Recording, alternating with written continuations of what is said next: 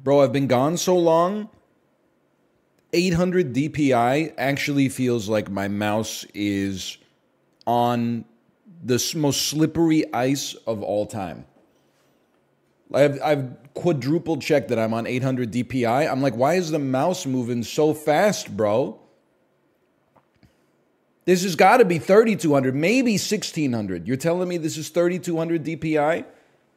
Or 800 DPI? Sorry, we're a little confused and jet lagged. Excuse me, excuse me, Tomo. Excuse me. Let's get my comfort white noise generator going. It does feel like I got my, my mouse sharpened. Hey, does Canada still exist um, like as a distinct cultural identity? I'm asking, here's the question that I'm going to ask. At your local Canadian tire, if you are Canadian, is there still an old dude in a red shirt who will sharpen your kid's skates for you? There's all, there's like four aisles for hockey stuff, sticks, pucks, road hockey gear, goalie pads, and then in the middle of the two aisles or the four aisles, there's a there's a skate sharpening machine where you drop off your skates and the dude goes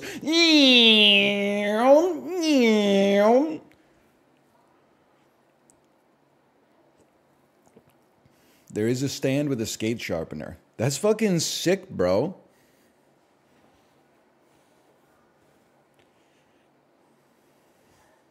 That's cool.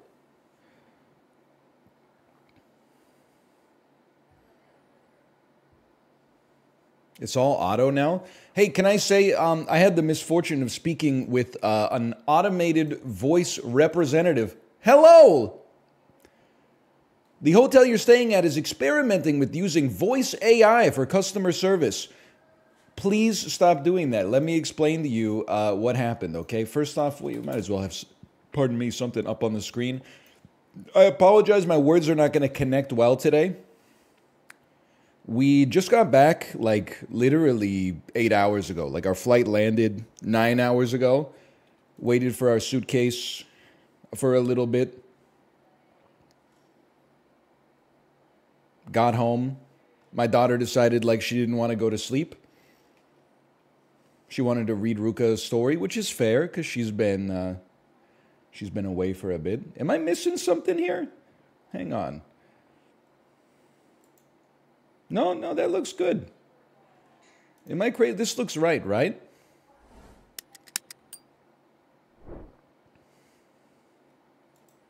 This looks okay. What's going on back here? We got printer paper. Look at this. I, I leave for like a week and a bit. We got printer paper in the damn background. What's going on? Who put that there? Hi, Tomo, can you can you move a little bit, please? Thank you, thank you. Um, so here's what happened. Okay, we we were on a cruise. You caught me. You caught me. We disembarked 8 a.m. on Saturday morning. We said, you know, our flight was until 7:30 that night. We said, hey, let's take an Uber to the Kennedy Space Center. We, we had 12 hours. We went to the Kennedy Space Center. Great time. One of the best museums, if you want to call it that, that I've ever been to in my entire life. My daughter went on the KSC Spaceport experience and got a cool silver coin from the dude running the booth because we explored the exoplanet TRAPPIST 1 together we waited uh, 40 minutes for lunch at the Orbit Cafe.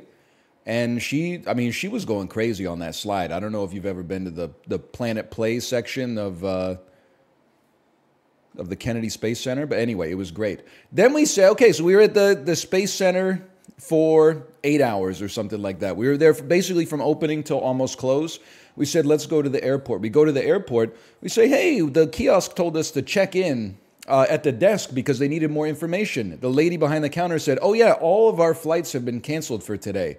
And I said, Oh, okay. Um, why? And they said, We don't know. Air traffic control. which seems kind of crazy. So we said, all right, whatever. And we start calling around to hotels uh, in Orlando trying to figure out um, where we can stay. You know, we go to the hotel in the airport and they're like, we're fully booked up as of like a minute ago.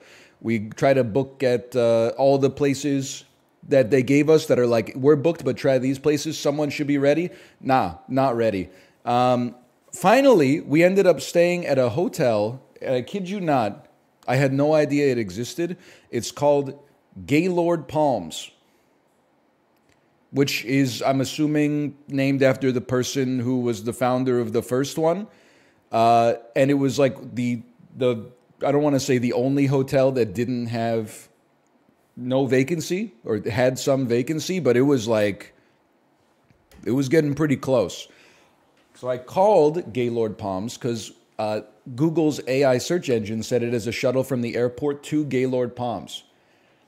We book it, and then I look at their website, and they're like, unfortunately, we don't offer a shuttle. So I call, and I get an AI assistant that says, Welcome to Gaylord Palms customer service. Could you please iterate your concerns and I'll be happy to help you? And then I'm like, uh, yeah, do you have a shuttle to the airport? And then I wait, I hear like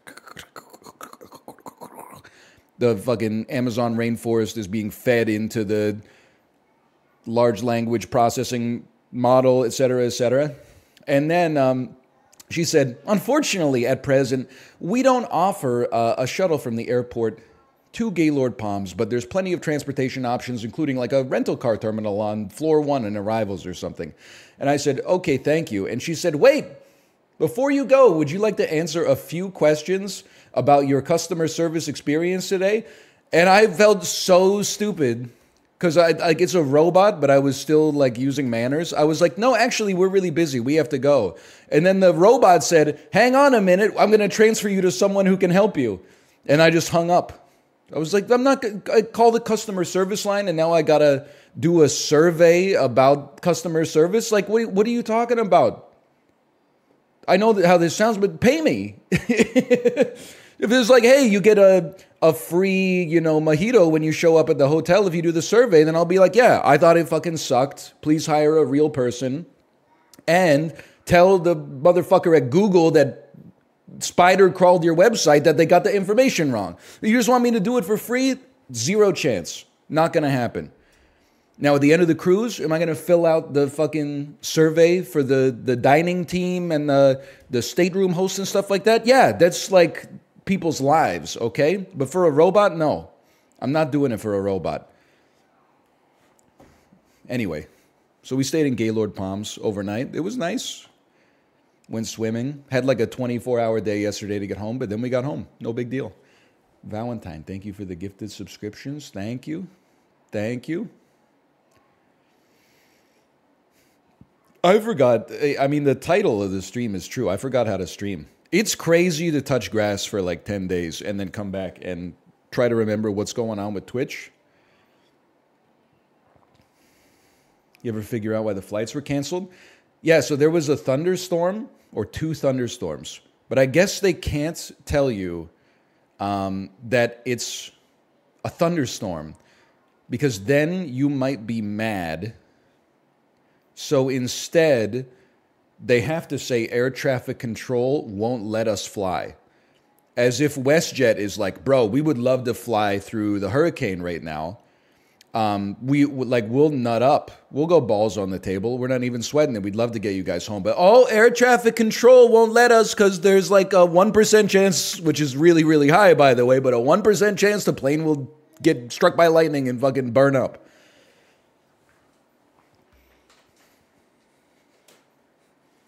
Even if they weren't canceled, it could have been a Boeing. Uh, well, we were on a we were on a Max eight, and can I tell you something?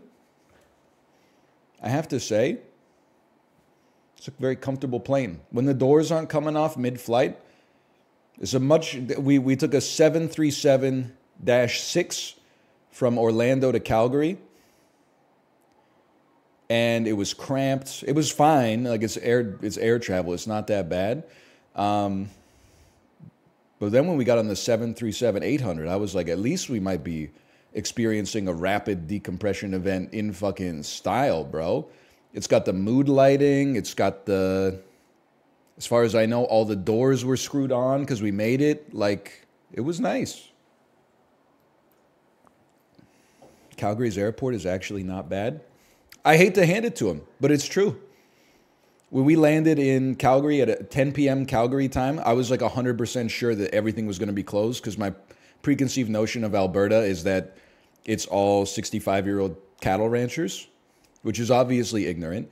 Landed, I was like, oh fuck, everything's closed. Walked to my gate, there were like eight open restaurants. In Vancouver, there would not everything would be closed. You would be trying to eat dinner from like snacks you cobbled together from like a Hudson News or something. I gotta hand it to the Calgary airport. I also have to apologize to the good people of Orlando, Florida. When we went there in August, I was like, at the Disney parks, everybody is paid to be nice to you, and they're all very nice. As soon as you get out into the wilderness in Orlando, everybody's insane. But this time, everybody was really nice. People were, were like very normal and cordial. And I'm starting to think that it's just like uh, last August, everybody was pissed off that it was like 40 degrees Celsius and 99% humidity. So we would be like, hello, could you drive us to the airport? And they'll be like, yes, but maybe you'll die like on the way. This time it was like very comfortable and everybody was just, they were driving relatively sanely. Do Americans know that there's like, as far as I know, no other country on earth where 5% of the population is wearing a shirt with their flag on it at any given moment? Hey, Cornobi, thanks for the gifted subscriptions. Thank you. Thank you. I, it's just something I'm struck by every time. And maybe, see, I look at it and I'm like, no other country does that because we know where we live. and I'm sure if you're American and you do that, you're like, that's because you don't live in America. If you did, you'd be putting the flag on everything, bro.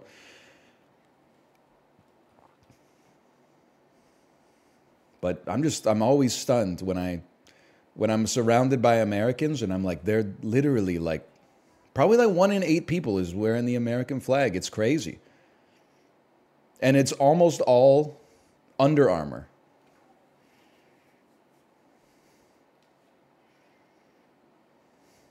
Brazil does it too. Yeah, it's fair. It's fair. I wouldn't know honestly. I mean, Canadians, you know, they they do stitch the flag on stuff. Don't get me wrong, but oh man. Also, I'm like a, I'm just saying. I think there's two kinds of people. You know, last couple of days of the cruise. I promise this isn't. I I have tons of material that I've already workshopped. Okay. Um, like uh, my Uber driver recognizing me as uh, that effing guy who made the video about picky eaters and just swearing like crazy while my three and a half year old daughter was in the car seat right next to us. Otherwise, nice guy though. Um, failing some charisma checks, like when I was at the. I, I think it was because I was growing like an old man beard because I was too lazy to shave all of my normal quips that boomers usually laugh at, they did not find funny at all. Like at the airport, I was I pissed at a urinal because all the stalls were uh, booked. You know, they were reserved. And as I was zipping up, I, I walked backwards and I bumped into a guy. And he said sorry, and I'm, I said sorry because we're in Canada. And then I said, looks like I need a backup camera. And he just grunted. And I was like, that's pretty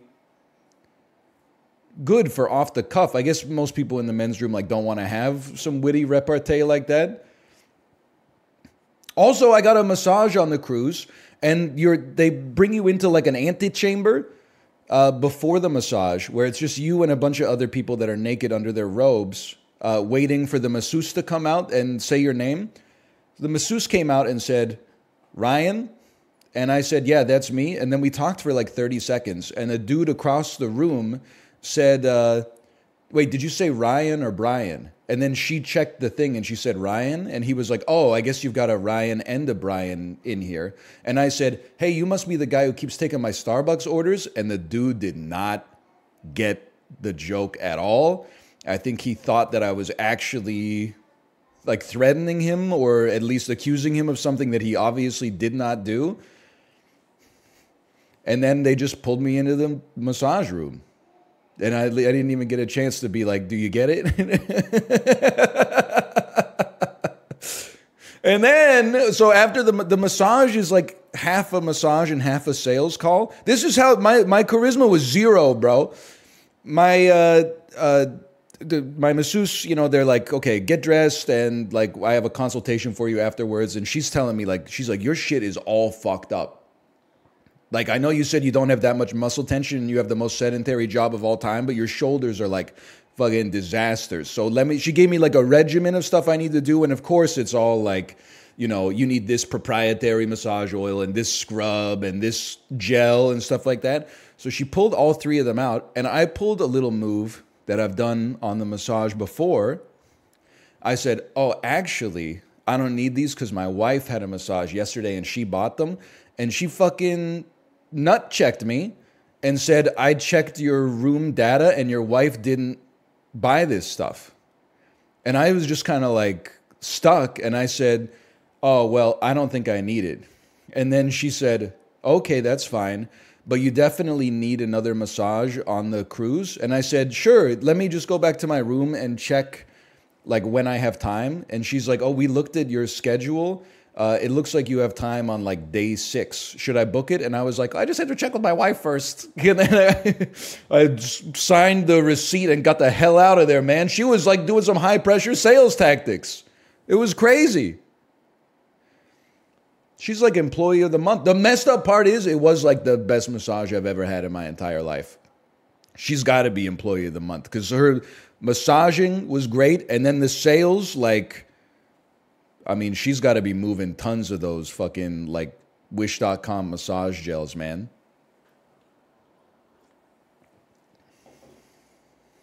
She must be crazy at Tekken. oh man. No, I did not go back. But I'm, I swear to you, this is 100% true and fact checked by real American patriots. Um, on there was like a day at sea where I guess they didn't have enough people on the in the spa. So there was like a spa worker that was just going out and like asking people to like, "Hey, you interested in coming to the spa?" So I was just walking around and uh, someone with the spa uniform was like, "Sir, are you interested in getting another massage?" And I said, "Actually, I've already been." I was like, "This time I'm prepared for this one." And then she said, okay, sir, very good. And I looked back and I was like, that was my masseuse, bro. Like I, I, I was literally just misfiring nonstop on like none of the quips landed. N- nobody thought I was funny. They hated my jokes. I my my wife eats 60% of her meal. The server's like, "Was it okay? Do you want something else?" She's like, "No, no, no, I'm good. I'm just not that hungry tonight." They take my plate, it's empty. I say, mine was horrible. They go, sir, really?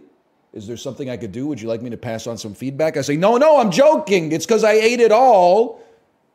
That I said it was not good, but I ate it all. Do you get it? Hey, Capsador, thanks for the gifted subscriptions. Thank you, thank you.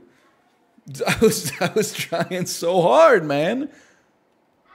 I failed all the QTEs. Yes, honey?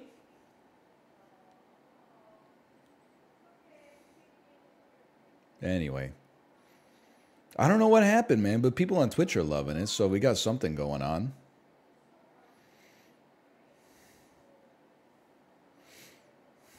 We're we're back. Also, so many people on the I I have a very elitist take, and I'm I think that it's true, but I'm willing to admit that it's a possibly a bad opinion, and you can two me for it. I think people in cities get a bad rap for being impolite. And people in rural areas get too much glazing for being nice and well mannered. And I this resurfaces for me on every single cruise I go on where there's people from all sorts of environments, but a lot of them are coming from, you know, the South or the Midwest and obviously like Indiana, you know, places where they're the only people around for like 100 kilometers. Um, and hey, thank you, honey. Well, thank you for the gem. It's a sapphire. Thanks so much. This is what you got on your pirate trip, right? Yes, one for everyone. One for everyone. Did you hear that? So here's here's the genesis of this take. When we're on the cruise, there's 4,000 people. The ship is huge, but I mean, there's lots of people. Plus, there's like you know 1,500 staff or something. You're you're always the elevators are always busy. You're always waiting in line to get places where everybody has to go, et cetera, et cetera. It seems to me people who live in urban environments they got no problem. They line up. They uh, wait their turn because they know that you've got to, you know, that's that's the way that you get in fast is by everybody, you know, doing what they can to make it as fast as possible by just basically following the procedure. They hold the door for the elevator and let the elevator fill up. And then when, you know, you get on the elevator on floor 2 and you're going to floor 8, when it opens on floor three and it's full so nobody can get in and it opens on floor four and floor five and floor six you don't get pissed off and go like they got to do something to fix this. Bro everybody's got to get to their rooms and like you we're all fat and a little intoxicated because of the fact that we've been at a, a cruise for like six days. So like just take the stairs or stop complaining. But the the amount of times we would have like so here's two very real stories I got on an elevator by myself. Hey, not Bradlington. Thanks for the gifted subscriptions. Thank you. Thank you. I got on the elevator by myself. There was a three person family dad, mom, kid. When the door opened up, they went, ah, and then I got on, I was like, whatever, you know. Some people go on vacation to relax, and some people go on vacation to get stressed out. I hit my button and then um, moved away from the panel we're on floor three. I'm going up to floor eight. The dad holds the closed door button like he's, he saw it on like an Instagram reel or something like that. Like if you hold the door button, it sends a message to elevator HQ that's like, send this shit straight to my room. Um, and then it went like two floors up and it opened up because somebody else needed to use the elevator. And like they were stressed out. And the dad was like, well, I tried. Like it was, it was insane. Like it was like a, a, you could fit 25 people on the elevator. What do you think? You get your own three-person elevator on a cruise ship with 4,000 people? It's insane. And then, uh, like two days later, we uh, we were on the elevator and it's super busy. Doors open up. Intoxicated woman in her 20s says, "Holy s!" You know, there's it's a Disney cruise. There's like 15 kids on the elevator. Whatever, it happens. Um, they, they pile into the elevator. It's a, a, a man and two women roughly around the same age. The doors open up, and then uh, the one family that was closest to the panel gets out. And then the woman says to what I presume was her husband, she was like, Hey, can you hit the uh, our floor button? And he said, I wanted to, but the effing moron was blocking the panel. Sorry, brother where everybody's trying to get where they need to go, you could just reach in and say, "Excuse me," or you could, you could say, "Hey, could you hit number seven or something like that?" Like, what's going on? Just ask, say, "Excuse me." Like, there's there's a myriad options. Like, you're surrounded by other you're surrounded by other people. I'm not suggesting everybody that lives in a rural area is like this. I'm merely suggesting that you're used to this level of socialization if you're constantly bumping into people and saying, excuse me, sorry, blah, blah, blah. If you're in an area where you can, you know, fart in your backyard without your neighbor being like, whoa, what the hell did you eat? Then this is probably a little bit unusual for you.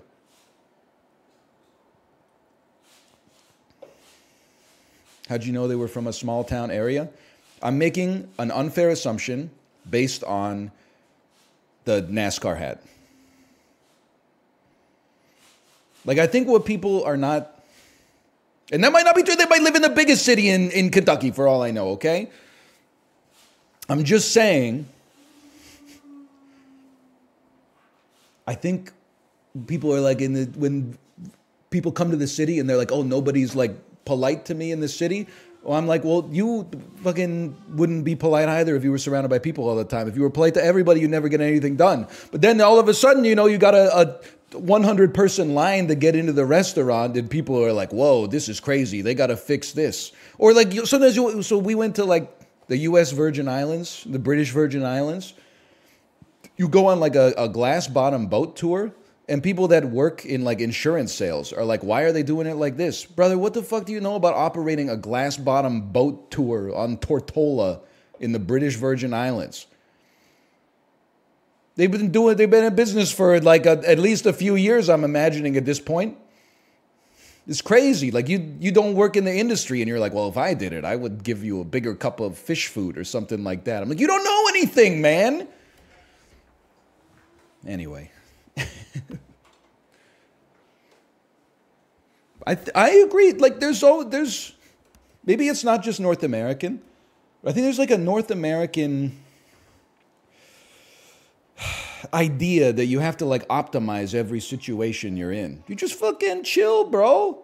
They're gonna get you're not the same thing when we get off the Disney cruise. People are like, I don't know why they do it like this. You got to be at breakfast at like 6:30 a.m. They yeah, they serve you breakfast like at your table and the same people who served you dinner 8 hours ago are dressed in different outfits serving you breakfast. But like I'm a little tired. Why do they do it like this? Why do they do it like this? I'm like, brother, this is like Disney cruise fucking 13,803. I think they got it pretty sore. I'm not saying there's not room for improvement in some aspects, but come on, man. Like they've been they've been doing this for a bit. You really think like one 52-year-old helicopter pilot's going to go on there and be like, "Hey, you ever think about letting them sleep in for an extra 2 hours?" Holy shit, bro. I never thought about it. We needed someone with your unique genius to, to blow this stuff up for us. Anyway. do they have a laundry service? They do, but um, we do our own laundry because it's like $5 a t shirt. That's fucking crazy, man. I like your airport tweet. There is something fucking crazy about the airport, right? Like you can't hear. I'm, I, I think that we need to recognize that there was too much airplane humor in like the 80s and the 90s. But now we're throwing the baby out with the bathwater. You can still make good jokes about air travel. Airplane food, maybe that one's off the table, but like we have a signal in our brain that's like pattern recognition. We're like, if this is about the airport, it must be Seinfeld. What's the deal? Hello, Corey, by the way. Hello. But like, is there really any excuse except for the fact that they have 200 foot high ceilings, for the fact that you can't hear the announcement at your gate in any airport, even if you're sitting right next to the gate. Like if you're 50 feet away at a restaurant, best of luck. You know, you're you're literally just hearing like some Gregorian chants from a cathedral. Paging WestJet passenger. That's probably when it's hacky, is when you do the voice. Creepers come to burp burp, skader, paging passenger skirt, burp to the. And then when you're next to the gate, it's like you can almost hear the the person talking into the walkie-talkie, but well, the, like you hear one word and then the data gets to the speaker, so you hear like attention oh, oh, like it's you, you just cannot understand it at all, man. But then I I'm becoming this fucking guy who is I I never thought it would happen to me, and I'm like, you know what? They should keep it fucking shitty because as soon as they make it good, it's just gonna play ads for like you know Pepsi nonstop. Keep the technology shitty, bro. Don't make it good and then the fucking play an ad for Ciroc vodka every 45 seconds on my eight hour layover, you know? Roller coasters, though, you're right. They got to fix roller coasters because I'm like, that, that shit is like Sometimes they're like, you can't go wrong. Sometimes it's like, if your legs leave the domain of the vehicle, your feet are going to get cut off. There's like some 17 year old kid on like Alexander Graham Bell's first telephone is like.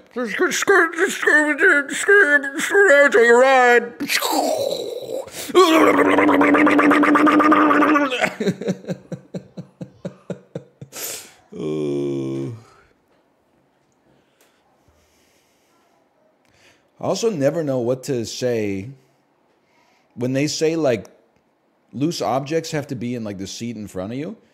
Are glasses loose? Because they're like not strapped to my head. They're just kind of like there's some there's some friction holding it there, and there's gravity. But if we start spinning around, like I don't know if that shit's gonna come off. Anyway, should we play some Bandle?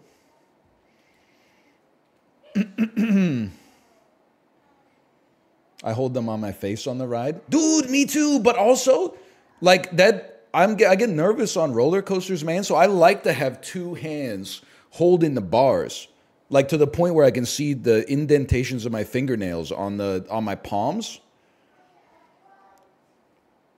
And then with like one hand on the glasses and then one hand on this is like it's too scary.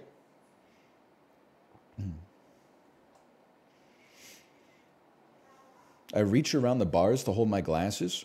Okay, you know, this is how I know we're all, you know, in the same.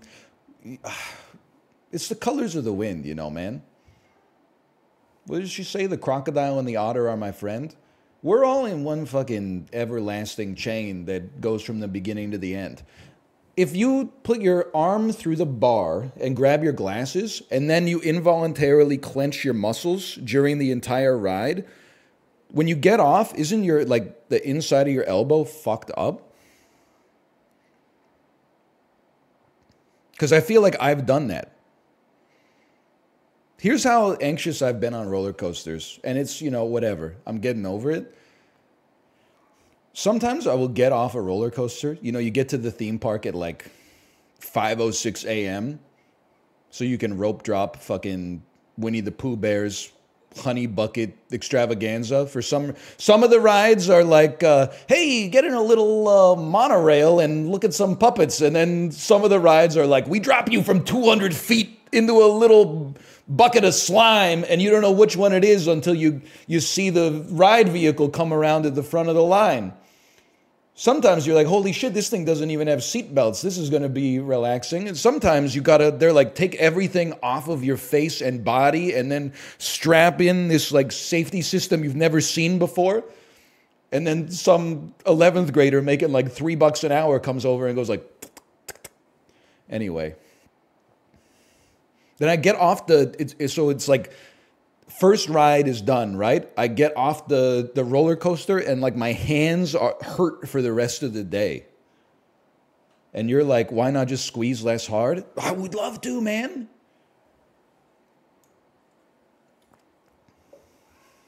I, I can't, it's, it's involuntary. Anyway, Bandle, Bandle. Does being bald change the experience? Unfortunately, it does because, like, if you're at a theme park in the summer, you want to wear a hat so you don't get a sunburn. And then you got to take your fucking hat off on the roller coaster, and you're like, oh, fuck, all these people know I'm bald now. and then you got to do like the, the walk of shame to the cubby with all this shit after it, and you got to like put your hat on, and then your people are like, he doesn't want people to know he's bald. And I'm like, I don't fucking care. I just need, I like, Anyway, by the way, I know Corey's here. I was going to talk about it. I don't think I'm going to do it, but I'm actually, for the first time in 15 years of baldness, I am considering the the 3% possibility of growing the horseshoe. Not Costanza, you know, one inch long hair, but like a, a fucking tightly buzzed horseshoe, like a like a two week horseshoe or something like that why? There's something about it that's just like when I see it, I'm like, maybe it's the evolution of, of baldness. Hey, Hoffman VP, thanks for the gifted subscriptions. Thank you. Don't get me wrong, okay? So I'm shaved bald, and I've been shaved bald for a long time. But when I see like, and it, listen, if you're 24 and bald, don't do it. Go go full bald. But I'm 35. You know, I got some gray in the beard. I got some wrinkles on my forehead. A little tight fucking horseshoe. It, it almost seems kind of kind of stately.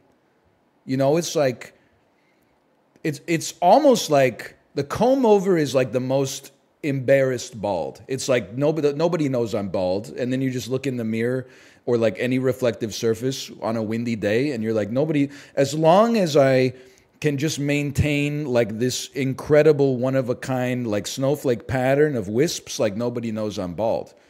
And then like shaved bald is like I've accepted baldness, but I kind of am still obscuring my baldness because you can't see the hair pattern very well. It's like you're bald, but like you've gone so bald that I don't know how bald you are. But a fucking like two week, like just just past stubble horseshoe that's like, check it out. This is my hairline. I'm 35. I have a family. Doesn't bother me. You want to you want to see my hair? I'm not I'm not ashamed of my hairline. Yes, I will have another. Mm, medium rare? No, you know what? Today, let's go rare. I'm the, I'm the CEO of business. It's almost like like that's the most that's owning baldness. I thought shaving your head was owning baldness. Rocking a, a like being a bald guy who still goes to the barber is owning baldness. Because you're like, you know, why are you going to the barber? You don't have hair. And I'm like, because I want to look good, motherfucker. I want this shit to look sick.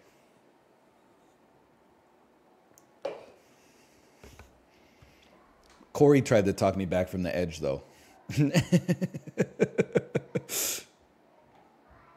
he was like, I've never considered it in my life. And I'm like, oh, I, I don't know, man. I don't know. Maybe I'll try it and I'll be like, I fucking look like I'm 72 years old.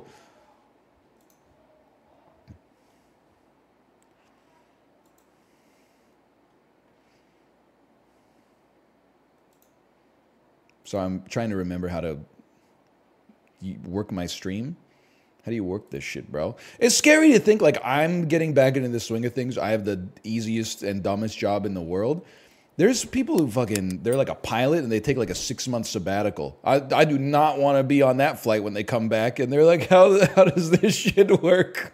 Wait, you guys tighten the bolts on the door, right? Oh no!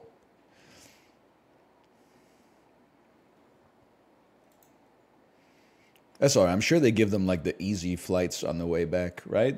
Uh, when they're just getting started. They're not like, hey, do the do the 14 hour leg from New York City to Tokyo, right? They're like, eh, just take some people from Newark to fucking Princeton or whatever. Some Taylor Swift fucking private jet itinerary. 2004, 1 billion views. This has to be um, Hollaback Girl or Gold Digger or Hey Ya. Or Beverly Hills?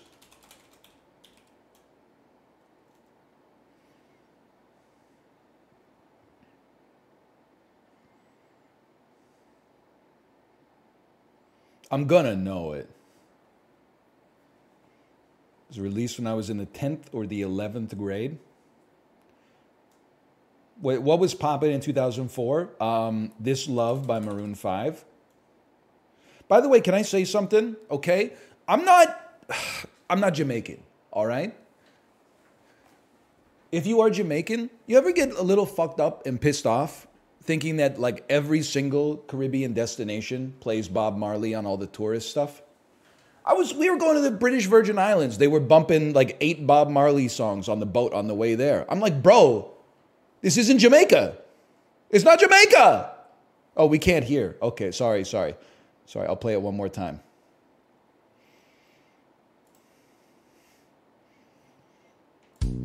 Hanging round downtown by myself, and I've got so much caffeine because I've been drinking iced coffee, and there she was. She warmed up my croissant, yeah, there she was. My Starbucks debutante. I want snacks and coffee, yeah. Something like that. Okay, now one second, still got it. Ah, uh, okay, one second. It's um, uh, the reason. Found a reason to be in the music video. They're robbing a bank, and this was for me probably the last little gasp of huge budget music videos that made the song that kinda sucked shit a little bit better and more compelling. They still make high concept music videos.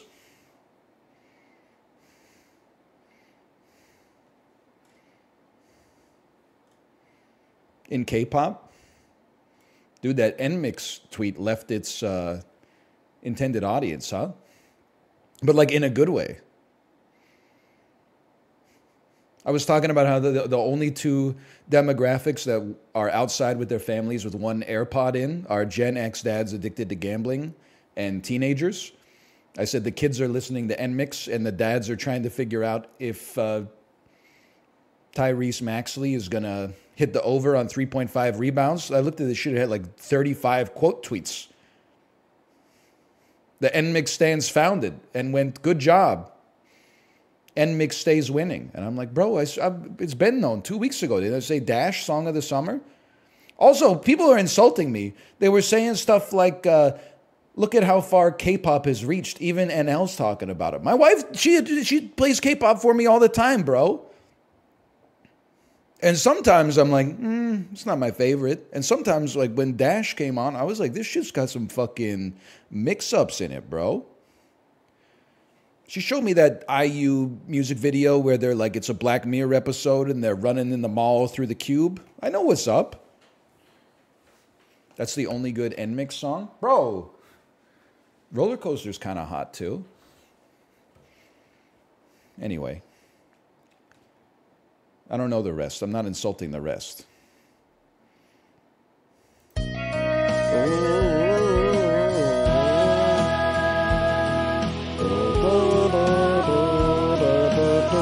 Let's go higher.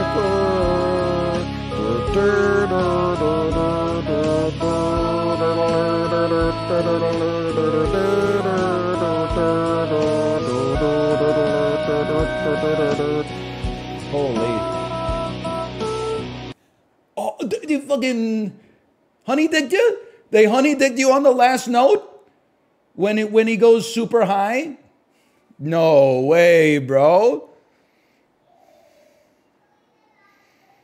I didn't know it was possible to make that song worse. It is a bad song. Do not kill this guy with hammers. Music video was pretty hard though.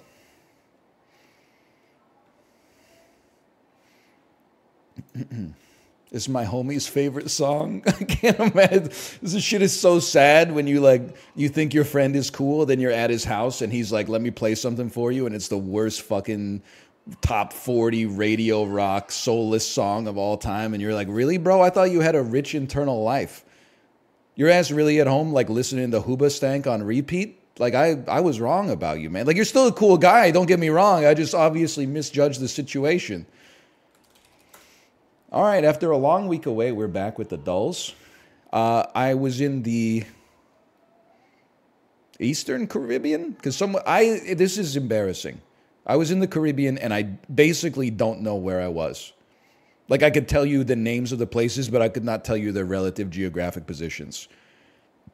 I was in the British Virgin Islands, I was in the U.S. Virgin Islands, and I was in the Bahamas. Is that the is that the Eastern Caribbean or the Western Caribbean?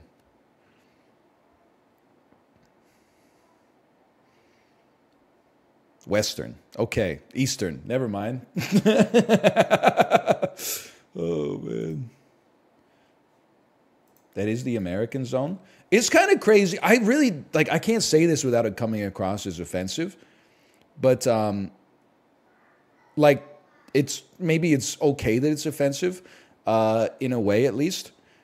I lived in Korea for a year, and the kinds of like uh, people that come from North America to teach English in South Korea, you meet some normal, nice people, and then you meet some insane people who are escaping from mistakes that they made in their life, um, and they're like, "This is my only way out." You know, you, you meet like someone who just finished college and they're like, I can pay off part of my student loans, get some work experience, and also travel. And then you meet some dudes that are like, I'm 42 and I just got divorced and I needed to do something. And I'm like, brother, this is not this is not supposed to be your domain. You could go for it, don't get me wrong, but like that's scary. When there's a 22 year old who just graduated from college who's like, I'm going to teach English in Korea, you're like, okay, give it a try. When you're like, I'm 53 and this is my third year, you're like, what? It's, I'm not saying you're doing anything crazy. I'm just saying it's it's a different vibe. And then the kinds of dudes that I was seeing who obviously had restarted their lives on the American Virgin Islands was like that cranked up to infinity. Like there were dudes who were just like, I don't know how to explain it. They were just pirates. I don't know if maybe they were like involved in some kind of tourist operation, but they were just walking down the street dressed as pirates. And I know what you're going to say those are actors. But it's like they were method acting, if that is. like they did not look like they came from uh, Fayetteville and then they'd been in the U.S. Virgin Islands for two days. It's like they had lived there for like years. And they were having like rum punch at 8.07 a.m. And it was not day one. Anyway. But it was fun. I had a great time. Back to work. Johto. Okay, it's a classic, uh, classic question. Johto is region two. Is that correct? Region two, generation two. Flying poison. Crobat. Easy.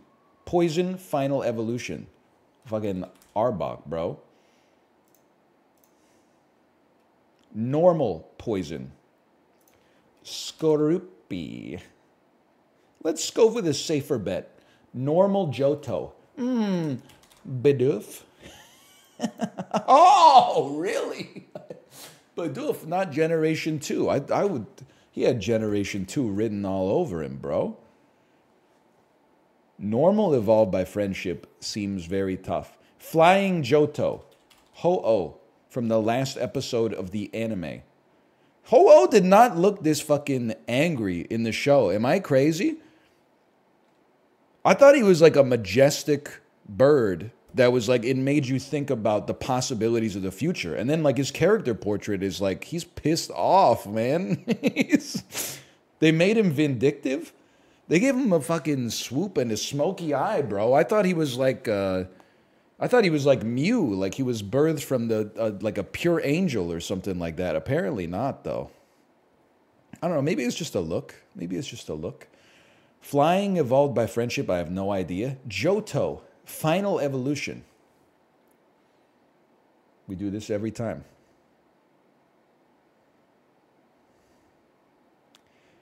You got Torchic. You got Chikorita. Chikorita evolves into fucking Chikorita, Chikorita evolves into fucking. She's got the flowers around her. Plume. Hmm. A canopy. Hmm.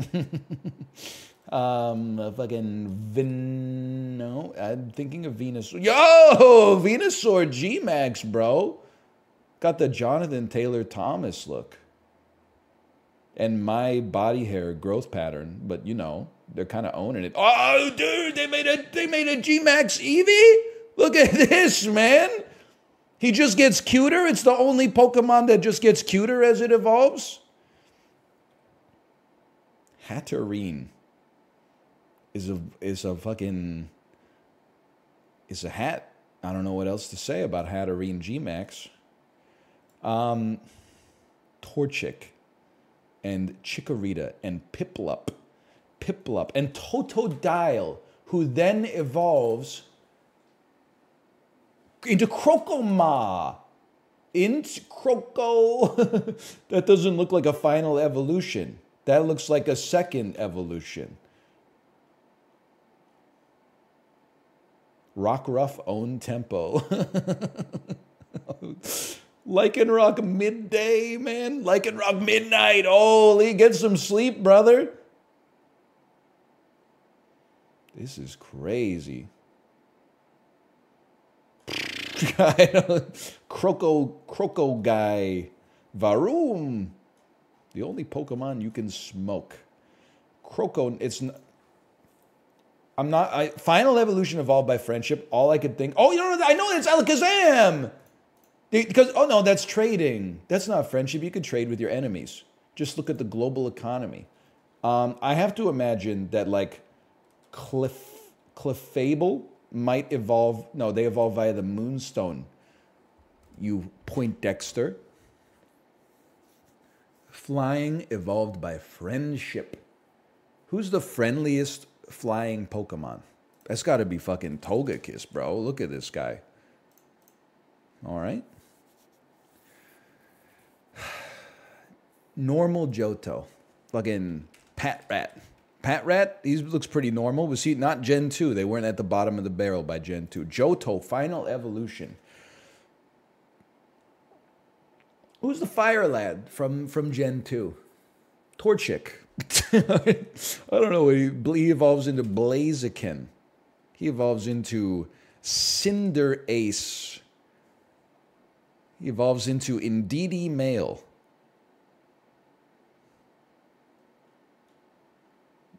Minior Meteor.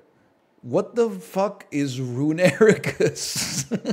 is this real, man? Is this, what is this? This looks like some shit you draw at a museum and then you scan it in and it like shows up on the screen. What is it, man? It's the stroke is thicker than my Photoshop thumbnails. I think it's clear that I'm cooked here. I haven't seen almost any of these motherfuckers ever. Um, this is not good. Normal poison. Weedle. Really? I thought that was I thought that was good, man. Flying and evolved by normal evolved by friendship. Is there any Pokemon that are holding a heart or something like that? What about what about um, Smoochum? Smoochum evolves into Jynx via friendship. This was a fucking tough one, man. This was tough for me. Let's see most common. Oh, Sentret! The, the mom said it's my turn to use the Xbox Pokemon in Pokemon Go. And you're going to be like, what does that mean? When you see him in Pokemon Go, he stands like this. Like like a kid in your door frame at 1 a.m. I threw up. And then eh, eh, you also see 300 of him every day if you play the game. Blissey, I, I probably could have gotten. Togetic! Oh my god, I said Togekiss evolves by friendship, but that's fucking a little bit semantic, okay? Okay, obviously Togetic does evolve via friendship. Maybe it's not semantic. Maybe I'm just wrong. Uh, well, that was a fun one at least.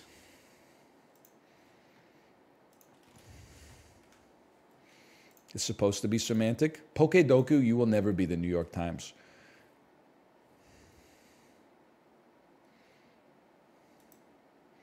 It's a movie that takes place in New York City, which narrows it down to 80% of movies ever released. The other 20% are set in Los Angeles. That's Madison Square Garden. What's the most New York movie ever made that could be lit like this? This honestly, to me, I'm going a little crazy.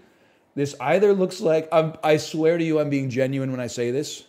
This looks like Michael Bay or David Fincher. I feel like it's one of the two to me, this looks. I'm going to say this is uncut gems though, because it I see Madison Square Garden. Does it open with the? No, it opens with the. They're pulling the opal out of the mine, and then it goes back to Adam Sandler. The dinosaurs were, were coming to this thing. Daddy, mommy, me. Marriage Story takes place in Los Angeles. um, this is Insidious. They don't have that one, huh? Put a shirt on, Daddy. Daddy's wait, Daddy's got boxing gloves on. Daddy's got boxing gloves on, bro. Uh, it's not Creed. Um, it has Curtis 50 Cent Jackson in it. Hi, Tomo. Creed 2. Um, next. It's got Forest Whitaker in it. It's the Jake Gyllenhaal movie that I thought hadn't come out, but it has come out. Jake Gyllenhaal is in UFC. The movie is called Undisputed. It's called Forgivelessness. It's called The Fighter 2. The the brawler. I'm not going to know it. I'm not going to know it. Southpaw. I know I've seen I saw Jake Gyllenhaal getting cut up. You know, like it was like, "Oh, look at how how shredded he is." And I was like, that I probably saw the first picture of that in 2017. And then imagine my surprise like a week ago when I was like, apparently this shit is just coming out now. This is an old movie. This is old. I'm I'm out of the fucking loop, bro. This movie's from 2015. Well, it shows what I know. They got me today. They got me. Two different movies. Fair enough. One's boxing, one's UFC. It really is Curtis Curtis 50 Cent Jackson in it. 60% on Rotten Tomatoes. But I like that. I like that they they pull some, you know, mid cuts for frames sometimes. I would have thought that it uh like the first few times I played Framed, I was like, I get it, you know, you love John Cazale movies, but it's just not like stuff that I understand. I haven't, I'm not that familiar with them. But now that they start pulling like, you know, mid tier, mid 2010s boppers, I'm like, I respect it.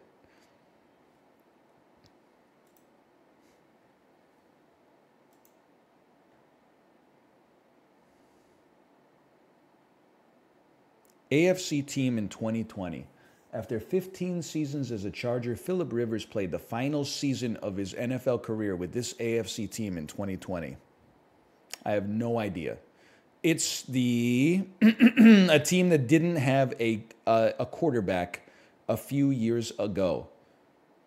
Before Joe Burrow got drafted, the Bengals were Dookie tier. Nope, not true. All right.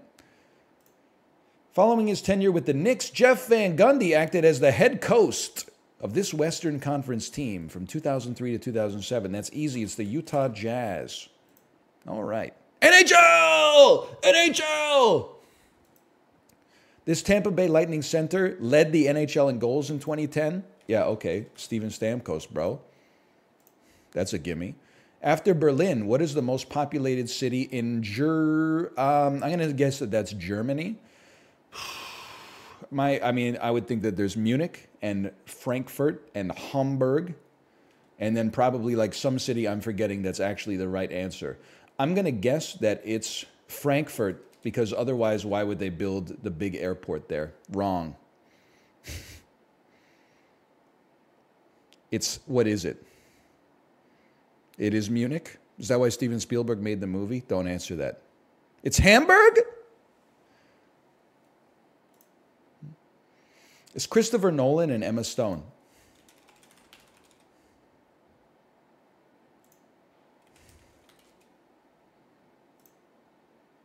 Did I not? I didn't. I didn't pick Christopher Nolan. My mistake. Terrible image. Well, originally packaged in blue bottles, this flavored brand of water introduced in 2002 is a product of Gatorade and is marketed by PepsiCo. Propel. Holy cow, he's cracked, bro. Ooh. How'd you get it? I was alive then. After Two and a Half Men, Charlie Sheen's next TV role was starring in this FX sitcom loosely based on a film from 2000. Oh, it's, it's got to be Anger Management, bro. This is the only thing that makes sense. Now, that is crazy because I haven't seen Anger Management, the show.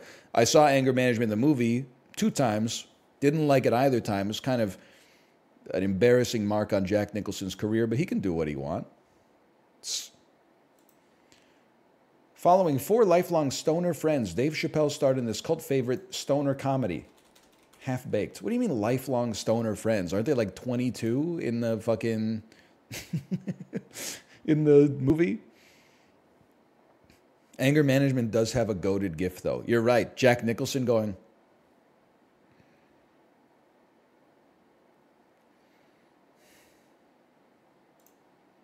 I know what you're talking about. This female singer had her first top five hit in 2018 with her song Bad at Love. I'm bad at love, and it's and it's and then her first number one hit in 2019 with Without Me. I don't know who this is. I'm going to assume that it's Bebe Rexha, the most famous artist I can think of from that time period who I know nothing about. It is not Bebe Rexha. Who is it? That's Halsey. Oh, Halsey. Does is Halsey the the uh, woman part from? Then now I'm sitting pretty in a hotel lobby. That one? Yes, she is. What's your favorite Jagged Little Pill song, NL? Listen, now you're going to get me talking, okay? It's kind of hard to separate the popularity of the songs on the album from how they play in 2024. It's not ironic. I think ironic is overplayed, but also a little overhated. But it, you ought to know. Like I, I just I romanticize going back in a time machine to like 1993 or 1994 and hearing that shit on the radio and being like, damn, she's fucking breaking the house down. She's talking about sucking dick in the movie theater. She wants to like kill her ex boyfriend, and the bass is going crazy, and the chorus, she's screaming, and then her vo- the Alanis voice when she gets really emotional, and she goes like, "Hey, hey, you know what I'm saying?" But there, I like a lot of them. I like I like head over feet. I like. Um, what I really want, side one, track one. I like. Uh, I mean, I like um, "You Live, You Learn." I think that's inspirational. Uh, the album has no skips. I don't know if it has no skips, but it has some good ones. I mean, it, it's almost all great ones, I should say. What's the one that's like, "Hello, Mister Man"? You didn't learn my name. You didn't think I'd come back roly poly and give you your t shirt with a stain. And I'm at home now that I'm a millionaire. That's a good one. That's a, that's a good one, too. That's right through you. I see right through. Yeah, yeah, yeah, dude. They got some. They got some classics on there. I gotta check this album out is actually the Canadian. Many people are saying that Jagged Little Pill is the Canadian exile in Guyville. Many people are saying it. I'm not the first person to say it. What are we on? Wordle fucking three? Like, we got to go a little faster, bro.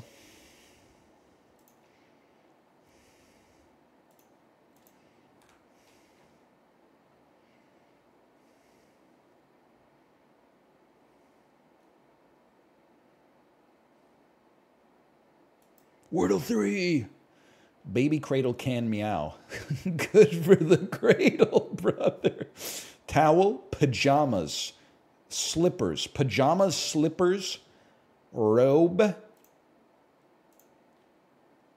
and washcloth. Things you wear after a bath.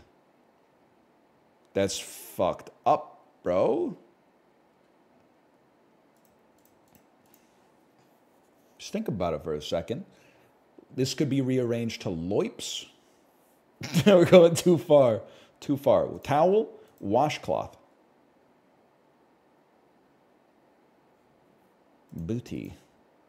Booty. Booty, bum, rear, can. Synonyms for your anus. She took a shit in the mother cradle, and no washcloth can clean the spoil. Things Rebecca Ferguson did when she called out a male actor she will no longer work with because he yelled at her. Am I still up with the modern discourse? Am I still am I still current? You pretty much got it. Okay. what happened to Kate Middleton, man? They're posted fucking DALL-E 2 images of Kate Middleton. The hands are all fucked up. The skirts don't match. What is she okay? What's going on, man? Also, who is Kate Middleton?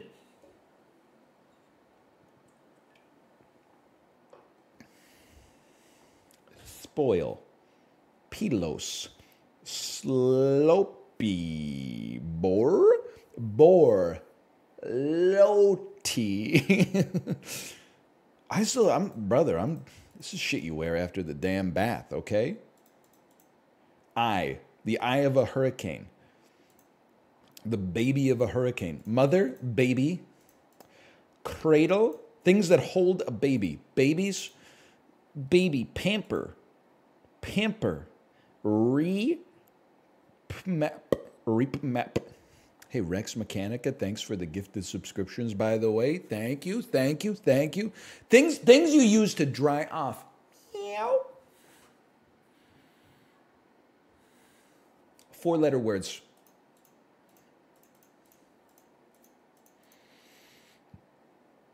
Words with oi sound. Words with two vowels consecutively. Words with an E and an O in them. Words where the only vowels are an E and an O, and you, would you, would you fucking, would you fucking do? You okay? I'm, I am mentally ill. I'm mentally ill. I'm seeing patterns that don't exist. I'm the inspiration for Darren Aronofsky's hit film Pi. I'm performing a self trepanation. The New York Times has infected me with the mind virus, but I'm not wrong, right? EO, EO.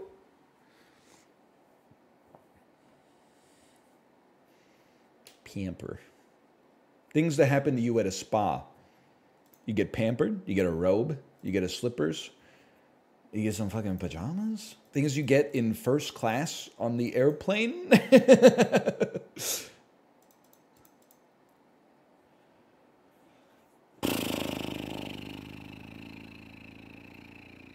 Bathrobe, bath towel, bath slippers.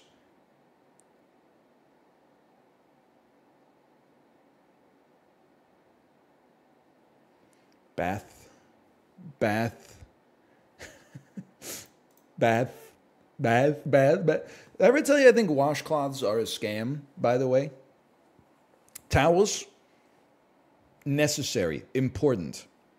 You need to dry off somehow. You're not just going to air dry it. It'll take you like an hour. Washcloths, what do they do, bro? What do they do except take up space in the laundry? How else do you wash your, wash your sensitive regions? fucking get in there with my with my fingers, bro, the way God intended.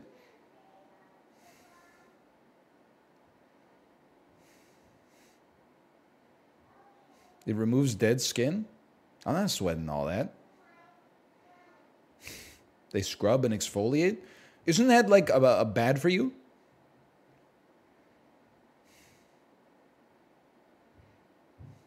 You literally are. well, yeah. I guess. I don't know. You think cavemen had fucking exfoliation, bro? No shot. How do you clean your back? Momentum and water. Hello, honey. Whoa, you painted your fingernails. No. Oh, it's a band aid? No. It's tape. No. What is it? It's a, a nail decoration. A nail decoration. Mommy did that to me. It looks so nice, honey. It looks so cool. He wanted to. Maybe after work you can do it to daddy, okay? But I, You okay? Okay, bye bye. Thanks for visiting.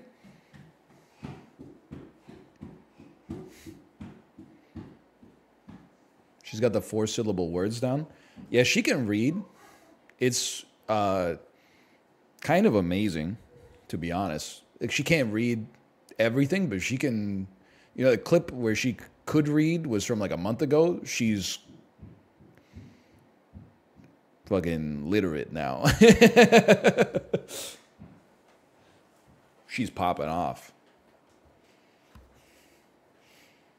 Because the thing is, is like once you learn how to read, like you can, you know, read even more, right? you know, so obviously she didn't get the intelligence from me. It's like when you can't read, you're basically just looking at nothing. But as soon as you can read a few words, you can start like piecing the everything together.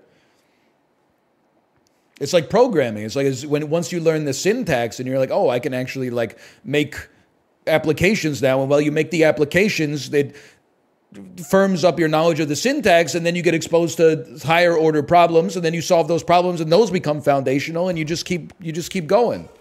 And then eventually, I don't know, sometime around 2014, everybody fucking lost it. And every application just keeps getting worse and worse and worse for some reason. Why the fuck do we have paper towel dispensers that can run out of batteries, bro? What the fuck are we doing as a society that the paper towel dispensers can run out of batteries?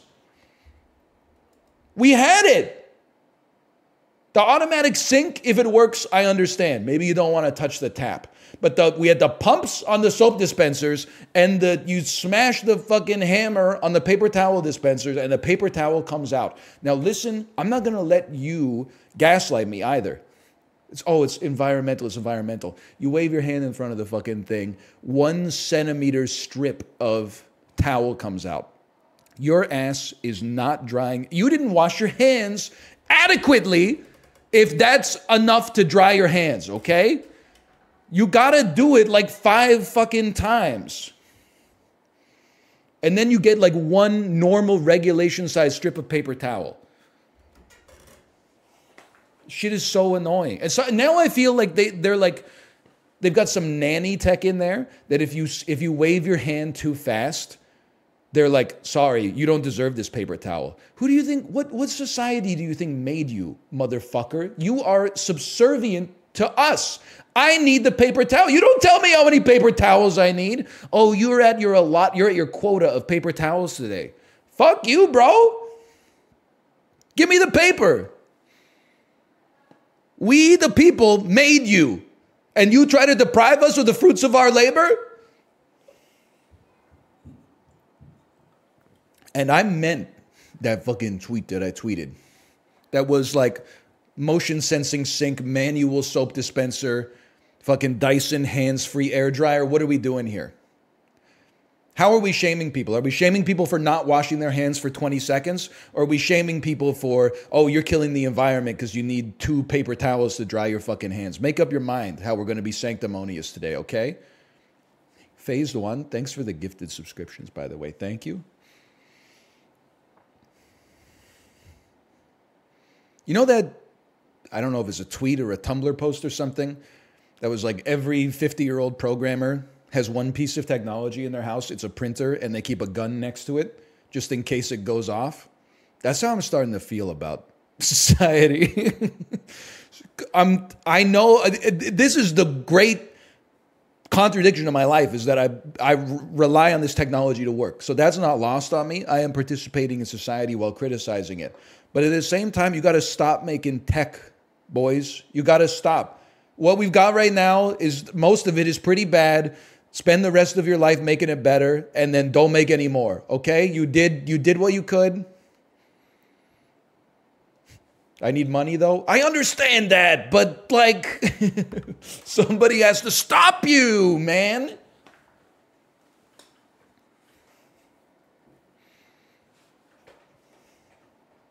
Sorry, we're playing connections.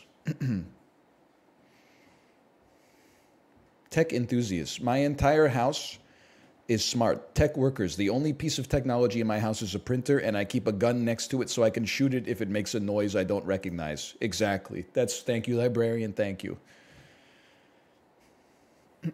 Hello, honey. Mommy has no supplies left. Oh my God, what are you doing with that flashlight?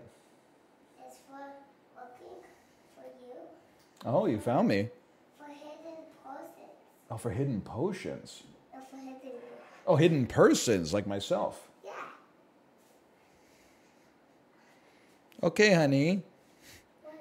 I think you should go up and see mommy. Daddy's daddy's doing a puzzle right now. Okay, come. I can't come. I gotta get some work done. Can you say hi to Chad? Hi. But can you make a surprise? Can I make a surprise for you?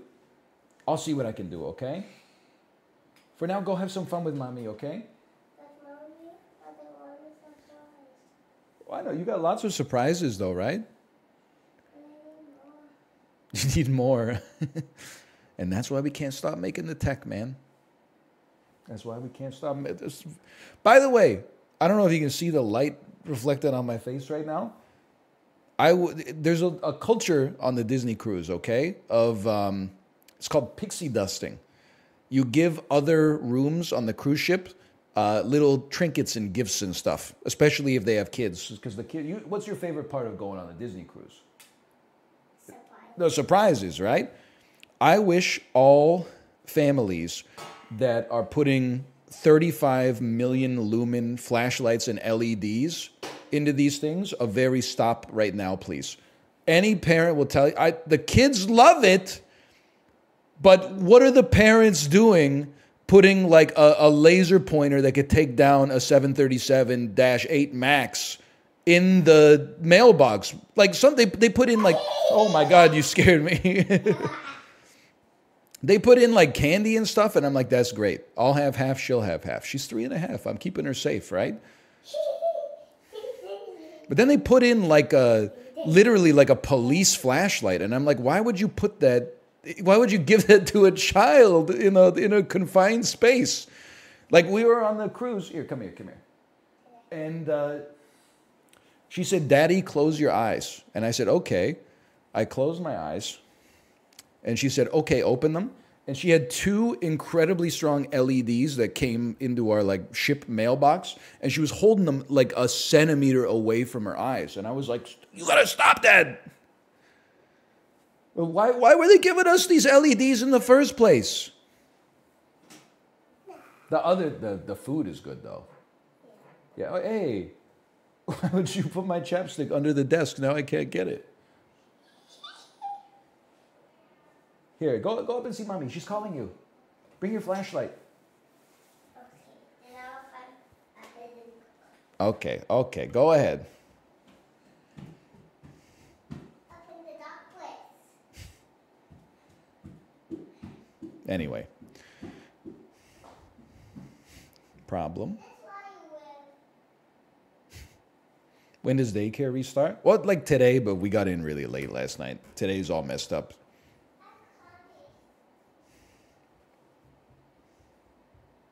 Okay. Connections.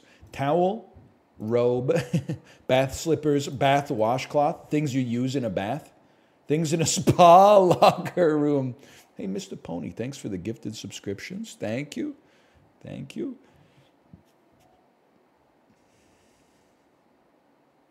Things you can uh, do to a child. You can spoil it, you can cradle it, you can mother it, and you can pamper it. Okay, we got there. What? You can baby it, not not mother it, I guess. What? Treat with excessive care. Cat. Okay, cats blank. I'll give you that one. I made the same mistake. Listen, I'm I'm very pro connections, but I do want to say. I guess well, whatever. They kind of got me. Look, I'm gonna keep the dolls going. I'm sorry, I gotta go pee though. My bladder's on Eastern Standard Time. I'll be right back. I apologize.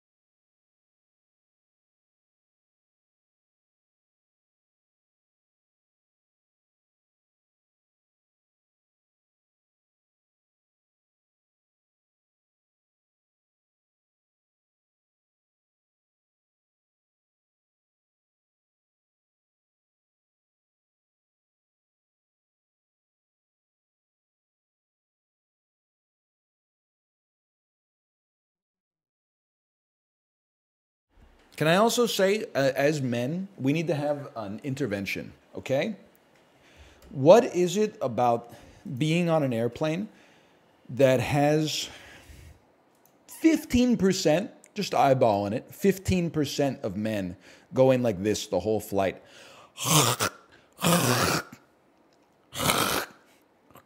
The whole the whole time?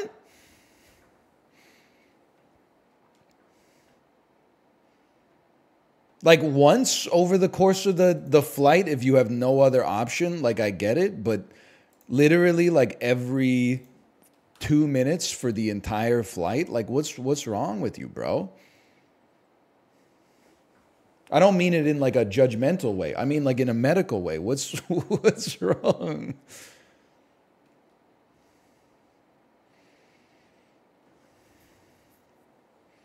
Can't you just go to the bathroom? That's what I'm saying, man. Just go to the bathroom. You, you got to fart on the airplane. You go to the bathroom. You wait in line behind five people who take way too long, and then you let it rip in that cavernous toilet. You got a hork, do the same thing. It's no big deal.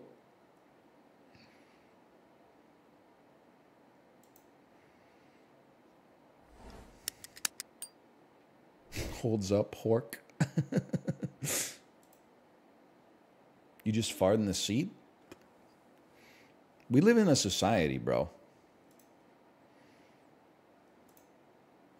I'll return soon. BRB. Sour condiment. Sauerkraut. Muppet with a long hooked beak. Gonzo.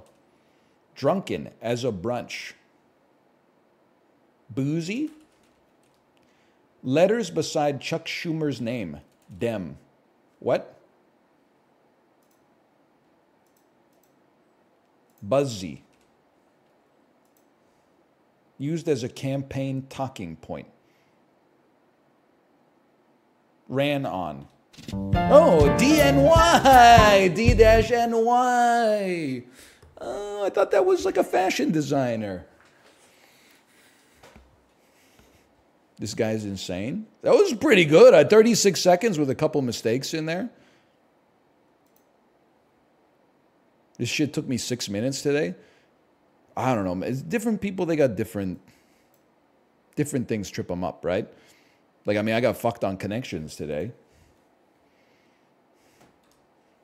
But the New York Times mini cross. You know what the secret is on the new New York Times mini crossword? Do not. Um, ever make an account. I don't need an account to play your mini crossword. The second you make me make an account, I will no longer be playing your mini crossword.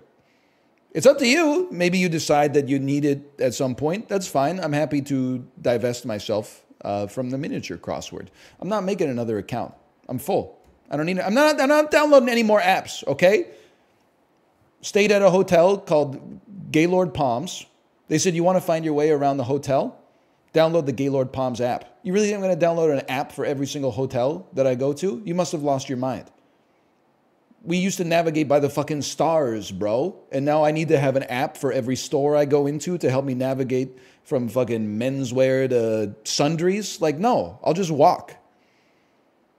I don't need it. I don't need an app for the MCO airport. Oh, look, fucking Auntie Anne's is open. Who gives a shit, bro? I don't need it. It's too much.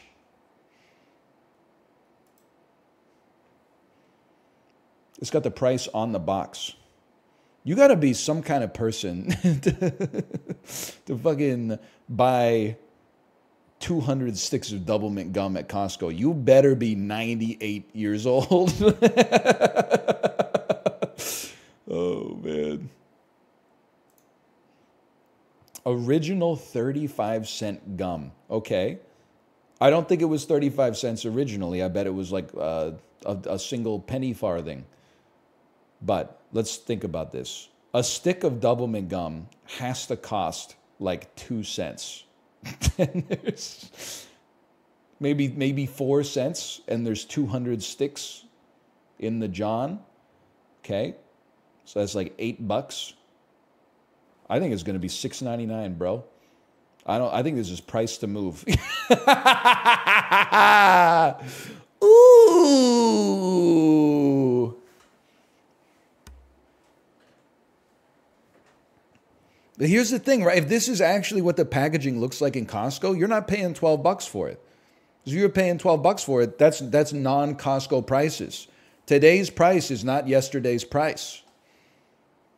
You got to be getting a bargain. You're probably right. They probably put 12 bucks on the box so that you're like, holy cow, a lifetime supply of Doublemint gum for like 45% off.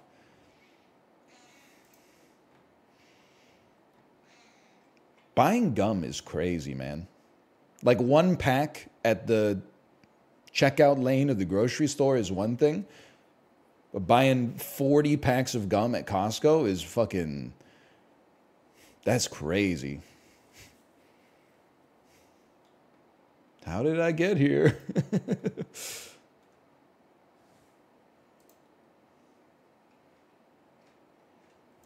hey, Domo.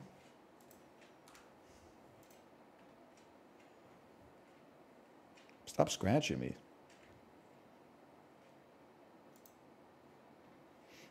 I do have to. I, have to check out Strand. Everyone's telling me, telling me to check out New York Times Strands. Hello, Tomo. Hello.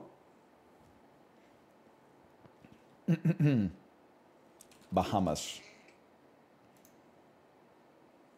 If there was ever a, I can finally see where I went. So I'm assuming that maybe something like here is the British Virgin Islands, and then like this is the U.S. Virgin Islands.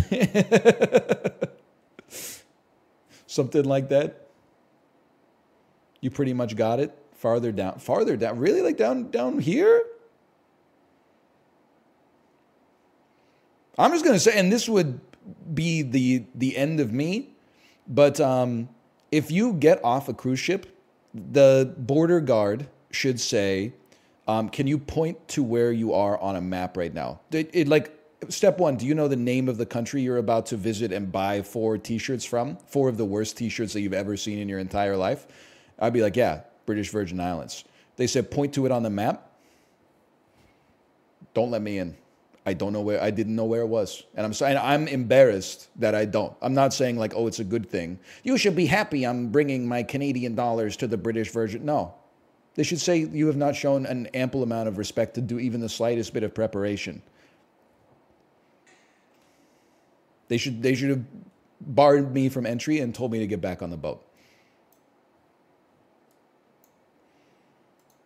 600 kilometers. It's the Dominican Republic. It's Haiti!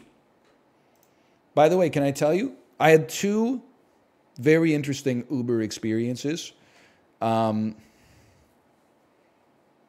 while we were in the United States of America.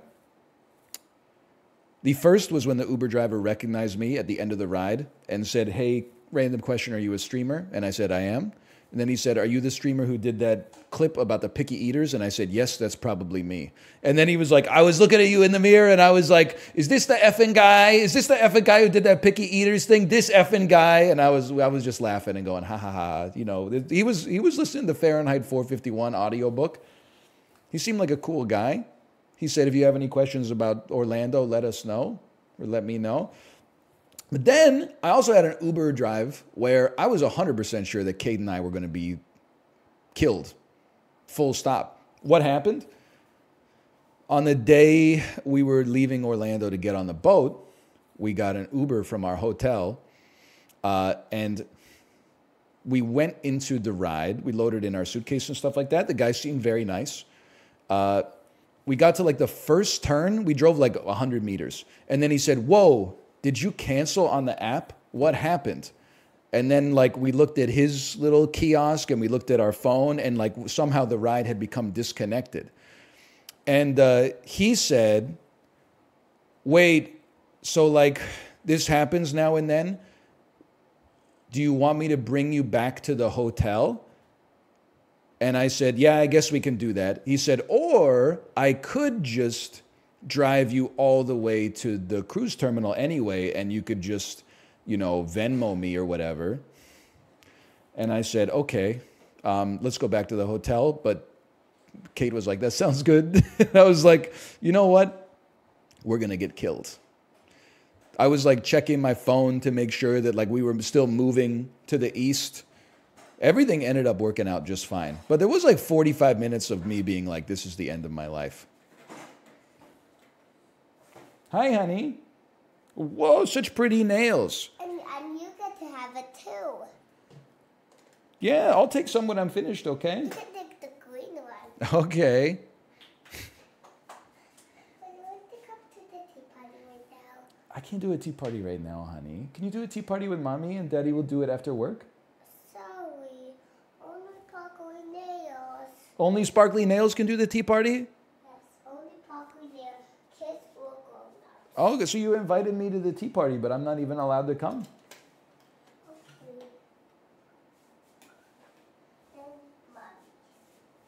Okay.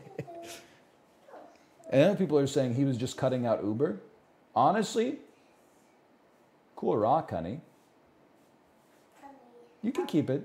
I'll take Okay, you can take that rock. I kind of respected it. If as long as he didn't kill me, I was happy to pay him cash and cut out Uber. I would much rather do a taxi than an Uber, except for the fact that like probably the last 10 taxis I took before Uber came to Vancouver drove like 40 kilometers an hour over the speed limit, two centimeters from the bumper of the car in front of them, while talking on their cell phone incredibly loudly the whole time and like asking me the route that I want to go to the airport. And I'm like, I don't know, brother, you're literally a professional driver.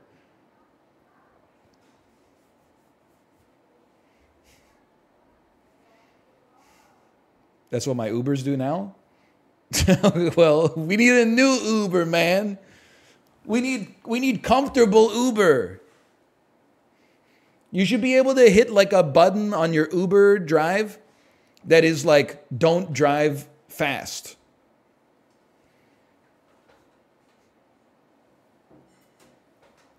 Or if you're in a rush, you could fucking click drive fast.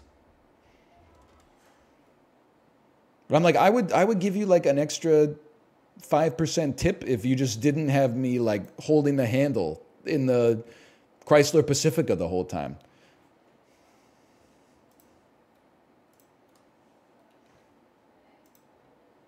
What am I doing? I'm so like out of practice. Five percent tip.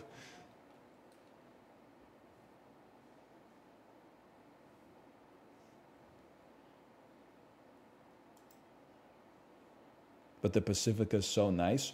Bro, every time I'm in a, an Uber that's a van, I'm like, I'm reaching that age. I gotta buy a van. When I'm when I'm in the second row of the van, I'm like, holy fuck, bro. They got pilot seats in this bitch. It's not like bench seating in the back, it's pilot seats. And then the person driving the van is always like they're, they're like the closest thing to like a, a pilot that you can get in a car. They got their whole command center up at the front. Like they can control all the doors from their little console. They got like overhead buttons and stuff like that. They're like, it's, it seems incredible, bro. They got so much storage. Hard to park in the city, that's for sure. But this is Mexico flipped horizontally. This is on the east. This is Croatia. It's not Croatia. It's on the east coast of Africa. It's Ethiopia. It's not on the coast. That's bad. It's Cameroon, which is on the coast. okay. It's the Central African Republic.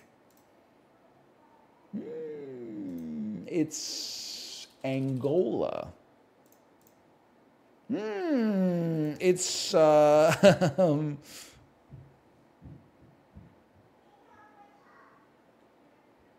God is my witness. I have absolutely no idea. I don't know what the fuck Burundi looks like. Congo! oh, okay, okay.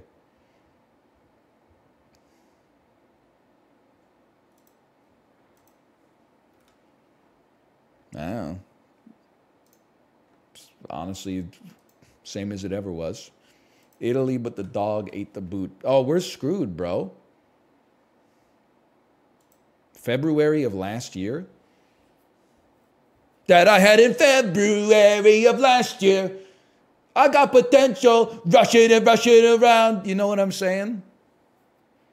It's Valentine's Day 2023. It really should be easy enough. What 20th Century Fox movie was freaking popping, bro? It had been out since December and it made $657 million. Directed by actor two, Zoe Saldana.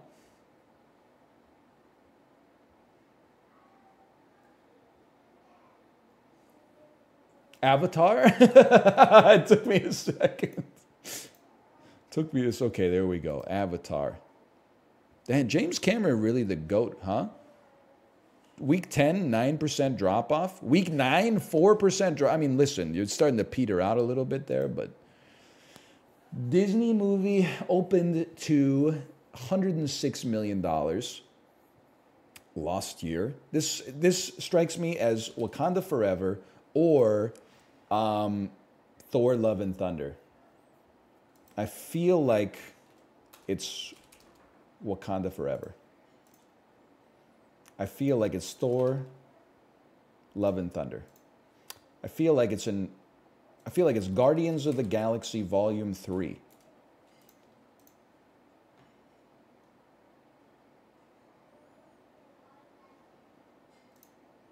I feel like it's Ant-Man and the Wasp Quantumania. we get these, we get these. Warner Brothers Week two, starring Channing Tatum. Magic Mike's Last Dance. I mean, that's a given. It's not some obscure art house film like Ant Man and the Wasp Quantumania. Universal. Week nine.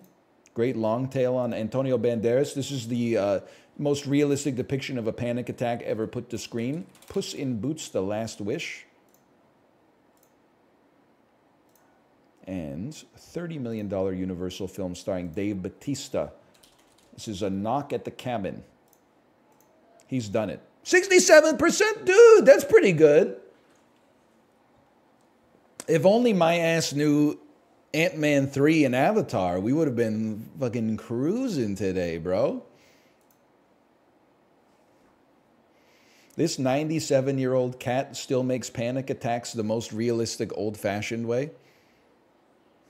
Are you being sarcastic about Puss in Boots? Listen, I'm not trying to get the animation is real cinema horde knocking at my door. I'm merely making a reference to uh, when Puss in Boots went viral for its depiction of a panic attack, at which point people replied and said, you need to watch real movies. At which point people replied and said animated movies are real movies. And it's just, uh, you know, Take a look at the lawman beating up the wrong guy. Oh man, wonder if he'll ever know. They're in the best selling show. You know what I'm saying? Just another trip around the damn sun. It's crazy that it's only a year ago.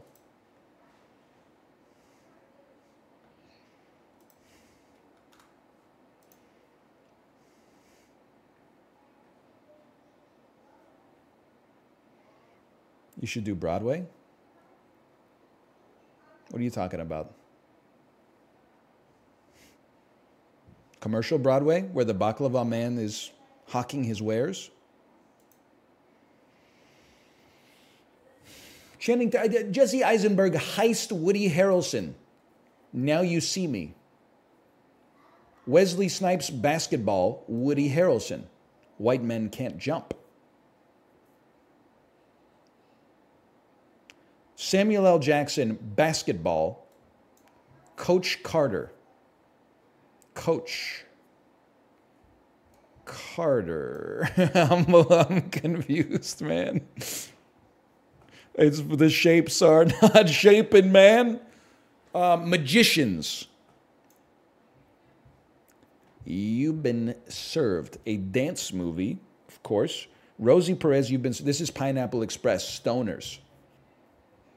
Rosie Perez must be in White Men Can't Jump. Channing Tatum is in Coach Carter. I did not know that. And Blade! It's Blade! We get these. Swaps left seven. That was a pretty good one. Your mother. Some motherfuckers are always trying to ice skate uphill. Have you ever seen Blade in the modern era? The car chase in Blade is one of the funniest shots I think, and I love it because it actually has style. Like they they swung for the fences on the car chase in Blade when he is following the the supplicant. I wish when movies weren't afraid to be a little silly, man.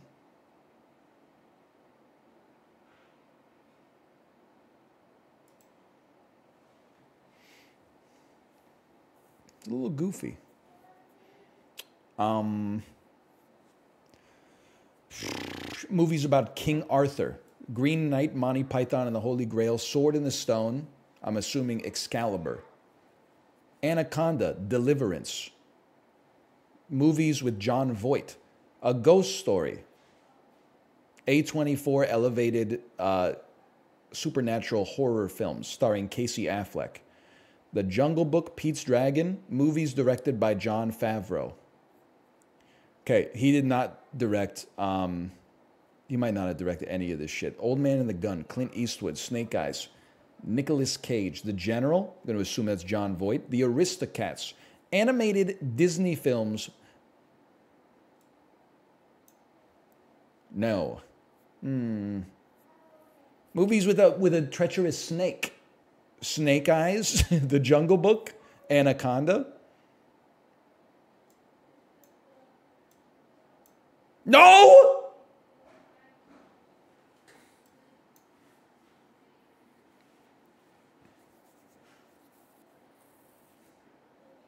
Deliverance goes here. Where the fuck is Jon Voight, bro? Where's Deliverance, Anaconda, How many swaps? I have nine swaps. It's so gettable.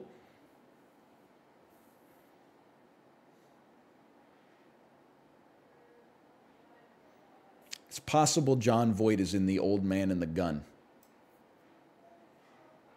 It's possible that he is in Point Blank. Yeah, he's. What is this? Not Jon Voight.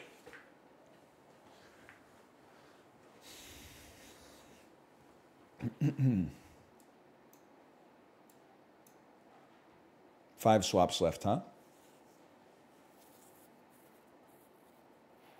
I don't know what these are. I know what deliverance is, but the rest of them I'm like, oh, you're right. Green is the connector. Green is the connector. Ah, uh, wait, wait, wait, wait, wait. It's uh, with five swaps, it's all coming together.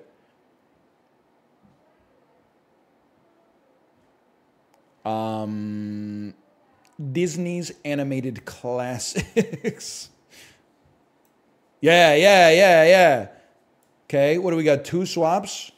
Hi, you okay? Oh, you took your nails off? I took, a, I took my ugly nails off and I closed the parts into the trash can. Okay, that's that's fine. Here, why don't you bring your chair over here?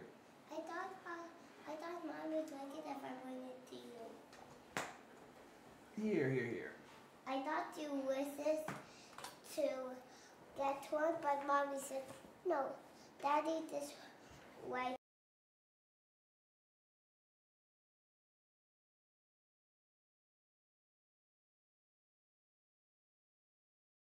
It's Dev Patel. It's Jared Harris. You know anything else about the Green Knight? No. I think it's a tale about Sir Galahad's um, quest to make a name for himself in the court of Camelot and uh, the absurd levels that he's willing to go to make that happen. Perhaps even the self destructive uh, tendencies he's willing to embrace in order to get just a taste from the goblet of fame. I brother from Cabanas. What? It's not Galahad, it's Sir Gawain. Okay. Isn't that like a menswear store?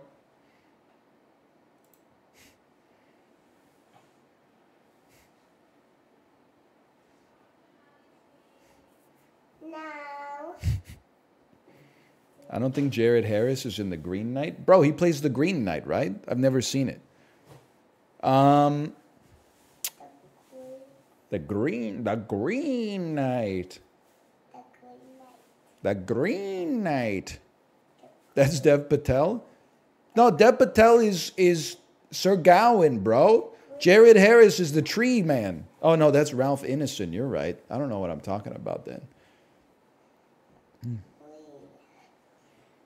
I got two swaps left, right? This is it's un it's mathematically doable, but I don't know. uh, This has got to be Jon Voight, bro. Jon Voight is not in the Holy Grail, so he must be in this John right here. No, no, Chad, is it possible?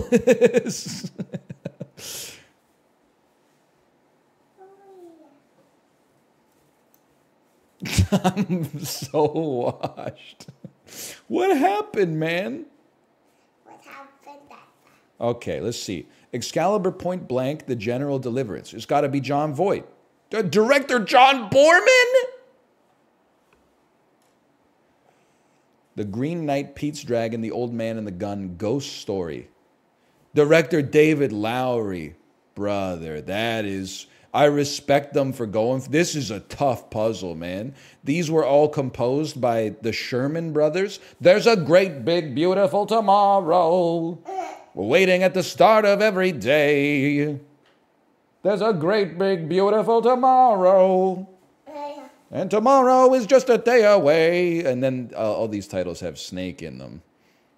Uh, snakes, I see. I understand it now.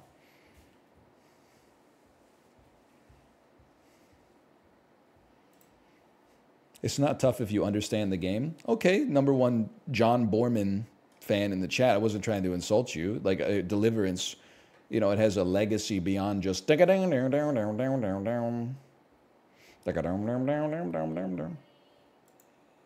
What did it say? Tea party!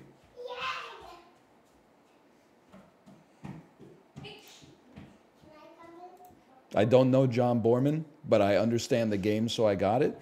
Fucking dismissive ass. You could just say it was tough. And then I ask if you got it. You gotta like embarrassingly go, yeah. Instead, you gotta be like, just so you know, I'm smarter than you. Fucking, okay, Neil deGrasse Tyson. Go back to being interviewed by Vulture about how like science fiction isn't a documentary. Pedantic ass.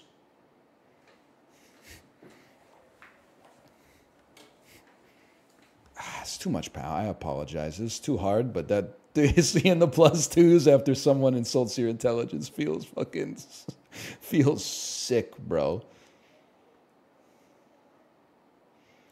You recognize I haven't been able to yell at someone for like 10 days, right? Hancock to Full Metal Jacket. Jason Bateman.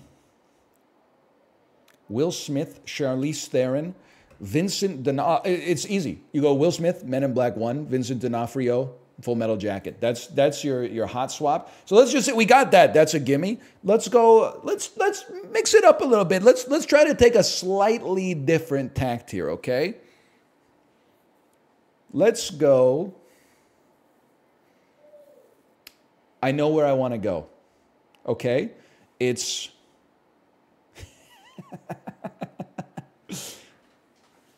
Eddie Marsan, The World's End.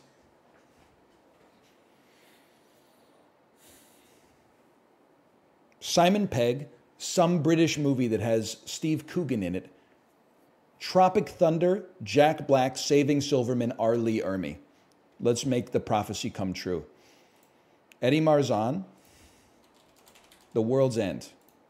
Simon Pegg, a British movie that also features Steve Coogan. Before before he blew up, maybe just post Shaun of the Dead, maybe would be where I would look for this personally. And then we got to find something that looks extremely British, like Derren Brown Behind the Mischief or Scrat's Continental Crack Up. Star Trek. Run Fat Boy Run. Take you to Hank Azaria. Hank Azaria is in every movie that's ever been made. Here's what I'm thinking. We're going to go Run Fat Boy Run, Hank Azaria, Grosse Pointe Blank.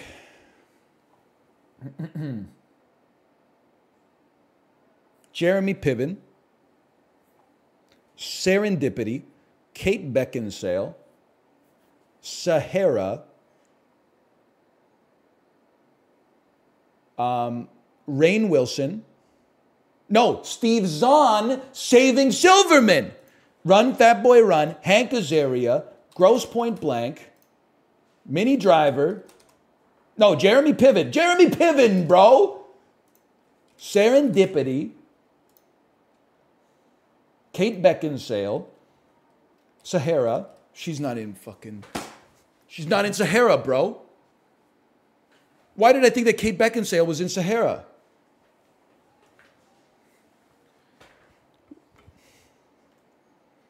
Who, who's the, the female lead in Sahara? Penelope Cruz.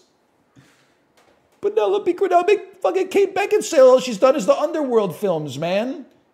Or uh, now I gotta. There's no choice. You have to go Van Helsing, and then maybe like uh, Michael Sheen played the bad guy. Oh, Richard Roxburgh. What the hell is this, man? They filmed this shit in Bucharest. Oh, brother.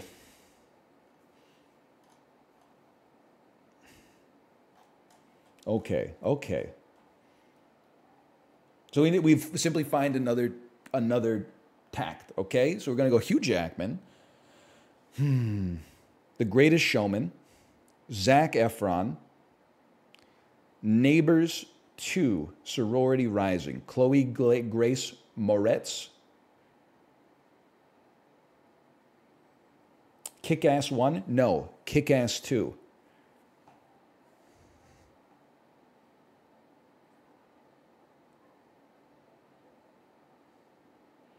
Aaron Taylor Johnson, Bullet Train, Hiroyuki Sanada, The Last Samurai, Tom Cruise, Tropic Thunder, Jack Black, Saving Silverman. R. Lee Ermey is in there somewhere. Okay? Now, I need you to keep me honest on this one, okay? Hugh Jackman, The Greatest Showman, Zac Efron, Neighbors 2, Sorority Rising, Chloe Grace Moretz, Kick Ass 1? No, Kick Ass 2. Aaron Taylor Johnson. Bullet Train. Hiroyuki Sanada. The Last Samurai. Tom Cruise. Tropic Thunder. Jack Black. Saving Silverman. R. Lee Ermey. Sorry, sir. R. Lee Ermey, Full Metal Jacket. Time.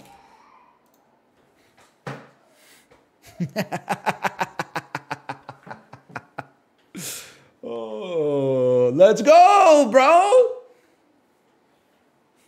Why do you do it like this? Because it's funny. And also, I think it's a good exercise for your brain to uh, try to keep as many links in the chain going as possible. Also, we did know it was two. Yeah, we said Will Smith, Men in Black, Vincent D'Onofrio, Full Metal Jacket. He played frickin' um, Gomer Pyle. Show the shortest to confirm your first guess? I don't need to. Will Smith is in Hancock. That motherfucker is definitely in Men in Black. He plays Agent fucking J, I think, or K. And then the, the alien's played by Vincent D'Onofrio who is Gomer Pyle from Full Metal Jacket. It, it plays itself.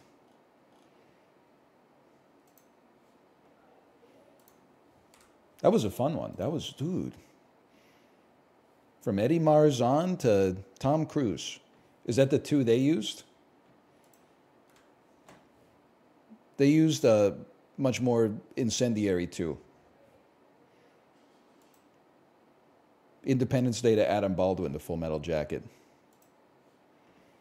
It is kind of crazy to think, like, I mean, obviously it was talked about a lot in the moment, but my man really slapped the host of the Oscars and then won Best Actor like an hour and a half later.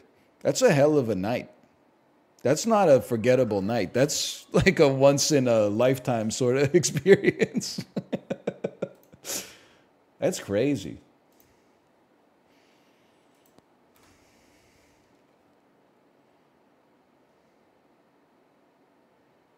Best actor is the most cooked category. Who won this? It must have been uh, Cillian Murphy, right? Because Oppie won everything. Yes.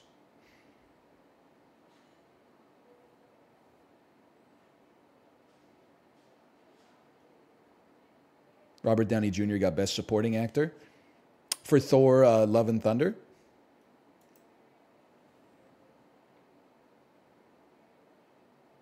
This is Metal Gear Solid 2.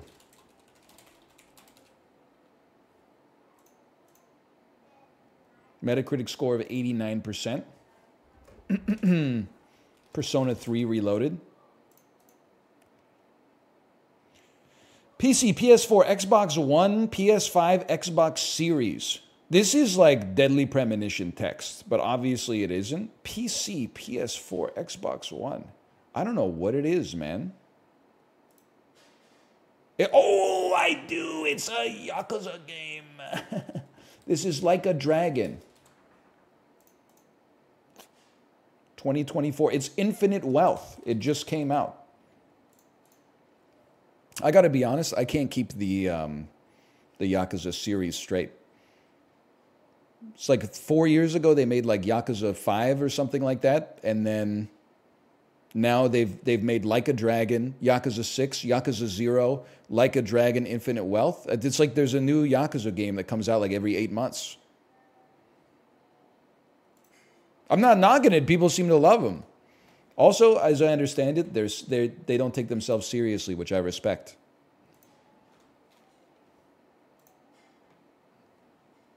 Don't forget about Lost Judgment.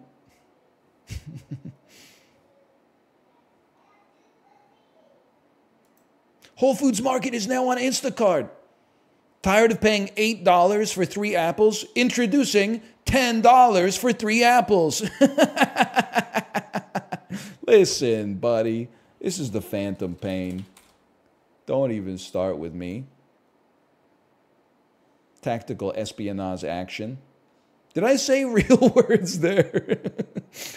Tactical espionage action. I feel like I missed a C or something. Gamedle! Thank you for this, the gifted subscriptions, Gamedle. Thank you.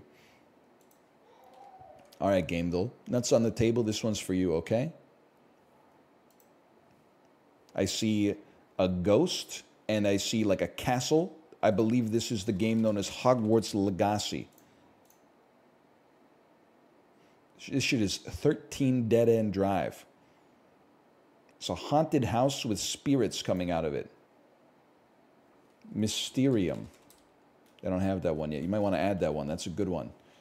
This is uh, House of the Dead. This shit is the Rocky Horror Picture Show, actually, just to be clear. This is Super Ghouls. Ghouls? Ghosts? Super Ghosts and Goblins.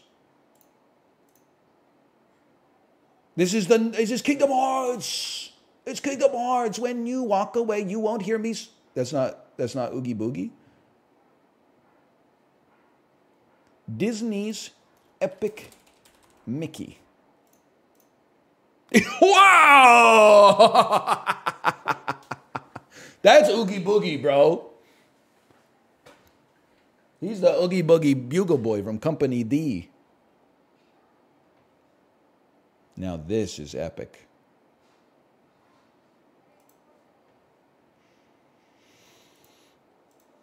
Game they'll guess. Okay. This is where you check to see if your brain's screwed on straight.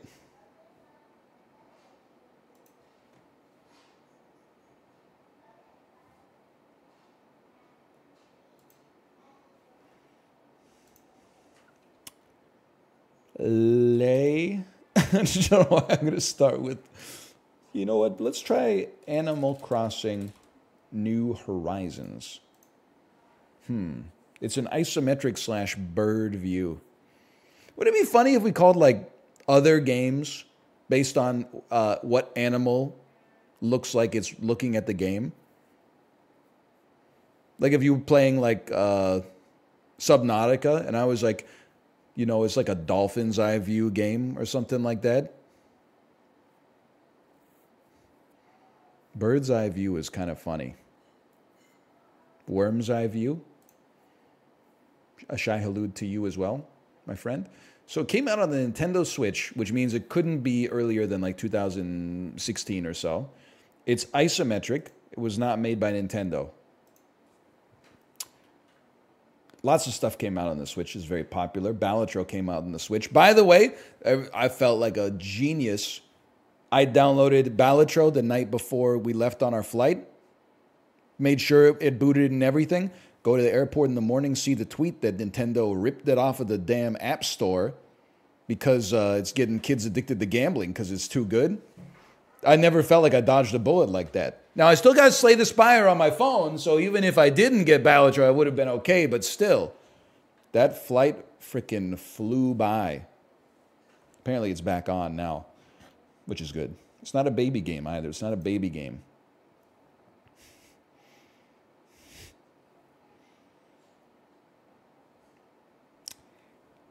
Hades. Hmm. The underworld.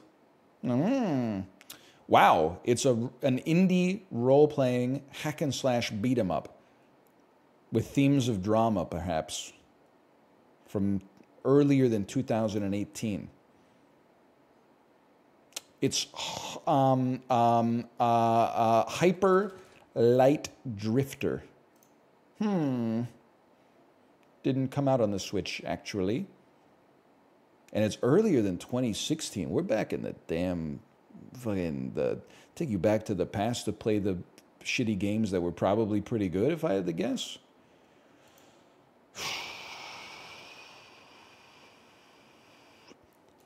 The Binding of Isaac Rebirth. Earlier than 2014. See, now this is interesting. So it's pre Switch, and then it came to the Switch later. Little game by the name of Hotline Miami 1. Mm, it did come out in 2012, a great era. A great era for indie games, some might say. It was isometric as well. Hmm. Perhaps a little game that is not by the name of Bastion because it was not made by Supergiant and it wasn't made in 2012. Isometric bird view. And you're walking and you're going, some, some, uh, action adventure RPG indie in the isometric genre.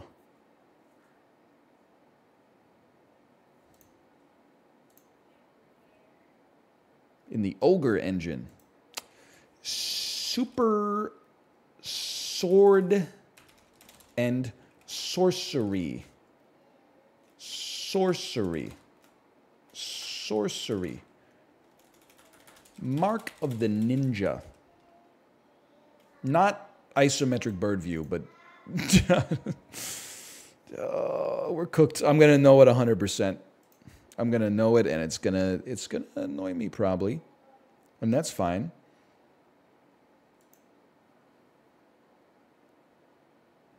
It really feels gettable. I mean, like Indie 2012, I was there, man. I was there at the first can show in Cologne much like the author uh, in LCD Soundsystem's Magnum Opus Losing My Edge, I didn't really do anything except consume the content and be aware of its greatness at the time, but I'm going to take the credit nonetheless. Don't starve. It's not made by Klei. So why are you playing why are you putting don't starve in there, bro? You got the platforms exactly right. All I have to do is think of a game that came out on Linux, PC, Mac, PlayStation 4, Xbox One, and Nintendo Switch. Mario. You got me. You got me. It's Dr. Mario. Dr. Mario. Mario. Mario's Cookie. Mario Golf Super Rush. Uh, okay, that's. Listen, it is gettable, but fair enough. Torchlight 2, it's a good action RPG. Fair enough. It was Torchlight. I know this game. I had simply forgotten it. Holy cow, it's, it's past 11 o'clock. And I Wanna Rock. What song is 11 o'clock? Uh, that's Saturday Night's All Right for Fighting. We got to skip ahead here a little bit, man. this is too, I'm going too slow. it's like, it's going to be a three hour dulls. I get visited by my child like four times. Let's go straight to Movie Grid. It's not like I have anything to do after it anyway.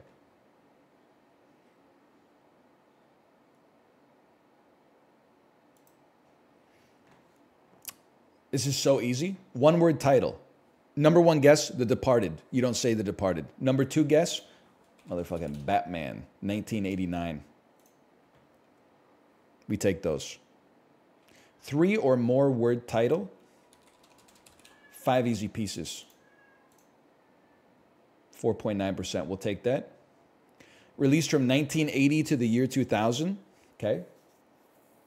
Say as good as it gets.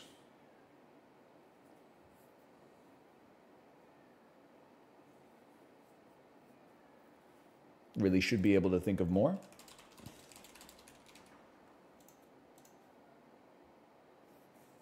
Kind of weak on the Jack Nicholson side, but we'll take that. As good as it gets is kind of goaded. Oh, really? You like the movie? Which means you uh, agree with all of the choices that Jack Nicholson makes in the movie, like throwing this dog down his trash compactor.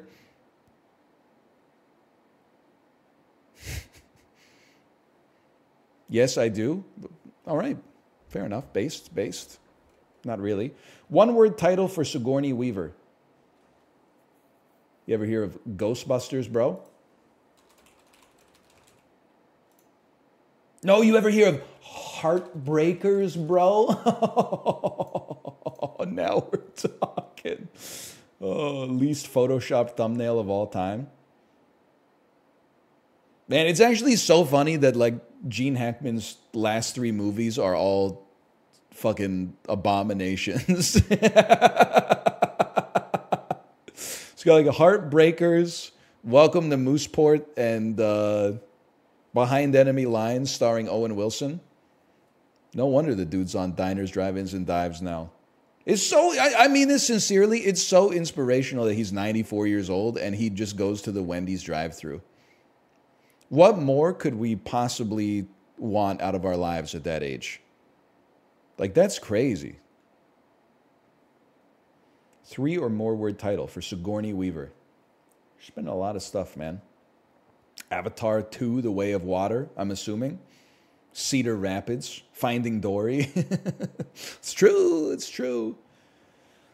It is true. Sigourney, Sigourney Weaver, Ghostbusters, Sigourney, Sigourney. What the fuck have you been in, Sigourney, except for the Alien movies and Cedar Rapids and Ghostbusters, bro? Okay, well, check this out Ghostbusters. I gotta think about this shit, man. It shouldn't be hard. I guess I got to say Avatar 2, The Way of Water. I got to be honest. I don't I don't have a better guess. So I got to I got to ask the audience on that one. Val Kilmer one word title. You know that's going to be heat number 1, so we say MacGruber. Oh!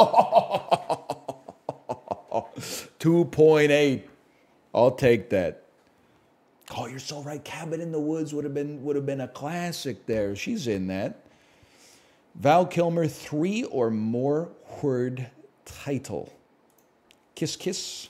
And then, if you're lucky, bang bang. Oh fuck. okay. 1980 to 2000. You could always you could throw in a heat here if you have to. Otherwise, what the hell was Val Kilmer in? Top Gun, obviously. Ba- Batman Forever.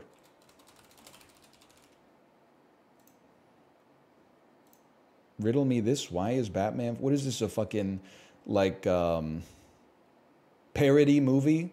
This is like Batman Forever comes out in 1995, 1996. Riddle me this, colon, how the Joker found out if Batman truly was forever and his heart will go on? I can live with this. Top 13%. Only one most common guess. Nothing wrong with that. Nothing wrong with that. Should have gone with the Prince of Egypt. There's just one problem. I have never seen it. I thought I saw it when I was insanely high, but I'm pretty sure that that was actually the road to El Dorado. But I don't remember shit about either of them, to be honest with you. I couldn't tell you anything about them. And then, like, I got, so I get the road to El Dorado confused with Emperor's New Groove. It's all it's all mixed up up here. Hang on, I'm selecting all squares with bicycles.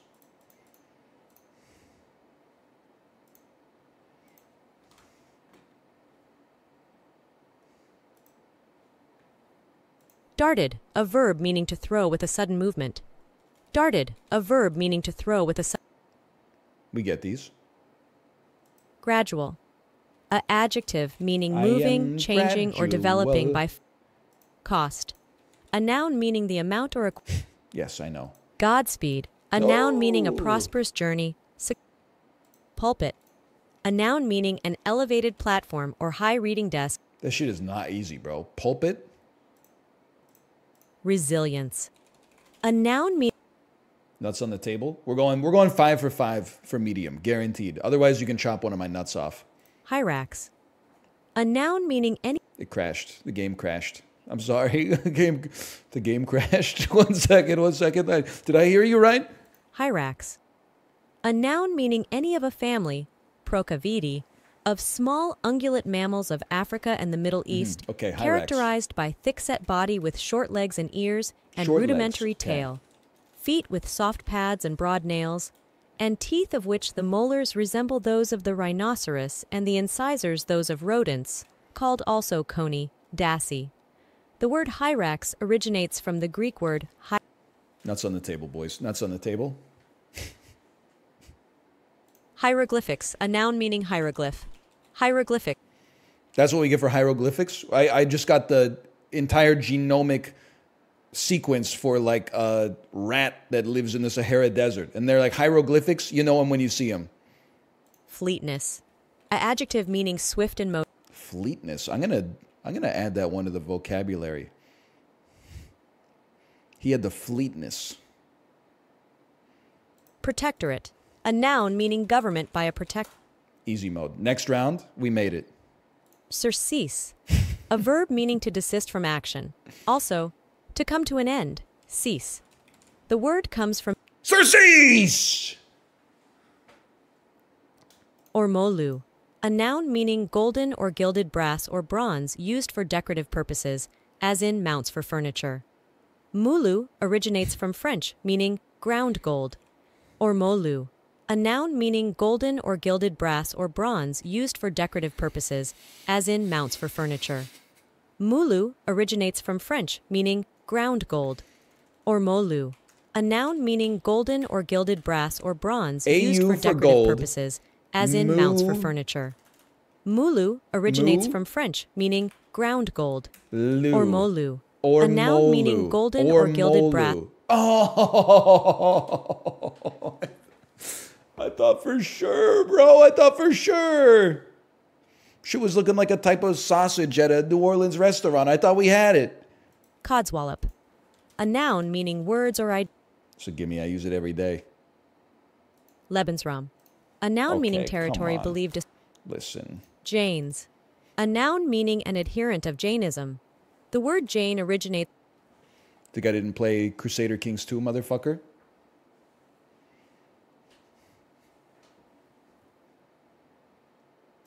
One word wrong. Ormolu. Oh my god, they fucking anglicized the shit out of this. They beat that word's damn ass when it came over, man. Ormolu. they, they even took out the AU that indicated that it was gold in the first place.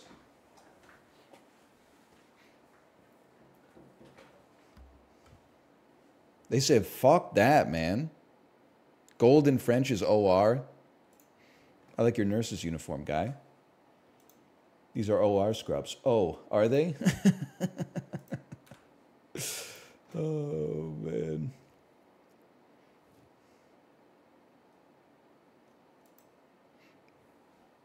This looks really bad, but I bet it tastes great.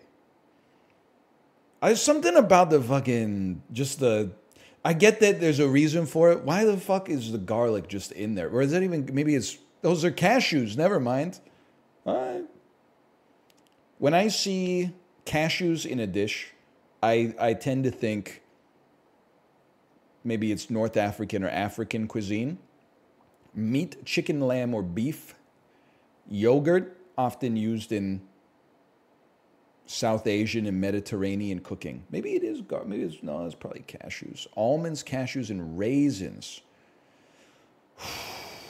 let me let me go Morocco on this. Nuts on the table. Take me to Casablanca. That's cold. Oh, they've they've changed the game. That's cold. Um, a what appears to be a braised chicken dish dating back to the 16th century it's derived from the word for braise. Marinating meat in yogurt and spices, then cooking it slowly.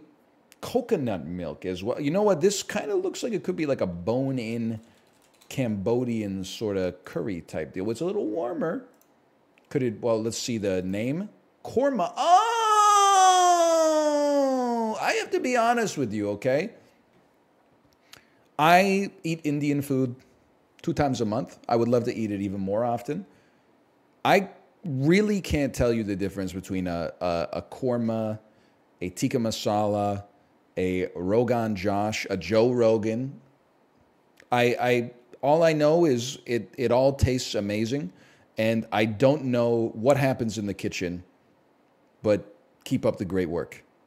I could tell you the difference between a naan and a paratha and a roti for sure, but when it gets into the sauces, it's I know buttered chicken.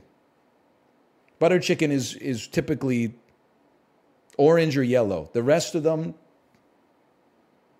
I just literally it all sounds good. You should be able to walk into the Indian restaurant and just say surprise me. It's all meat or vegetables in sauce, and it's it's always great.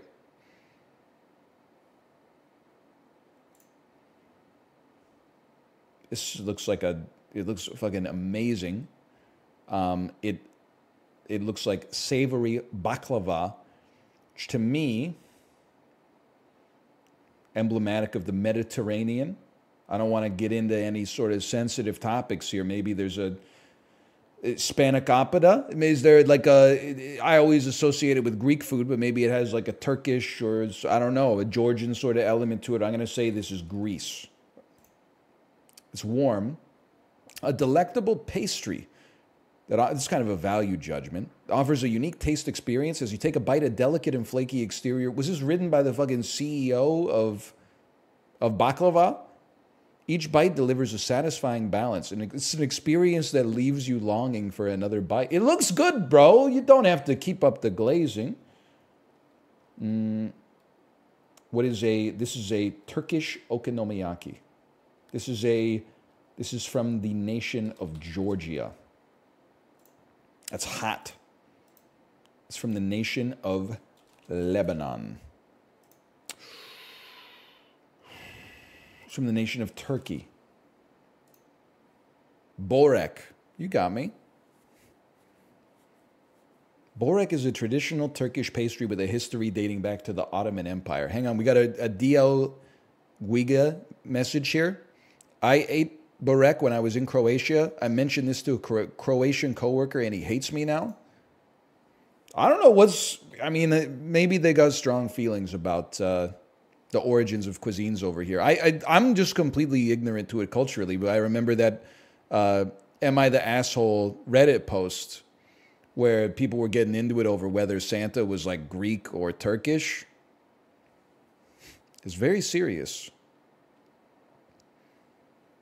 I never really thought of Santa as Greek or Turkish. I always thought of him kind of as like um, like Pennywise. Like he kind of just existed. You're like, where did he come from? He didn't. He just was always there. Even when he wasn't, he was. It's hard to explain. but if he's from anywhere, he's probably from Canada because we have like the whole Hudson's Bay up to the Arctic to the North Pole kind of part. Like, okay, yeah, I get that there's like contested dominion going on up there, but at the same time, like, okay, if if he is from Greenland, then fucking walk from Greenland to the North Pole, bitch. I doubt you're gonna do it.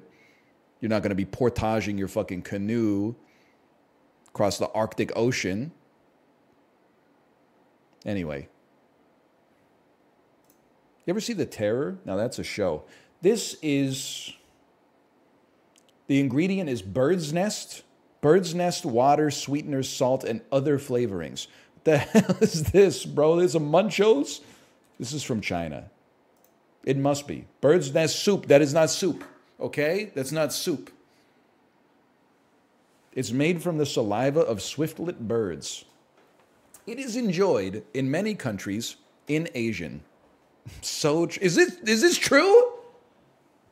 The nest is constructed from the bird's saliva? I always thought it was like they just used noodles that looked like a bird's nest. It's good. I might try it. It's not like it's that much weirder than, you know, something with milk in it. We don't need to get into that again, but oh my God, they made it harder? oh, no, no, no. Dude, they follow my advice. Update, we made the game harder by only displaying two cast members. Oh, so this is Barry Pepper, and this is just the lady, man. I don't know who this is. I'm so happy they changed it though. So I think of a Barry Pepper movie. I'm a simple man. I go 25th hour. No? Okay. Second Barry Pepper movie. Easy. Nuts on the table. Saving Private Ryan. Woody Harrelson. Barry Pepper. And a stock image of somebody writing a news article. Um, Woody Harrelson, Barry Pepper, huh? Rampart, maybe? No, they don't have that one. Uh, um, um, um, um, Blue Chip. He's not even in that one. Um, it's not. I don't think it's just Kingpin, bro. I would recognize it. Zombieland Double Tap. I haven't seen that one. He might be okay. Rosario Dawson, Woody Harrelson, Barry Pepper. I love that they made this harder, man. I still have no clue. Is this solo? Was did they soft launch Asuka live action in solo?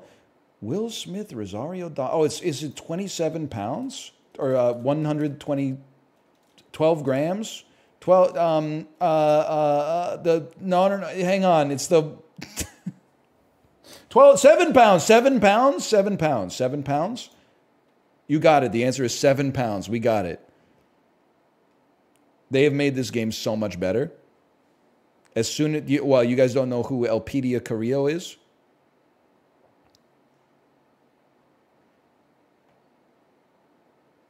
That's a good one. Barry Pepper is Dan. Ben's nameless brother. Oh, man.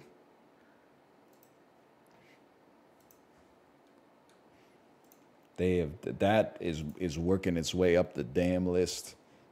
Barry Pepper, I loved you as Dan in the Traitors season two documentary.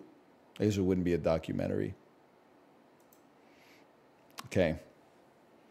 Christopher Nolan, Tom Hardy. That's a tough one. Tom Hardy, one word title. Bronson. Bronson. Bronson. Tom Hardy, director Christopher Nolan. Inception. We could go Dark Knight Rises, but that's going to be number one. Oscar nominee for cinematography. Mad Maximum. Fury Road. Mad Max Fury Road seems like one of those movies that probably has funny titles in other languages. Like you can't tell me that in Romania this isn't called like Angry Maximilian and the Highway of Hatred or something like that. Cillian Murphy, one word title. Oppenheimer. He's so real for this. But the cinematography is the catch. Let me think about this. Michael Caine, Michael Caine, one word title. Alfie. Michael Caine, Christopher Nolan. Everything. What is everything he's ever done? Let's go the prestige on this one. Because my guess is that uh, Interstellar was nominated for cinematography. No! Because it takes place in outer space. They probably didn't even use a real camera. Oh. really?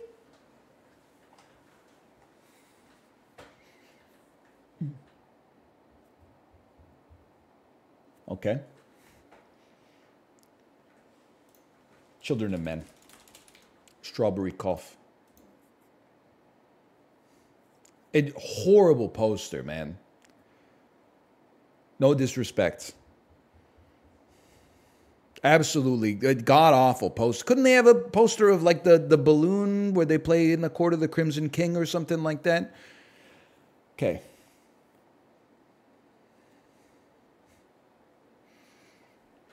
So you go you go Batman Begins. The cinematography is the tough spot because they weren't nominating Sunshine for cinematography in 2006. I'm sorry, they just weren't doing it. The Academy didn't have stones back then. Crash was winning Best Picture.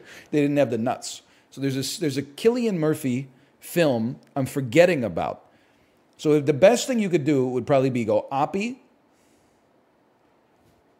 Batman Begins. You could even go Dark Knight Rises, where he makes his return and is probably going to be less guessed because Batman Begins, he's the principal villain. You go Oppenheimer here. Oh, and then you go fucking Sunshine, one word title, dummy. Oh no, I don't have any more guesses. Top 41% though. Okay, fair enough. Fair enough. Nice. So long ass dolls, bro. Oh, Dunkirk, of course, Dunkirk. Am I really playing Icicle? I no, I can't. I'm sorry. It can't be done. New York Times strands. Find hidden words and uncover the day's theme.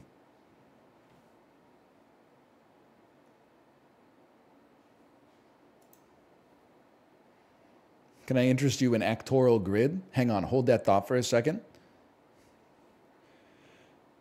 Find theme words to fill the board banana, apple, fruit, lime. I get it, okay. Theme words fill the board entirely, no words overlap. Find the spangram. It describes the puzzle's theme and touches two opposite sides of the word. Need a hint? Find non theme words to get hints. Okay. Today's theme, to put it mildly, remark.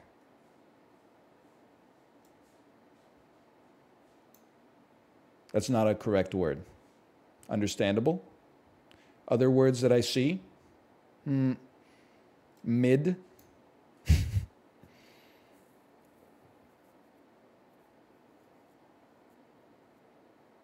hmm. Peters. Hmm. Do. Hmm. They have to be longer than that many words, I suppose, or longer than that many letters. Sus. Mm, said. Hmm, a hint, please. Darn. These will be fake swear words. I understand. Now I know what I'm looking for. Drat. Fooey. What? Okay, never mind. I'm okay. What? That fits, bro. Moot me. Dang. Dang. Sheesh. Crud. Mm. Poop. Poop. poop is a is a mild swear word for shit. Heck. Okay, you got me on that one. And it must fill up the whole word. Isms. You misms. There we go. That's a big one.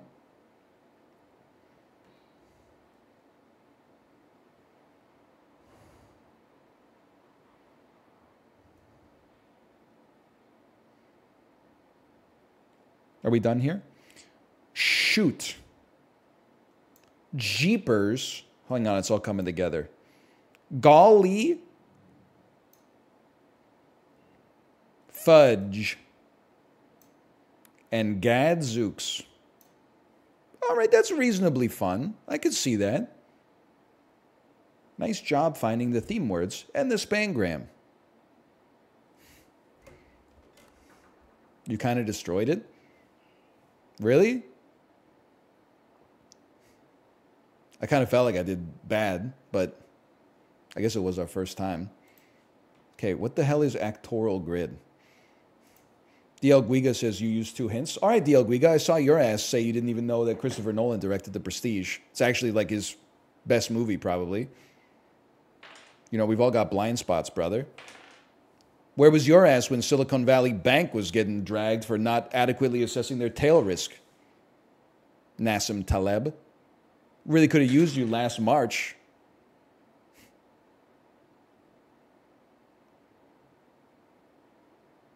What happened to loving Tenant? I still love Tenant. Tenant is Tenet is his best movie. Yeah, man, Tenet's his best movie.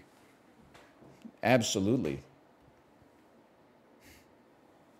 Where's Actoral Grid, man?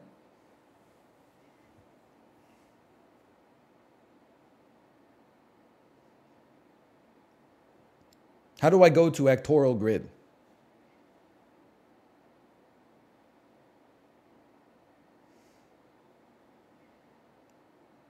Shut up about Memento, okay?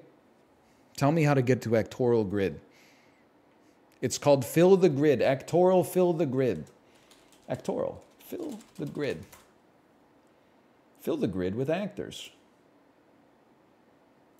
The hell is this fucking this looks like when you uh, check in at a hotel and you get a glimpse of the screen and they're using some kind of Microsoft Access UI from like 1986.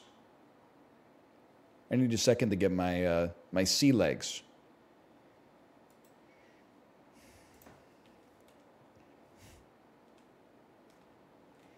Comment actors common to the top column's top movie and rows left movie.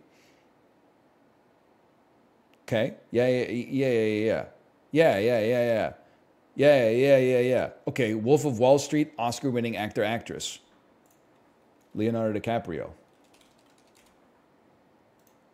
Correct. He's a genius. What do I do now? um, let me think about this for a second. Midnight in Paris, King Kong. Star Wars The Last Jedi. I'm, I'm cooked, guys. I'm cooked. About Time. Does that have Margot Robbie in it? Ah, Star Wars The Last Jedi, About Time. Domhnall Gleeson. Correct. Star Wars The Last Jedi. Okay, listen. You got Jack Black. You got Naomi Watts. You got Adrien Brody. and a lot of other guys too. uh,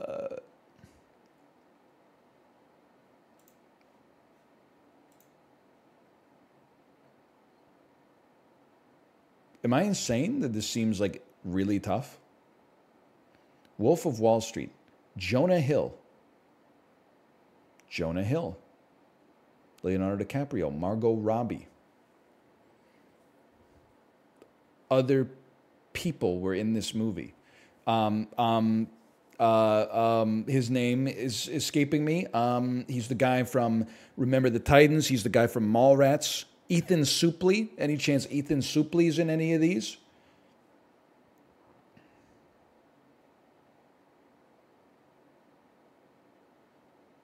I don't think Owen Wilson has won Best Actor.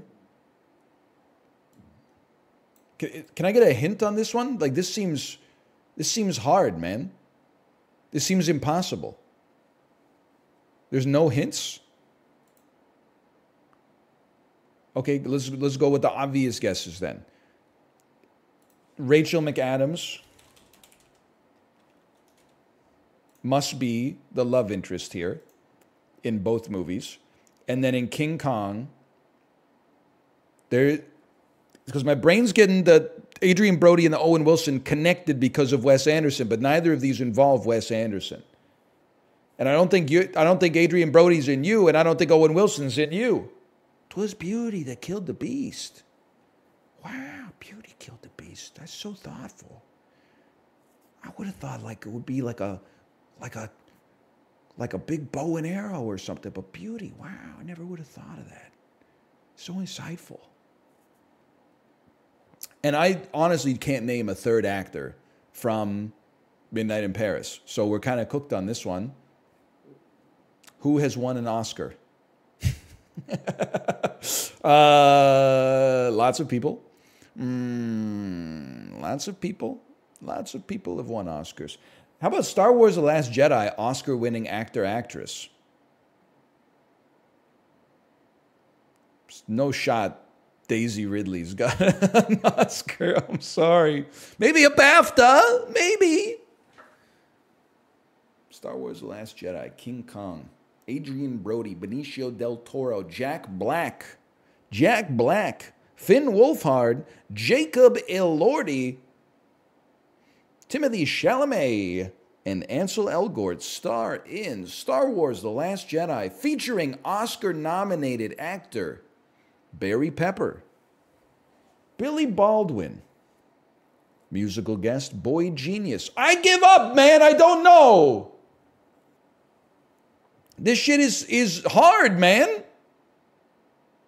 It's actually insanely easy. Holy cow. It's unbelievably easy. Maybe I'm just mentally cooked. Holy, I'll add it. I'll add it to the list. All right, I'm going to slash marker. And we'll do, that's the dulls, the longest dulls of all time. And I'll be back in like two minutes. Daniel, Daniel, thank you for the raid. I got to go to the bathroom. Stick around. What are we to do after? I don't know. I got to go pee first, though. The bladder's still on Eastern time. Dan knows what's up.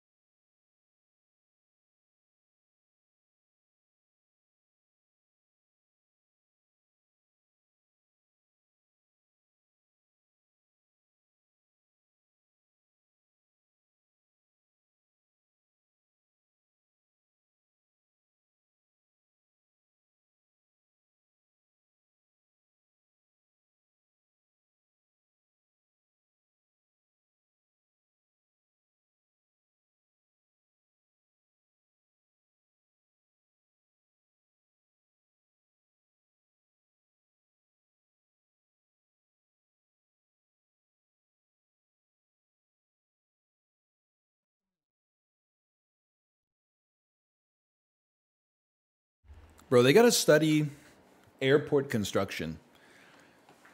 Hey, 400 people are about to get in a cylinder with one tiny bathroom in it. You know what restaurant would go hard here?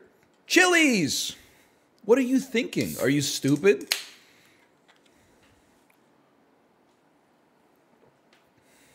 Couldn't they put a restaurant with like some vegetables, bro? They're like, no, here I'll tell you what, seven ninety nine margaritas and deep fried chicken gizzards.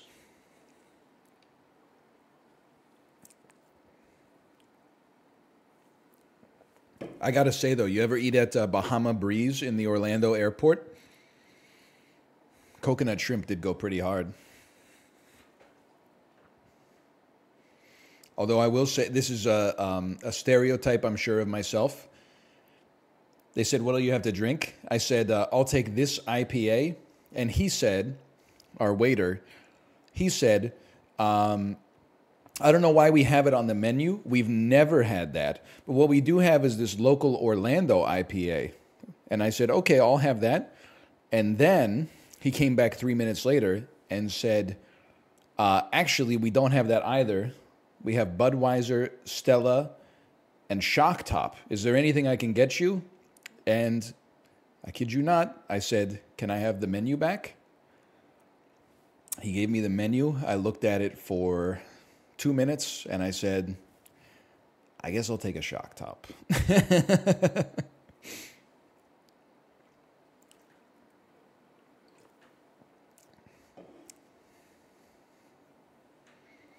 Not my favorite, but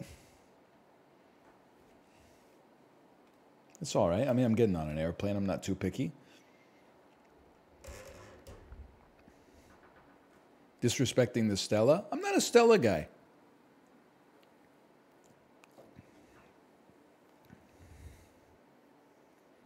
I'm very much an IPA guy.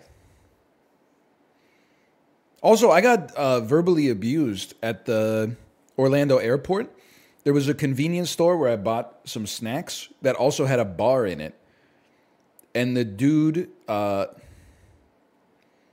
came up with his empty glass and said, Hey, can I get a Modelo? But please rinse the glass. I had an IPA in it. And I said, Did you like it? And he said, No. They have a Belgian beer, a Mexican beer, and uh, an IPA. And if I had my choice, I would rather go to Belgium or Mexico instead of wherever they make IPAs. I was like, all right, buddy. I laughed and said, haha, good point. But in my head, I was like, I'm, I'm flying back to Vancouver in like 15 minutes, dickhead. we don't want you either, motherfucker.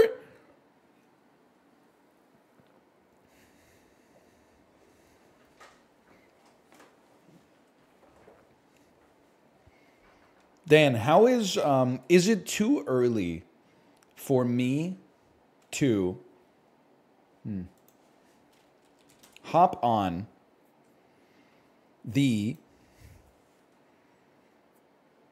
new Bennett Foddy esque?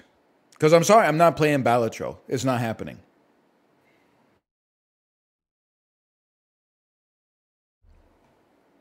You lost the privilege.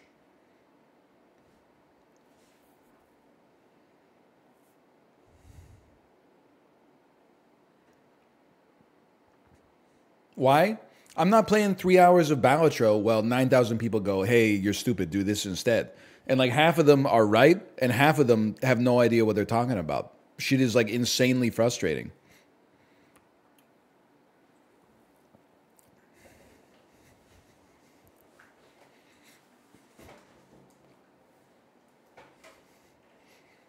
We loved it though. You show me the incentives, I'll show you the behavior, brother. Back me up, DL Guiga. I'm doing the climbing game. What's it called? Can you do my job for me? What's this game called and where could I find it?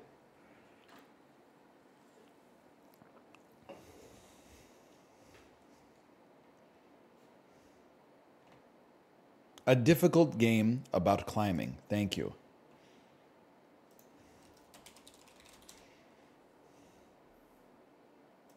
A difficult, difficult game about climbing. 88% positive reviews, 863 reviews. Currently popular, user reviews very positive. four friends already own this game. Chiblee, Justin, Dan, and Omrecker. It's got the content creator seal of approval, bro.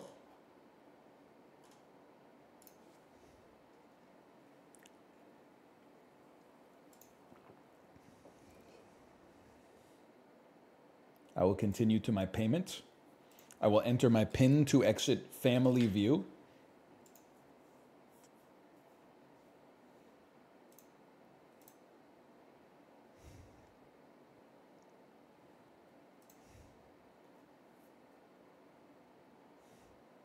I will click install content.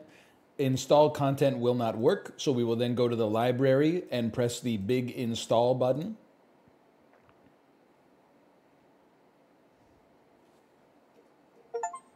There you go.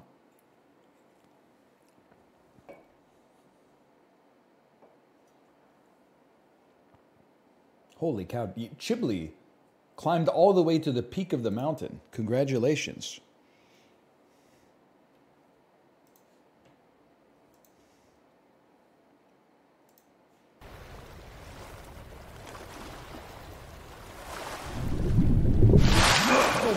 Have I really had Photoshop open for 11 days while I've been gone? I mean, that's just unforgivable.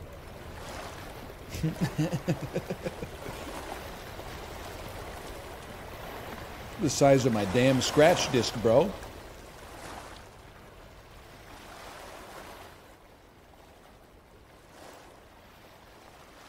Hey, librarian, thank you for the gifted subscriptions. Thank you, thank you. Please turn off your PC. Mm, change things in your life before you ask me to change things in mine. I know one of them is easier than the other, but one of them has more value to you, I promise.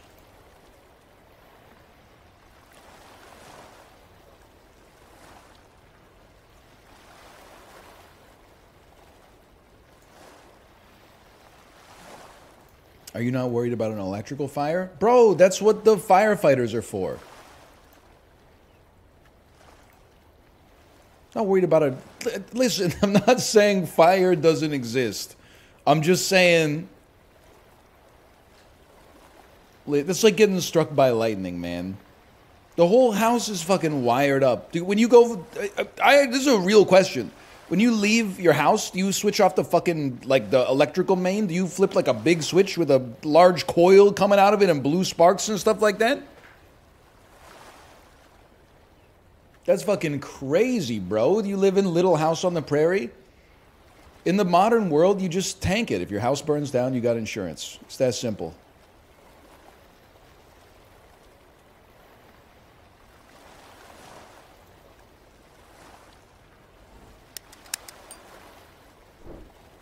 Just to be safe. There's nothing safe about life, man. Look at this.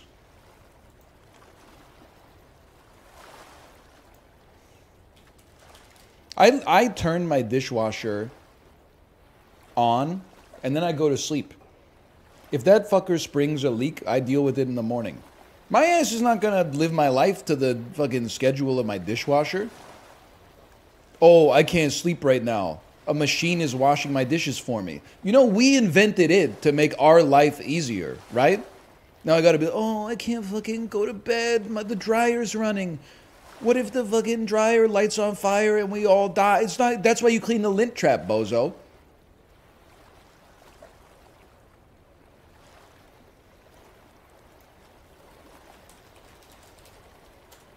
I don't even know what we're doing here. Well, that's not true. I know that we are playing a difficult game about climbing. I will say I uh, know nothing about it, except that I know it is Bennett Foddy esque. And you can definitely see the Bennett Foddy influence. I'm also feeling, uh, as I'm playing this right now, that this is not going to be good for any repetitive stress injury. I imagine we have to climb this mountain. I like a good suffer core game, honestly, right? I think Dan is, uh, he's on to something. Do I need to turn this down? Is the splashing too much? You can use Q and E.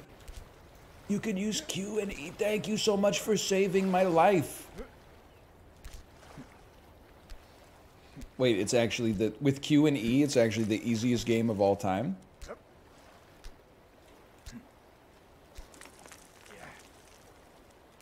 You will come to regret your words and your deeds. I know Chiblee played it. I know Chiblee beat it as well. Plus, he finished the game. um, but that's not fair because Chiblee is also a world record holder in the speed climbing event in Mario and Sonic at the Olympic Games. Let me guess. The rock's a little slippery. No, not really. We free solo in this bitch. It's slippery. It's slippery. Move over.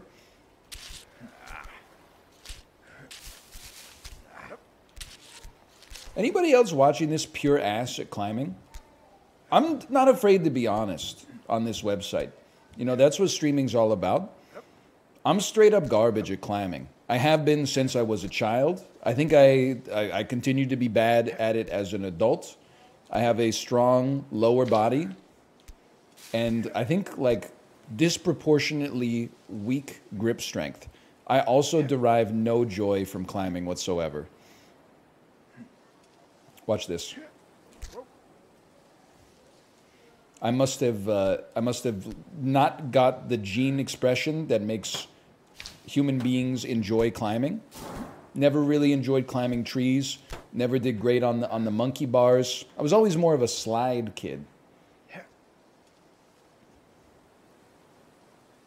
Tag? I could get down with tag. Of course I can get down with tag. I mean, that's a classic. Was this right? it just it felt right. Okay, and then this is a slippery rock. We have to climb up the slippery rock and get to either the branch or the gray rock that we can hold on to. Slide legit F tier playground equipment? Speak on that, DL Guiga. What, you don't like gravity? That's okay, we're chilling.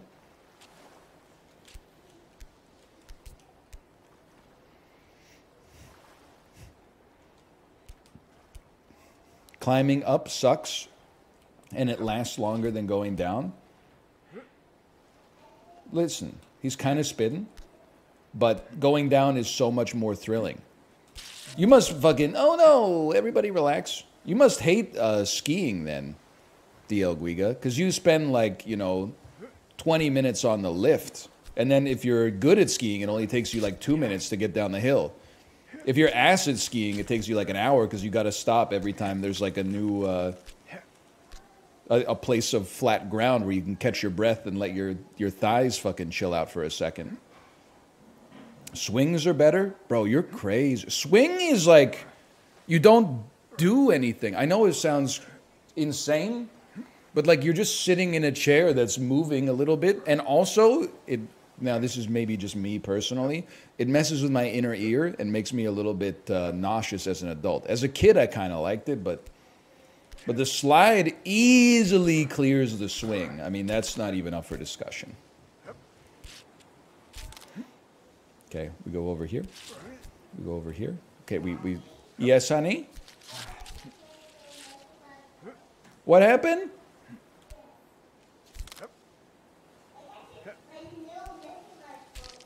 You got a, a Mickey Mouse bowl? And you're eating grapes?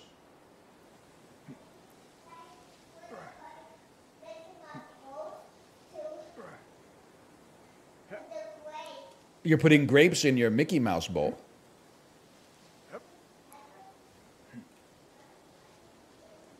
She's so real for that. I don't even need to ask her, by the way, because I'm a good dad. I take her to the playground she'll spend a little bit of time. yes, yeah, yeah, yeah. What's up?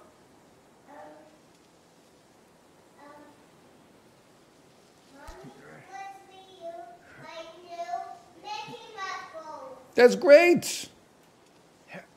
To eat to eat some grapes. There's grapes inside it. Okay. I take her to the uh, the playground. I mean, listen, we were at the Kennedy Space Center on uh, on Saturday. I don't know. Time is uh, a little bit messed up for me right now. There's a big slide in like the kids' play section. She went down that slide like I don't know 20 times, and I walked up the stairs with her every single time. She's she's fully slide pilled. But then she she was getting upset because like other kids were running up the stairs faster than her, so she would just sit down on the stairs and be like, "I want to win. I want to beat other kids in the race." And then I'd be like, "It's not a race. Everyone has to go up the stairs safely." And she's like, "I won the bronze medal. I want to win the gold medal." And then I was like, "Okay, well, they race daddy." And she's like, "No, I always beat daddy. I want to beat another kid." And I'm like, "Listen, kiddo." I control the outcome of this race, okay? If you wanted to go band for band on the fucking staircase, I've been sprinting two steps at a time since I was old enough to walk, okay? Now, do I occasionally slip? Yes. But you you win or you lose based on my input, okay?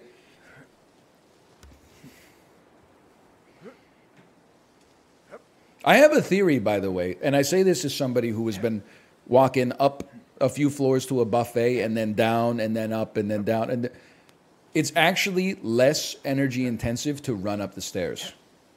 Walking up the stairs at a pedestrian's pace has more time under tension for your legs. Whereas obviously the impulse of running requires more energy, but you also spend more time in the air and the momentum does have like you have inertia that helps you get up the stairs and you get there faster. I believe the overall physical load is smaller when you run up the stairs.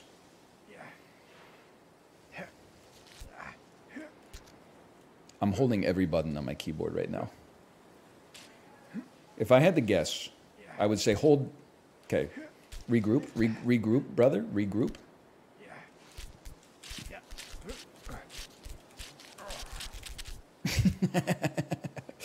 okay, okay. Ready? Maybe maybe a swing. That's so dude. My my cat at uh, bedtime when I try to close my bedroom door.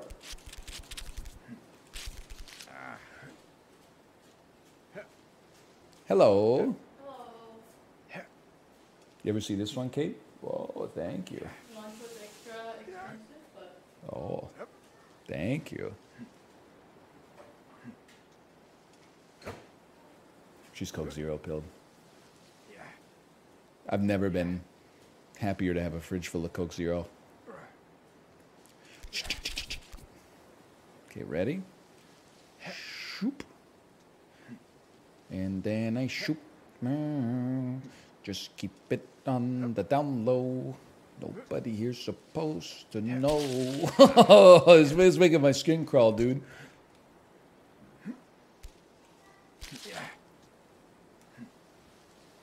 Okay, come down. Zoop. Reverse swing over here. Huge. Free solo. I had a Diet Coke the other day, never again. Uh, I'm sorry to say that you're a dinosaur. Coke Zero is actually taking over. I will say, though, I had a great idea. The only corporation that I respect is the Coca Cola Corporation. Everybody's allowed to be wrong from time to time. Sorry, but it do be tasting good. Kate saw a guy uh, on the Disney cruise.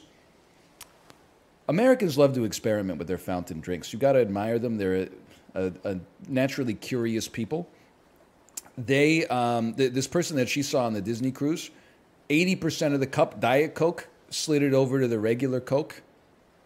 Filled up the last twenty percent with regular Coke. She said this guy is an innovator. And then I got to thinking, you know what they need if they're going to keep making dog shit Coke freestyle machines that like barely work with antiquated touchscreen technology. There should be a Coke machine that is just a dial, and the dial goes from like zero to 100 and you can choose what percentage of a real Coke you want. Like some, you could be like, dude, I don't want a Coke Zero. Like I've I've been walking a lot today. Give me like a Coke 32. But then I realized, you know what the problem is? There's going to be some motherfucker at the machine who's going to be working at like the gas pump and they're going to be like they want coke 27 but they're going to hit like 28 and then turn the dial and go like 26 and then 28 and then 26 then they're going to get to 27 but they've been twisting it so much they're like uh, i don't know 28 they're like oh i had it. Well, i was i was on autopilot 26 and you're going to be waiting there like brother! It's an eighth of a gram of sugar difference bro. You can't possibly tell the difference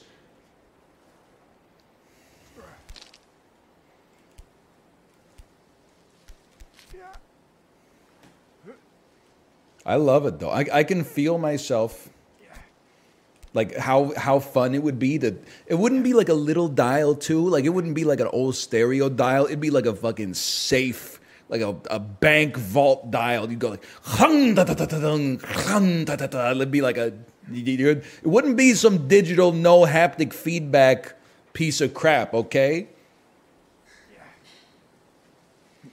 And the most annoying guy you ever met would be like, bro, you can tell the difference. Coke 39 is the best Coke. Yeah, Coke 38 is pretty good. Coke 40 is a little rich for me, but Coke 39? No! Coke 39 goes crazy. I see. I got you.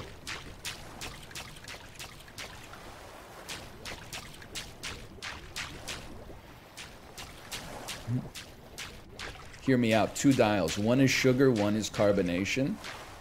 I could get down with that. There are times where you just want like TV static, to be honest. Like there's some times I would take like like sugar one, carbonation 100. That's the closest it gets to a cup of coffee. But most of the time, I mean, I think I could easily I could be like a Coke 10 guy and then like a carbonation like 70. I do, I want it to be carbonated enough that I cannot chug the can. Um, like I, I want one swallow to be as much as I could take without discomfort. We don't do that here, okay? Would you ever do sugar 100 carbonation zero? Are you you're asking me if I'm a hummingbird and the Canadian Charter of Rights and Freedom says I don't have to answer that question.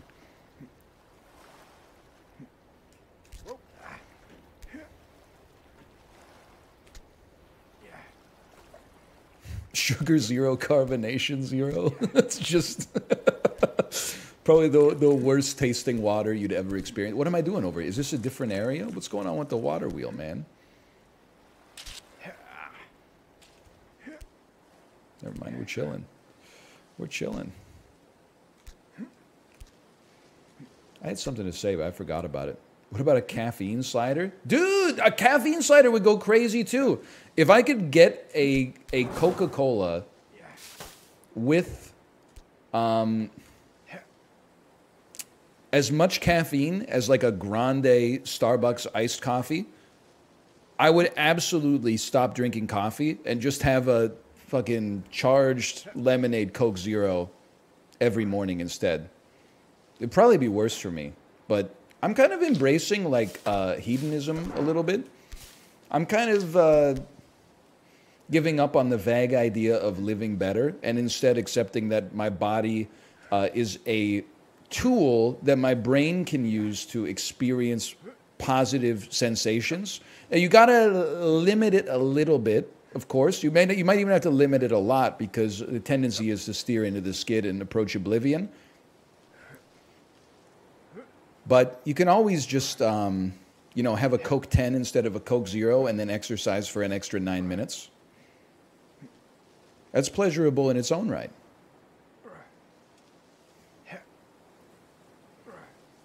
Watch it spin round to a beautiful oblivion? Exactly.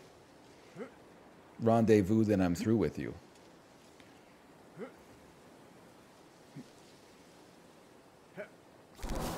What happened? Brother, what are you doing? I'm just kind of swinging. we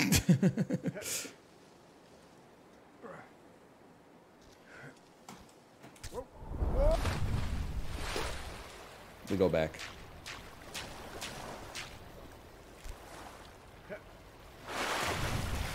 Two seconds into the nine minute speed run. Oh man. You know what was pissing me off on the Disney cruise too? So they have a great um, kids club where you can drop off your child. They have cool activities, and uh, then you come back in a couple hours and pick them up. Usually, you get a message that's like, "Hey, your daughter would like to be picked up," and then you say, "Okay, just one more caperina," and you go down. Um, but then they have they have open houses so that the parents, ooh, he's dead, uh, and other children that are not of the target age demographic of that particular club can go and check out the facilities like with their kid and see uh, what it's like. So I kept taking my daughter to the open house, and they had Wii with Wii Sports hooked up, and I was like, I'm gonna crush this shit. Show up at the open house, two 10 year olds played Wii baseball for like an hour and a half. I was just waiting for next. I'm not gonna walk over to the kids and say, hey, I got next. But like, come on, like have some manners. Like who raised you? And also, Wii Baseball is like the worst of all the Wii Sports games. Boxing is worse, okay, but they didn't have the nunchucks. You don't even get to field in Wii Baseball. All the fielding happens by itself. Listen, number one is bowling, full stop. Number two, me personally, I say golf because there's a little bit of skill to it you might say tennis, but for me, tennis is a little gimmicky. It's the game you go like, hey, I'm swinging a racket. That's cool. There's less nuance to it. I'm more of a golf guy, but it's golf two, tennis three, or tennis two, golf three. That's for sure.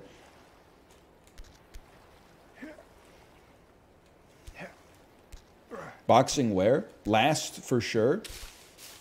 If you're gonna play baseball, don't play the baseball like against your friend in real baseball. Play the the home run derby.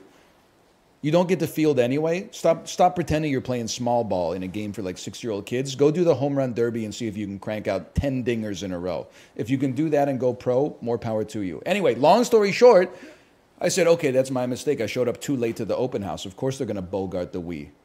Show up one minute, 9:31 a.m. of the open house, same two kids. This time they're playing Wii golf. Man, those kids don't even know. I would have laid waste. You know how many drunken hours, how many like insanely hammered muscle memory firmware exists in my brain from Wii Sports? I got I still got the technique wired in there. Also, there's like a, a teen lounge that had an open house. I thought it was I'm I'm put me in the water. This is important. I took my kid there day one during open house. I wanted to see what, what they got for like the 13 to 17 year olds, okay? I walk in, they got a Guitar Hero console or uh, like arcade cabinet, just like the, the last one. I'm like, I'm gonna blow these kids' minds. I, I start playing something on the guitar. I think it was Sabotage. They don't have the whole track list, it's the arcade version. Realize that the yellow fret is stuck down. That's a non starter. I'm like, okay, no big deal. I go over to controller two, start trying to play. The strum bar is broken. It doesn't work, man. The shit doesn't work. Then kids came over to talk to the counselor because they had a Nintendo Switch set up. And they said, hey, can you put on Smash for us? And the counselor said, unfortunately, Smash is not rated E for everyone, so we can't put it on during open house because there's kids here. I could have been a hero to a new generation of American children they kept they kept popping my damn balloon before I could even get it going, man.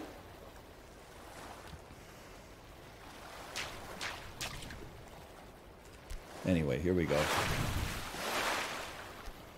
Smash is E10 though?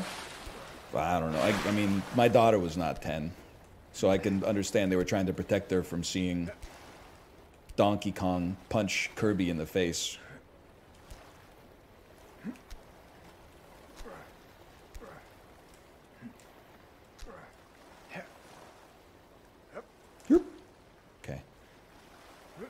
Here we go.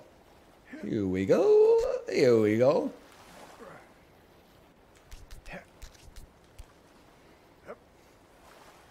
I, I'm serious. Listen, 14 year old kid says, let's put on Smash. I shouldn't have gone this way. That's a problem. That kid's probably going to rinse me. Nine year old kid says, let's put on Smash. He's leaving in tears.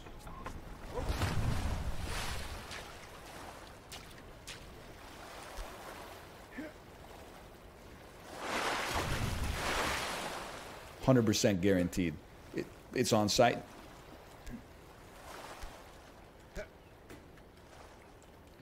Do you have a Smash main? Yeah, random. Random, but then if I get someone who has a, a menu in game, re random.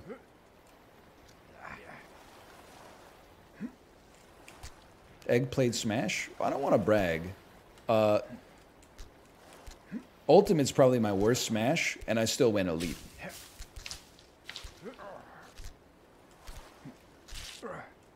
Come on, come on. Grab it, bro.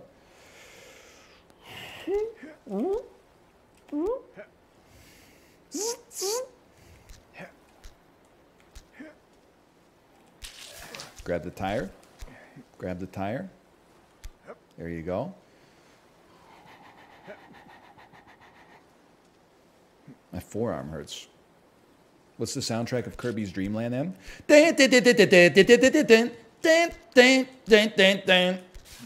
You want to ask me anything about Smash 64 within reason?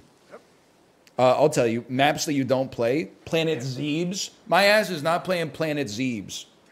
You let them pick the map, you let them pick the items. They're like hammers and Pokeballs only on Planet Zebes. My ass getting Tekken juggled by the damn radioactive lava over and over, but they don't have the audacity to kill me? Come on, man. Woo. Who is the best break the targets character? Me personally, I don't know the answer to that question because I had friends, so I didn't play much of the single player. My guess is that you could either do some serious work with Fox as a result of his reflector, or alternatively, maybe Link with the boomerang and the bomb. You could get some serious work done. That's my guess.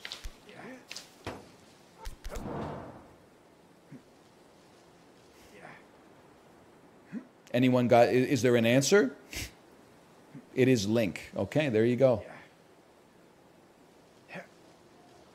Who is the hardest metal character to fight? oh, God. I'm assuming it's been. Why are you asking me questions about the single player, bro? Who's the most annoying character to play against? Uh, that's a gimme. It's 100% Kirby and Pikachu. You get killed by a Captain Falcon, you don't even sweat it. You say, you know what? You went nuts on the table mode. You hit me with a knee, you hit me with a Falcon punch, you hit me with a spike off the edge, whatever. You get killed by a Pikachu, it's just all like back kicks in the air. You get on the edge, you get up, you get kicked. You don't get knocked out of the edge. They do a, a little jump off the edge, give you a little kick. It doesn't kill you. You barely make it back. He gives you another kick. Come on, man. What input didn't exist in 64 and started in Melee? That's a Melee question. Um, I don't have an answer. I'm going to say C stick, the smash stick. Because it didn't have a smash stick. Side B, that's true. That's true. That's pretty true. Air dodge, there's a lot of stuff that didn't exist, honestly. These days, old heads know, man. Old heads knew what we had to deal with before wave dashing existed. You fucking kick the shit out of your friend in Smash. All of a sudden, he's like, "Oh, it's just because you're controller one. I'm controller two. Port priority owns you, little bro." Then you say, "Okay, let's switch controllers." You switch controllers. You beat his ass. He throws the controller on the ground, stomps upstairs. You're like, "It's his night to cook dinner, bro. It's gonna be awkward." It's not just awkward because he's mad. It's because he's going to have to apologize and be like, sorry, I got mad at a video game. And I'm going to be like, we've all been there, bro. Just relax. But stop putting disres- disrespect on my name with this port priority nonsense.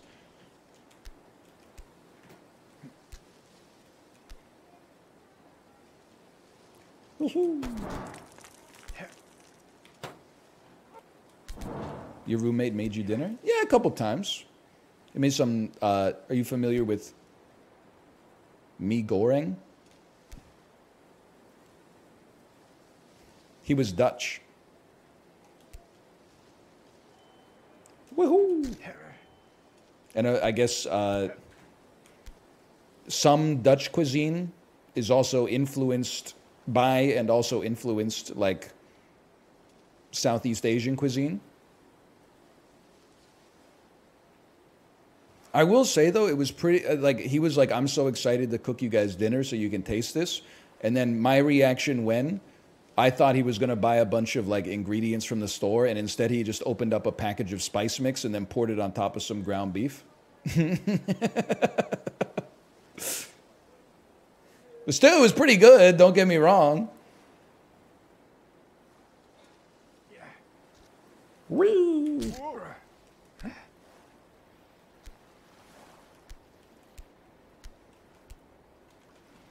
For college, it's pretty good. I'm not. I, I wouldn't turn it down now, honestly.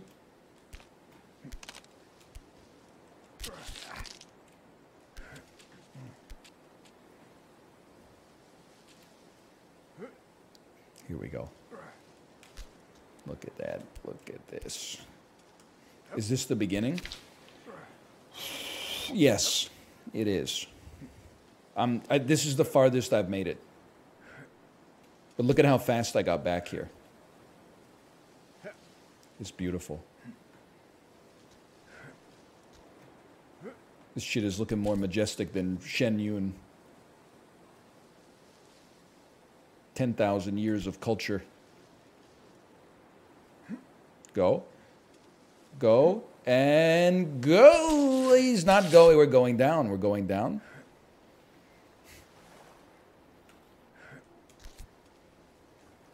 Did you know that Shen Yun is run by a cult? I don't want to be killed, okay? All I'm going to say, they got a lot of people doing legwork out there, okay? Like, there's, is there really like a Shen Yun in every city? And then also, like, posters everywhere. And then people, like, leave Shen Yun flyers, like, in our mailbox. Maybe like once once a month, which doesn't make sense to me because it's not like an all year type of thing. Like they they're doing the legwork, bro.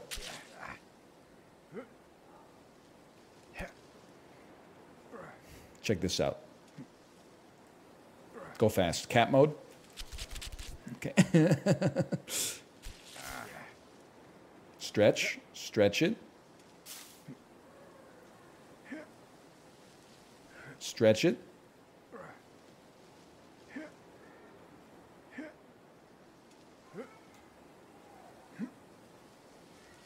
I don't know what to do. Press space to pull up. This is, I'm up, bro. I'm up. You need momentum. Okay. Uh, oh, yeah. No, no. I've seen people do this. Hey, Seek and Strike, thanks for the gifted subscriptions. Thank you, thank you, thank you. Watch this, okay? Something like this. Start here, go low, and then we're going to go like this. But good this time. Yeah. Is that how you do it? If I was doing this in real life, how would I do it?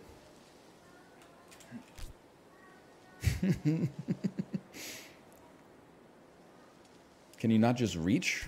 Bro, how tall are you?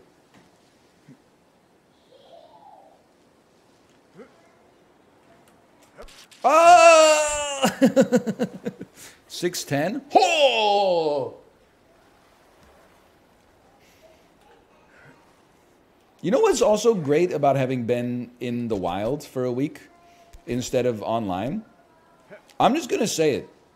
You guys are not as tall as you pretend to be.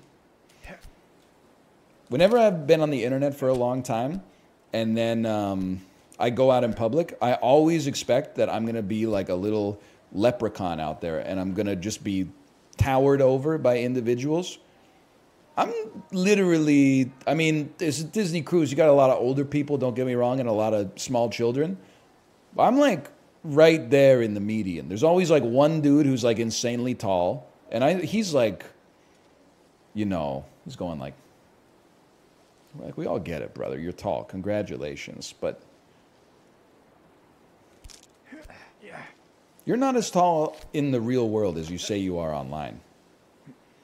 I did see, and again, I'm not basing my entire worldview. Wow! on on TikTok, but I did see a TikTok where they asked men their heights and then asked them if they would mind if they got measured for the video. And uh, listen, I'm just here to tell you if you're lying about your height, you got to pick your battles. Because there were dudes out here that were like, I'm six feet tall, and then they measured them and they were five seven, and you're like, that's not gonna fly, man. If you're five ten, you might be able to get away with saying you're six feet. But if you're five seven, like people are gonna know. They might not know you're five seven, but they're gonna know you're not six feet tall. It's that easy.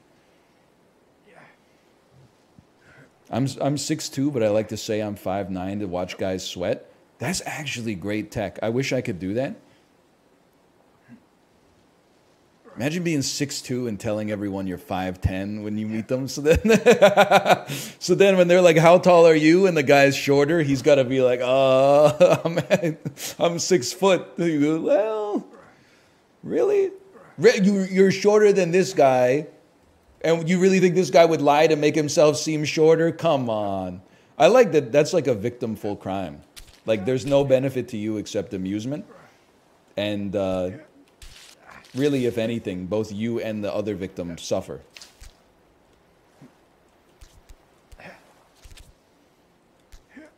Imagine if they checked you though. Imagine if the dude was like, "There's no way you're 5'10 because I'm 5'10," and then you got they measured you and you got called out by being a fucking weirdo who's complaining or pretending that he's shorter than he actually is. You'd be like, "Why are you doing that, bro?" That's weird. Then you replace the tape measure with a shorter one. Oh, so true. Or you no, you know what you do if you're short? You just get a metric tape measure like we have in Canada. You'd be like, "What the fuck, bro? I'm like 167 inches tall. I'm like 16 feet tall, bro. Holy."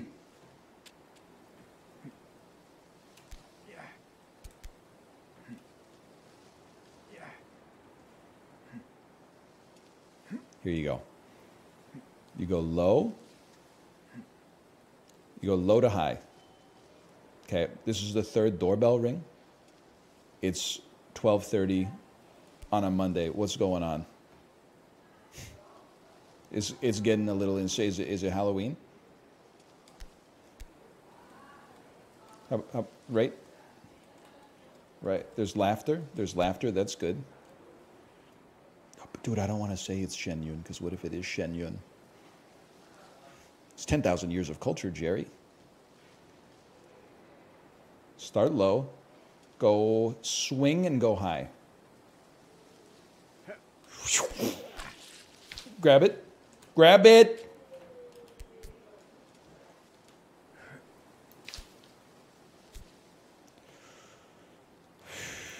Just reach up. Brother, I'm not that tall. I'm only 6'2. Maybe I'm, tr- I'm trying to grab. Oh. Oh, wait, well, hold, hang on a second. Hang on. Maybe you're onto something. I was holding three instead of E. Oh, no.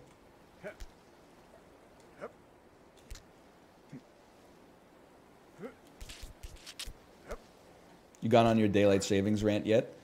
No, but honestly, it's because we were traveling, so we just kind of ate the extra hour.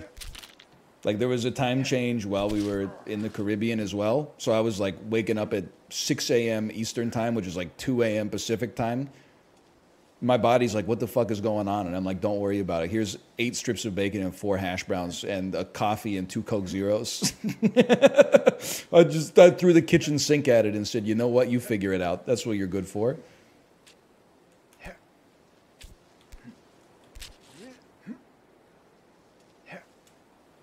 So yesterday we woke up in Florida. I guess we lost the hour overnight. Or yeah. But I I- this is as much as I hate daylight savings time, I, I hate the time change because it just messes with you for no reason. This is the my preferred part of the of the clock. I prefer the later sunsets and I don't really care about the time for the sunrise.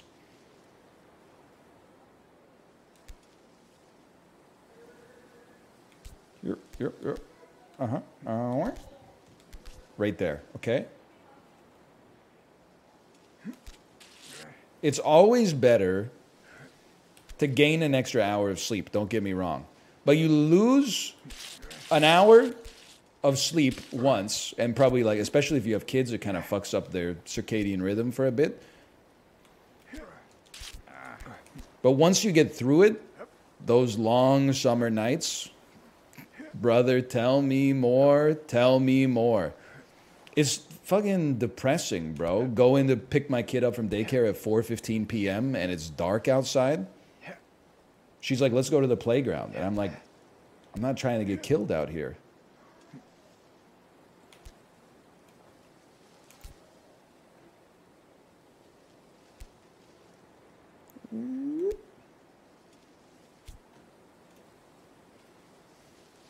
That's called winter. Move south if it's that bad.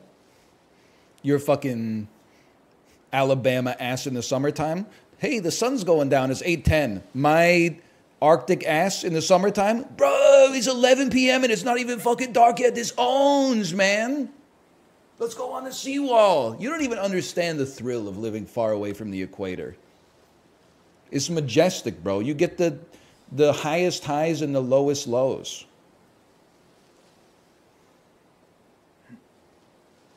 Ready?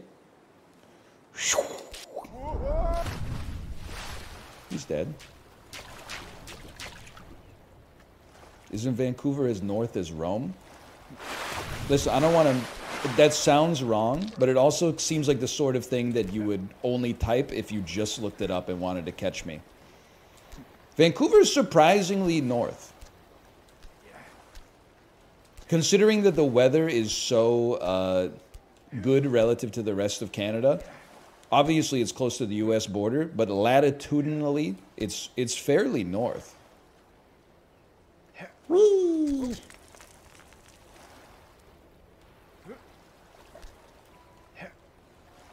It's much more north than Rome. Look at that. What did I tell you? Yo, one of the food guessers while you were gone was Japadog from Vancouver. Can you explain? Yes, Japadog is a famous local. It's kind of like a chain. They have like one sit-down restaurant, I think, near the H Mart on Robson Street downtown. But then they got like a few food trucks.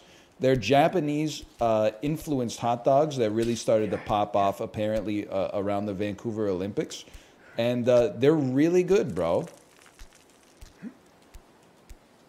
It's it's a little expensive and it's not going to change your life. But whenever I'm at like a festival that has food trucks and there's a Japadog truck there, I'm getting Japadog. Help me.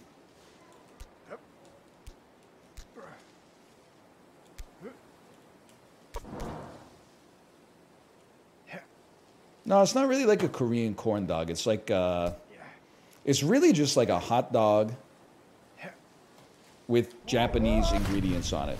You know, you can get a little seaweed, little Japanese mayonnaise. You can get okonomiyaki style ingredients. You could get a, a, a hot dog that's just got a pork cutlet on it with the pork cutlet sauce. It's good though. And the fries go crazy.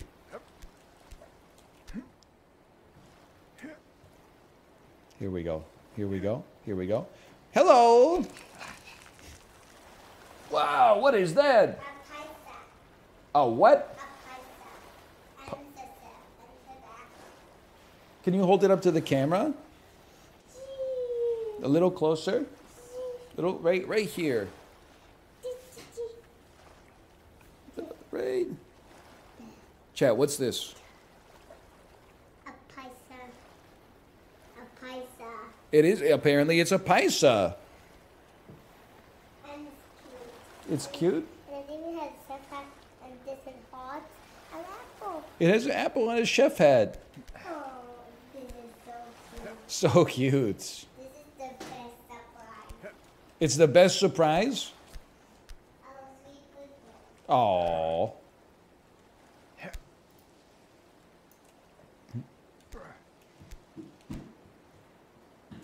A lycanthrope. Hmm, a porg.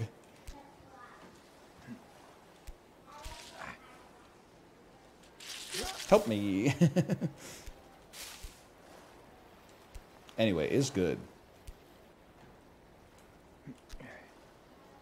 Okay, hear me out, guys. Rome is 40 degrees north, New York City is 41, and Vancouver is 49. So I was way off. You know what? We love, we stand someone who's not afraid to admit that they were. I'm not even going to say incorrect. I'm gonna, I'm gonna, because you pled guilty, I'm gonna plead you down to mistaken. Ob- certainly not wrong, which is a capital offense.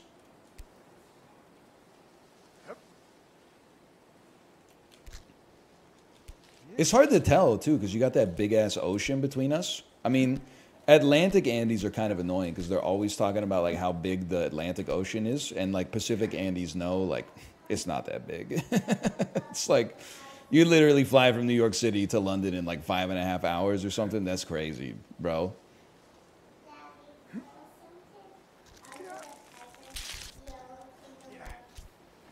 There's something under the paisa. It's a yellow thing.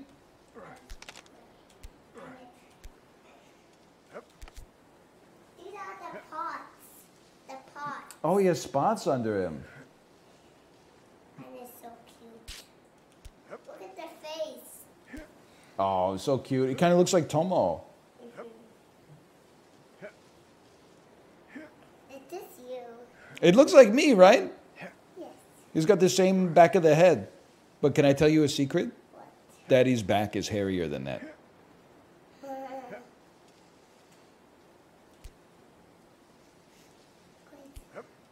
Thank you. I'm, I'm trying to climb. It's really hard, though. I'm trying. I'm trying. The green rock, you can't really grab it. You want to see? This is what Ruka and Tomo are like when they want food. You ready? Wait, I didn't do it right.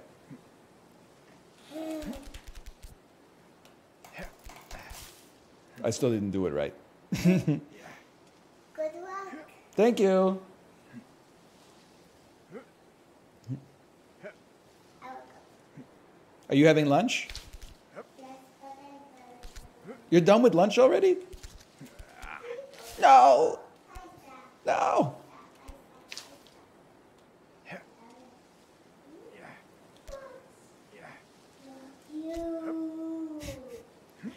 Ready for this?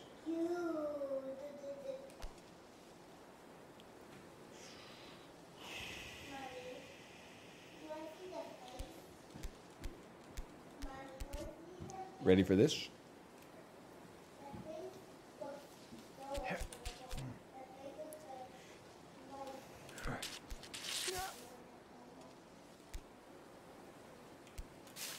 Is that still the same rock from 30 minutes ago? DL Guiga, don't bait me. Isn't the S&P 500 in the same place it was uh, 30 days ago? Yeah, your ass probably, well, maybe you're still on paternity leave, but either way, your ass theoretically still goes to work every day. Sometimes it's about the effort, it's not about the result, okay?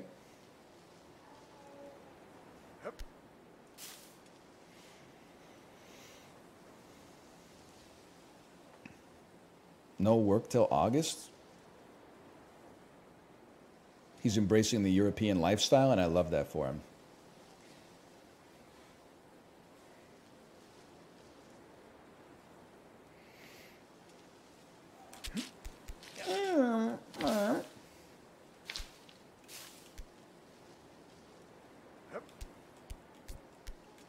Once we master this, it's so over for you.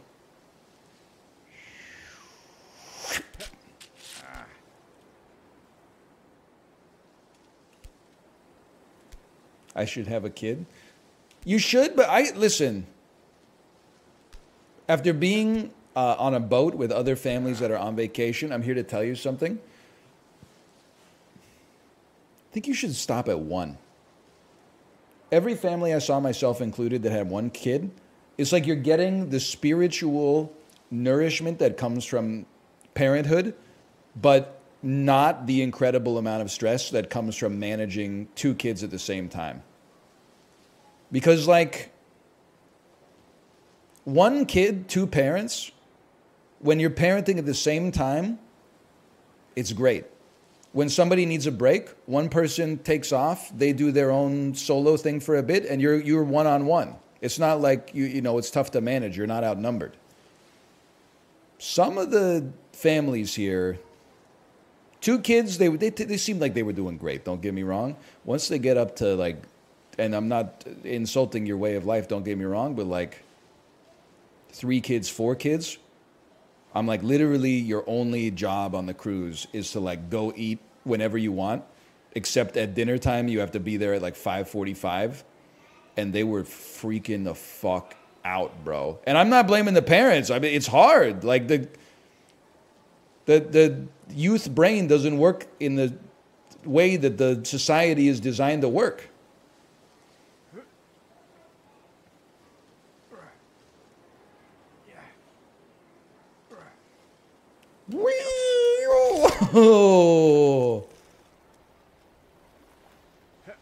I can see it changing as they get older. But like every parent we talk to says it's different. My sister-in-law says two kids is easier than one. It's harder at the outset, but then when they get older, they do a good job of like raising and playing with each other. That makes sense to me. But then we have friends who have two kids, and I was like, is it easier or harder? And they said it's exponentially harder. Harder. And I was like, all right. Well, I don't know what to believe. It turns out that you know it's, it's probably different for every person. It's probably different for every kid too.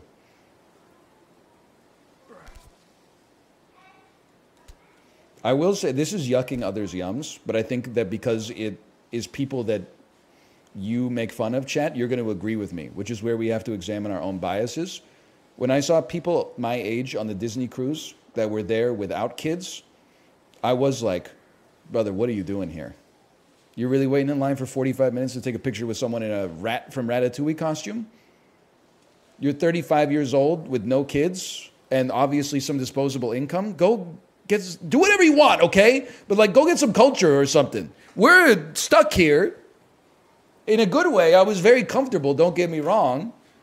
But at the same time, like options have been like gated off to us for now as a result of the fact that we're traveling with a three and a half year old. We're making family memories.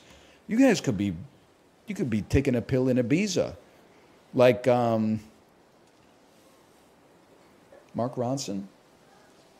No, no, Mike, Mike, Mike Posner. Thank you.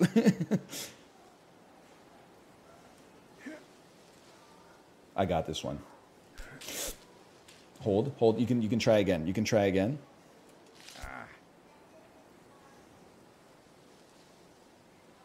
Grab. Yep. Try again.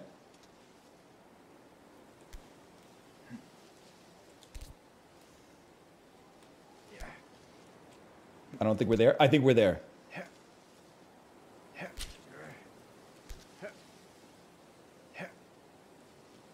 Crazy reading about how low Korea's birth rate is.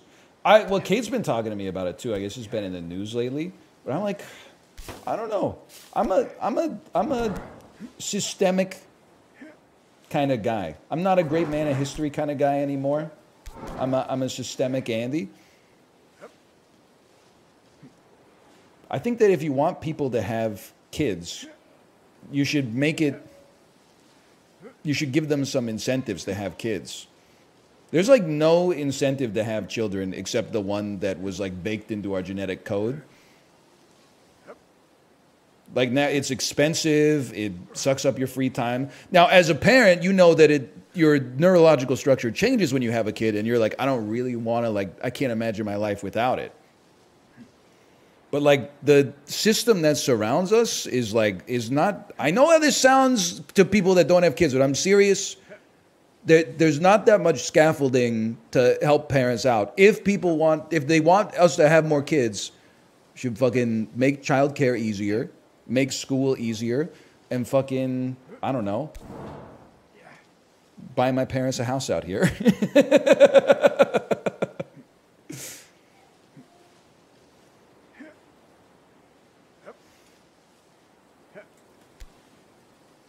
my ass on the airplane hearing the moms talking to their kids. Yeah, tomorrow you're going to go stay with grandma and grandpa. Yo, fuck you, man.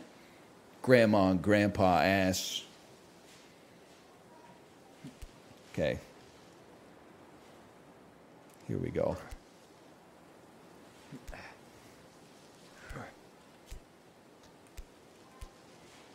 So far, so good.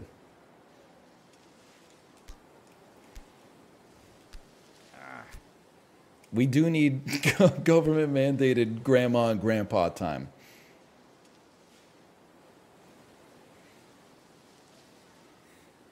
The bushes. You're right. It's the only way.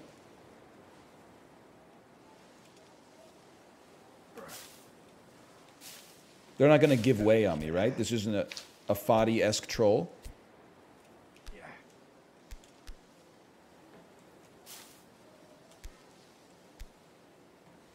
200 billion is peanuts. We. What are you? Oh, you're talking about um, with respect to the U.S. government. Okay, that's probably tr- that's probably true. What's 200 billion dollars between friends?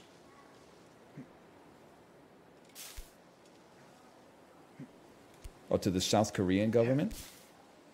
I also feel like th- I'm genuinely like obviously I'm biased from the experience I had in South Korea. It seems like really uh, hard to be a kid and a young adult in South Korea. Like you have a few years of being a kid, then you go to kindergarten and your parents put you into like 20 different academies and hagwons, and then middle school ramps up to the point that kids are like staying up 20 hours a day to study to get into good schools for like sixth grade, which is absurd. Uh, and then you get into the, the middle school, the high school. You, you keep working. You go to university. You go to uh, you get a good job where you also are. The culture is still that you work like you know 17, 18 hours a day. If you combine it with you know drinking with your boss and then sleeping in the alley outside of the place where you drank with your boss and then waking up and going to work the next morning, like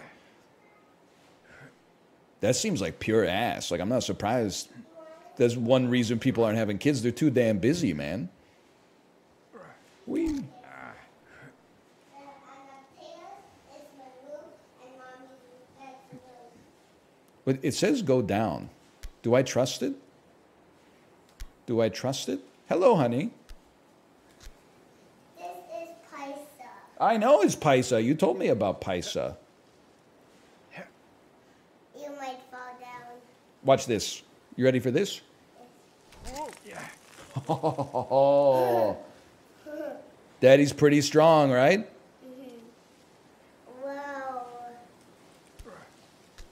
Oh, Daddy. You ready for this? Wee!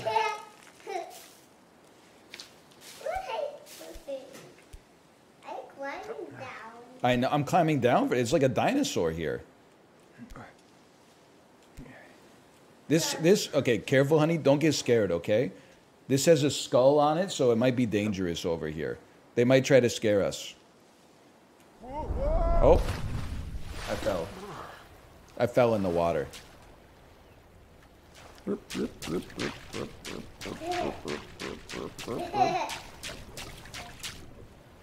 Is this what daddy looks like when he swims? Is daddy a good swimmer? No? I think Go, Daddy, go, Daddy. daddy's a pretty good swimmer. He's okay.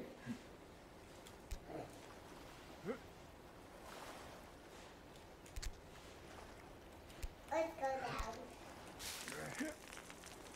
Don't hit me with paisa. That's your bad. I'm a bad guy? You know, while we were on vacation, you kept saying daddy's evil. That's because I did. Here, honey, come around this way. Oh, you're gonna rock paisa in the rocking chair?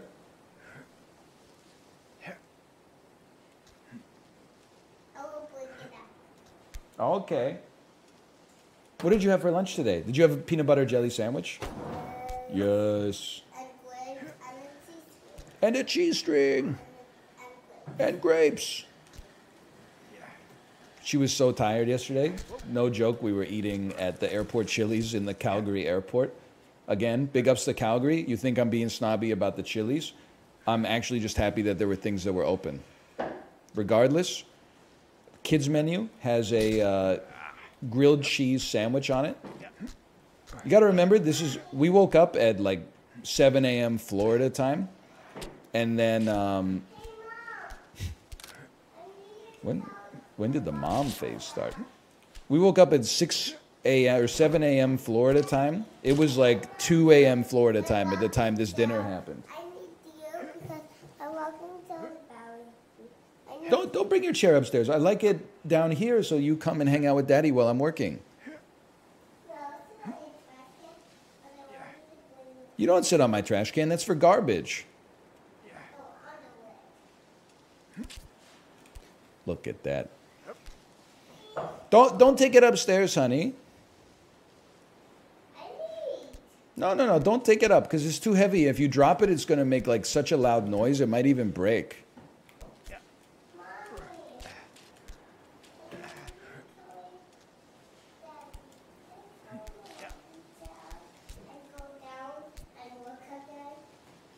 Okay, I'll tell you what. Let me fall in the water. I'll I'll carry your rocking chair up so that you can sit on it upstairs. You gotta move though. Mm. It's right there. I'll, I'll take it up. Don't worry. You're welcome. Here we go. Come with me. Come with me, please.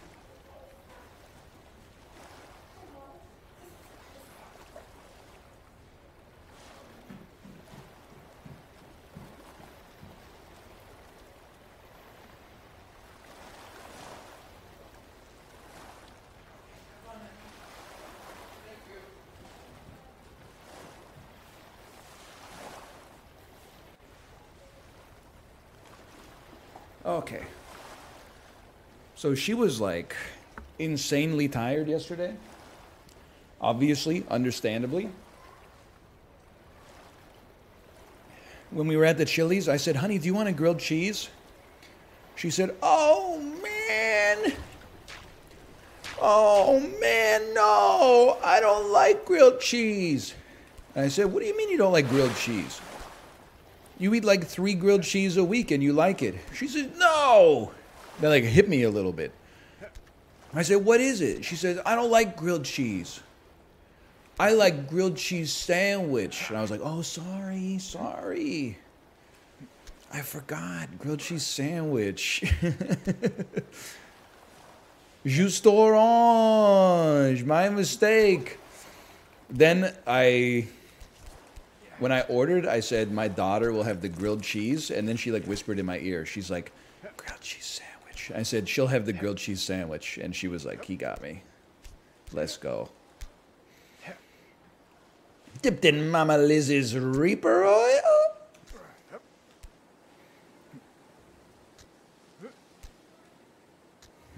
Whoop.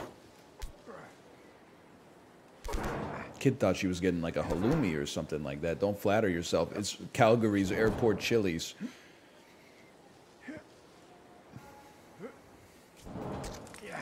Huge.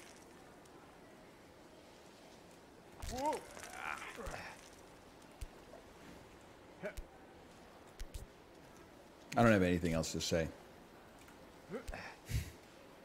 YYC, honestly, not that bad. Honestly, I was becoming a caricature of myself.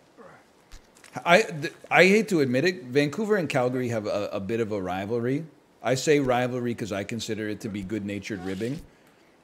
I make fun of them for being uh, yokels, and they make fun of us for uh, housing being insanely expensive. And I say, thank you, sir. Because I have one. You're basically complimenting me at this point. So basically, we always win when I construct the bit. Um, but when I was in the airport, I was like, brother, how is Vancouver winning best airport in Canada year after year? Because YYC kind of seemed, it was cooking it a little bit. It was bigger. It seemed like well, I mean, I only flew out like, or flew in once, but had like lots of open restaurants. Had a cool Pentaverate style tram that took you from terminal to terminal. So I didn't mean YY. No, YVR is the one that it's Vancouver that wins Airport of the Year in Canada every year, and I've always been like base, base, base because it it clears fucking Toronto. Toronto's bad. The great thing about Toronto, you're like, thank God it's not Montreal. Tram in an airport equals poorly constructed airport. Okay, Squeaks, listen, we already have one pedantic economics guy here, okay? It's me. And then the chatter that fulfills that role is DL Guiga. I think a tram in an airport can be. uh, Sometimes I think it's necessary. Do you ever realize, like, how amazing an airport is? I don't know if I can. I, I have to just hold it here for a second. The inside of an airport is so mysterious to me. You go to the ticketing agent, you scan your boarding pass, you give them your suitcase, they put it on a conveyor belt, the conveyor belt gets sucked up into the back. You then go through security, get on your airplane, fly, land, and then you see a conveyor belt coming out from the guts of the airport that brings your bag back to you. What is, I mean, I understand that it's not conveyor belts like all the way, like they put it on the plane, but at the same time, I'm like, what? This must be a fucking mess back there, bro. And you're not allowed to see it at all. You're not allowed to go back. I was kind of pleased with YYC. I was not pleased with the Orlando airport. There's still something's not right there, okay? Now listen. It took us an hour. We landed at 12:40 a.m. last week. It took us an hour for our bags to come out on the conveyor belt in Orlando. Oh, that's the airplane. The, the, the airline handles that, not the airport. Oh, really? Because the same airline seems to be getting your luggage out in five to 10 minutes when you're at any other airport in the world. The Orlando airport, apparently not. It's, I know it's the back rooms back there. It's the airport. It's hell on earth. It's dog doo doo. It's Florida.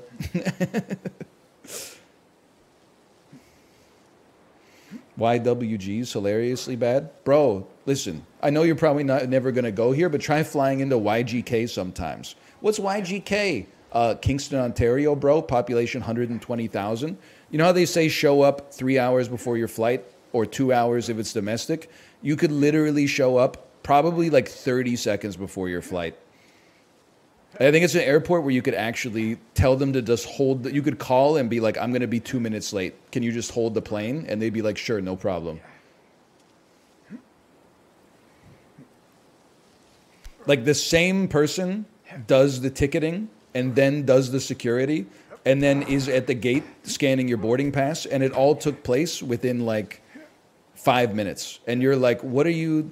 You really need to scan this again? Like I literally just got it from you like less than 10 minutes ago. I know my seat. It's four. You don't, yeah. Hey, four. Oh, that's on the right side of the airplane. Yeah, I know. It's the only side with seats on it, bro. Let me guess. It's uh, just behind number three and in front of number five. Oh, no, no, my bad. There is no number five. That's the lavatory. Hang on. You got it. You got it. You got it. Oh, good. Oh, fantastic.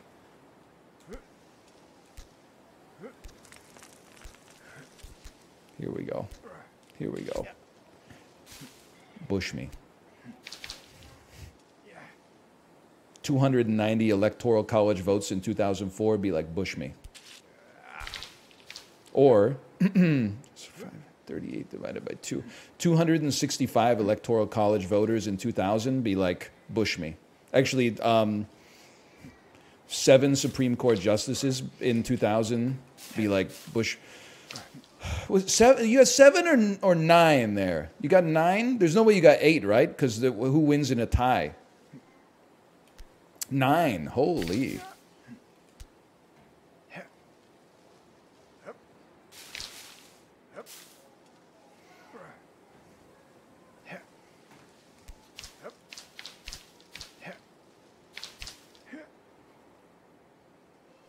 It's so makeable.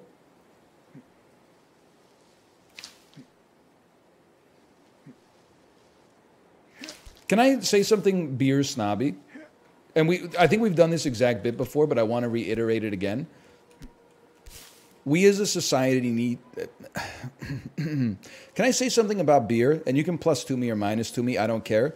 We as a consumer base need to band together and kill Michelob Ultra. It can't be allowed to propagate.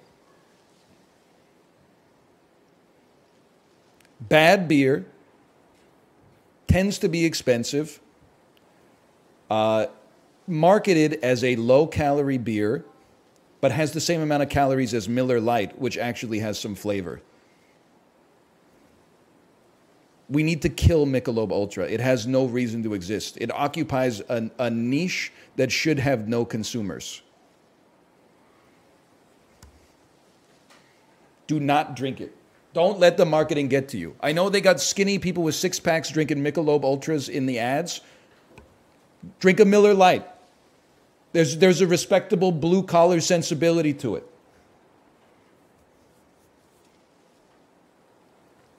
Anyway, that's all I got.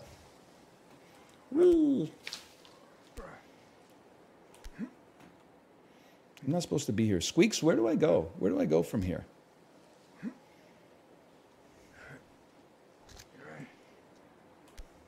I guess down. Do Miller Lites taste better? Um, Michelob Ultra, I don't even mean this to like it, it. It doesn't say anything about your personality. You know, it's just a beverage. But it, as someone who drinks beer, it tastes like nothing. And I don't even mean in like a, a, a Coors Light kind of like, you know, it's watery. I mean like it tastes like like a glass of water that you squeeze like a chemical into or something like that. Yeah. Hang on, this way. Thank you. That's his biggest strength. Well, then just drink a Coors Light, bro. I know you're like, I can't drink a Coors Light. I have a bachelor's degree in computer science. I promise you, you can. We can find the common ground here. Not the Michelob. Ul- I'm just begging you, not the Michelob Ultra, okay? Not the not the tech CEO ultra marathoner 100 calorie beer. Come down here with the common man. You can get something that, that does the same thing for you, but doesn't carry the same kind of weight.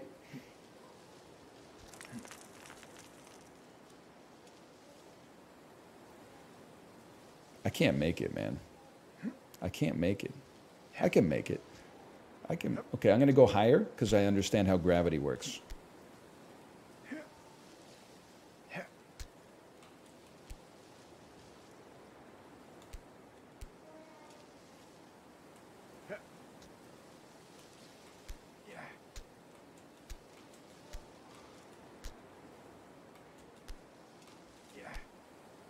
Here we go.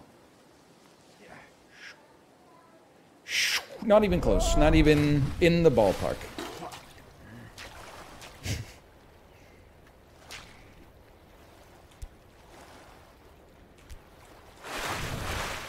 Not even in the vicinity.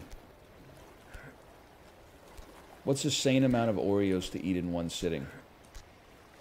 I honestly think, um, and again, we're, we're embracing gluttony a little bit. I'm in my gluttony era. But I do want to say cookies are a food where you have to grab however many you think is sane to eat and then take them out of the package and bring them to your couch.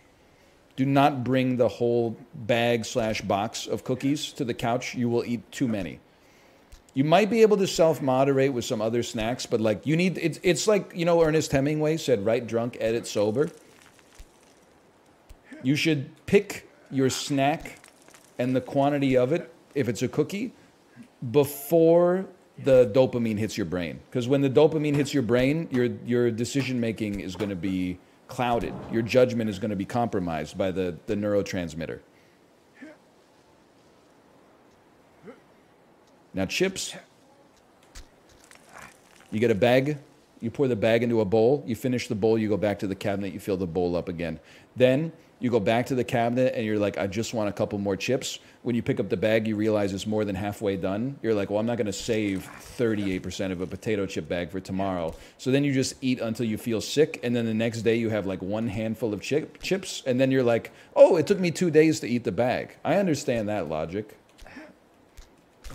Do not cite the old words to me, which I was there when they were written.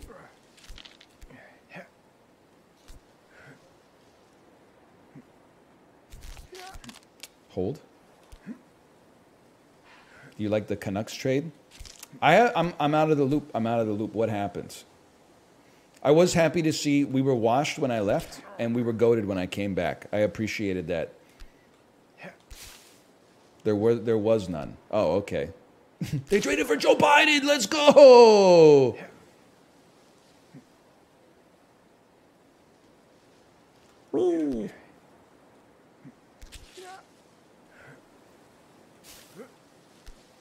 They traded the other Elias Pettersson. No, they didn't. You're trying to bait me. Demko's out two to four weeks. I thought he just had gastroenteritis. He wasn't just pooping?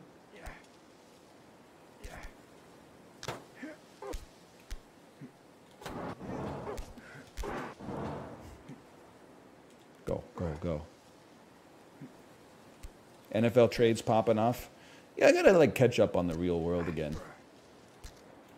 I've been in it like a cruise ship and then the places you go when you're off the cruise ship might be the least real parts of planet Earth. Maybe Las Vegas is like a little no honestly cuz you see realness in Vegas. It's you you see the underside of the rock where the bugs are crawling. There's something I, I hate it, but I re, I respect it at least. That I'm like this is people living their their real life at their most like id driven level.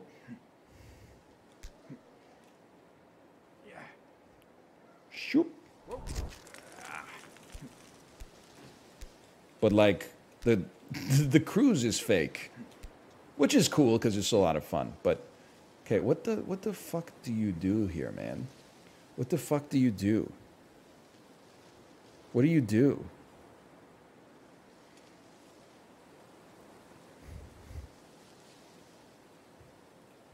Hold with both hands and swing more.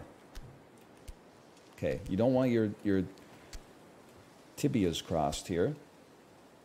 Or your, your ulnar, what is this called? Your radius? Yeah, okay, listen, we fell, but I think that's absolutely going to work.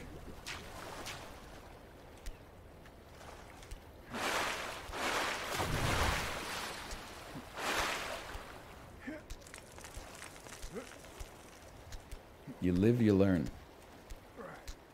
Radius is on the thumb side. Okay, know it all. Listen, I'm that that was not called for. I don't know human anatomy that well. The bones, at least, the nerves. I don't really know the the sound they make, or I, oh, I got it wrong. I don't know what it's called. I just know the sound it makes when it takes a man's life. Nick Nolte, Tropic Thunder.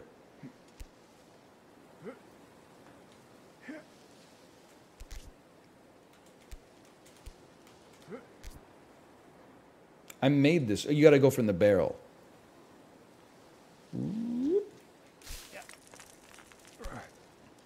Better or worse than getting over it? Here's my new thing. This is my resolution that'll last for about two streams. Um, we're done pitting two bad bitches against each other. Is Balatro better than Slay the Spire? Doesn't matter. Doesn't matter. You can have both. I reject the premise of the question. You can have both. Balatro or Slay the Spire? I reject the question. I don't have to choose. We can have both. You have to choose. No, I don't. Yes, you do. Balatro or Slay the Spire? I reject the premise of the question. Elden Ring or Palworld? Elden Ring. I, I do not reject the premise of the question.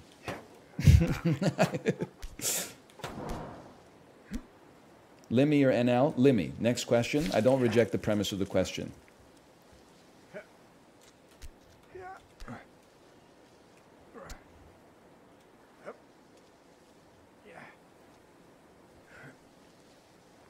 I do think like this was my tweet in the in the Uber on the way to the airport. I think a, a tier list of months would go crazy. I also realized that like half of the people replying to that tweet are literally like 14 years old. Why does so many people go like, yeah, like March is pretty good, but the best month is like month that has my birthday in it. Like I I guess like live your life. I didn't realize I was the only honest individual. As a Canadian, my birthday is in November, and I'm content saying November is an unremarkable month. Colder than October in a bad way. No holiday except for American Thanksgiving and Remembrance Day. And then it's got Halloween just before it, so you're coming off of a high and going down to nothing. And then it's got the Christmas holidays right after it. So it's just kind of like this little dopamine valley where I'm like, outside of my birthday, November, it ain't got much. The worst month, I was happy to see there was basically a consensus. The worst month is February, and January's close behind. Like January at least has New Year's. February has nothing, man. February is just like it's like the the surplus month where we're like, how many days do we need to round out the year? It's cold as fuck. People are like really getting excited for Groundhog Day. Come on. it's ridiculous. March, the March, you compare it to. If we went May to March, we would be like March sucks ass. But the fact that we're going February to March makes March seem amazing. Sun's so bright right now. Yeah, it's raining, but like the weather's pretty nice. It always feels better to ascend out of winter than to descend into it. Like if it's 10 degrees Celsius in March, you're saying, brother, maybe it's shorts weather. Maybe it's shorts and, and t shirt weather today. When it's 10 degrees Celsius in October, you're like, I need my winter coat. Like this, it's there's a very different feeling depending on the way that you, the direction that you enter the temperature.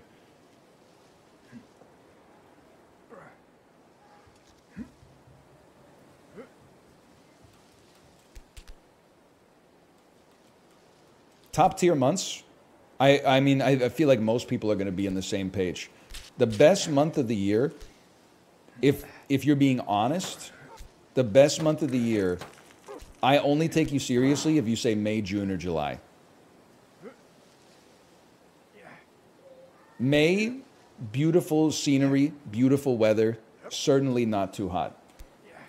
June, same thing, but then sometimes you also get uh, perhaps a vacation or perhaps school is not in session anymore. Even though, you know, I, I've been conditioned to think of like the end of June, at least in Canada, as like uh, something to be excited about just because of the fact that you know there was like 20 years of going to school where that was when we finally got summer vacation. July july for me feels like peak holiday season. August also great but sometimes it can be a little too hot. Depends on where you live. It's very weather dependent but i, I think like the summer months in the northern hemisphere go crazy spring and fall are, are in competition next. What's crazy though is that like it's kind of like Shohei Ohtani and, and Mike Trout on the Los Angeles Angels of Anaheim. Like the winter months suck ass, but December is the only month that comes close to being an MVP contender. Depending on the industry and the role in which you work in, you might get two weeks off you see your family, you give presents, you get presents, you eat yummy food, you cuddle up by the fireplace, everything's festive, etc., etc. November, definitely not it. January, not it. February, probably the worst month. And then spring and fall, I think this, you know, it's dealer's choice. September's kind of nice. Like those first few days of it being a little chilly, are nice until you remember that you're like, this is the best weather we're going to have until like five months from now.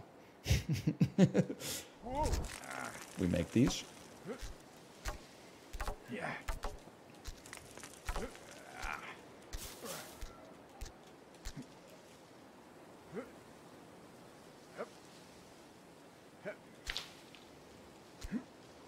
I love the cold guy who lives in San Diego. Listen, though, librarian, I'll level with you. When I was in um, San Diego last October, or last November, I guess, it was cold as fuck. Like West Coast cold.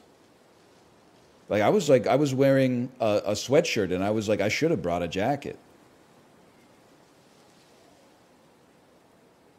Like you're California, bro. Be hot. Wait, wait, wait. I remember. I remember. I remember. Come here. Why are you always talking to a librarian and not regular chatters? Ask better questions. Make better comments.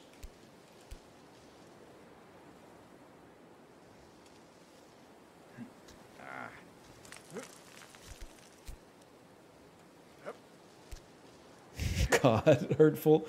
I don't know. Why am I always fucking calling my parents instead of just like a random person? Because I have uh, respect for them. We have uh, uh, acquaintanceship or a relationship that where communication, you know, comes easily. Of course.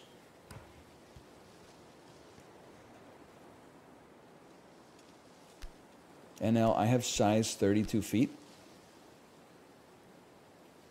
Check, could this possibly be real? Is that like Guinness Guinness records worthy?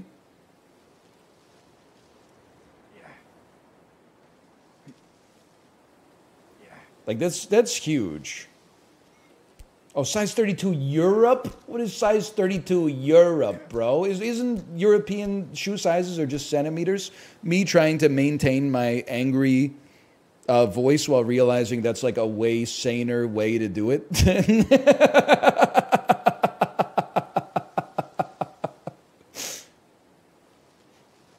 I'm like size 45. I don't know what the oh centimeters. Yeah, okay, that makes a lot of sense. Instead, I gotta go. In, in North America, every shoe is a different size. People are like, "What shoe are you?" And I'm like, "I wear anywhere between an 11 and a half to a 14, depending on which motherfucker made it."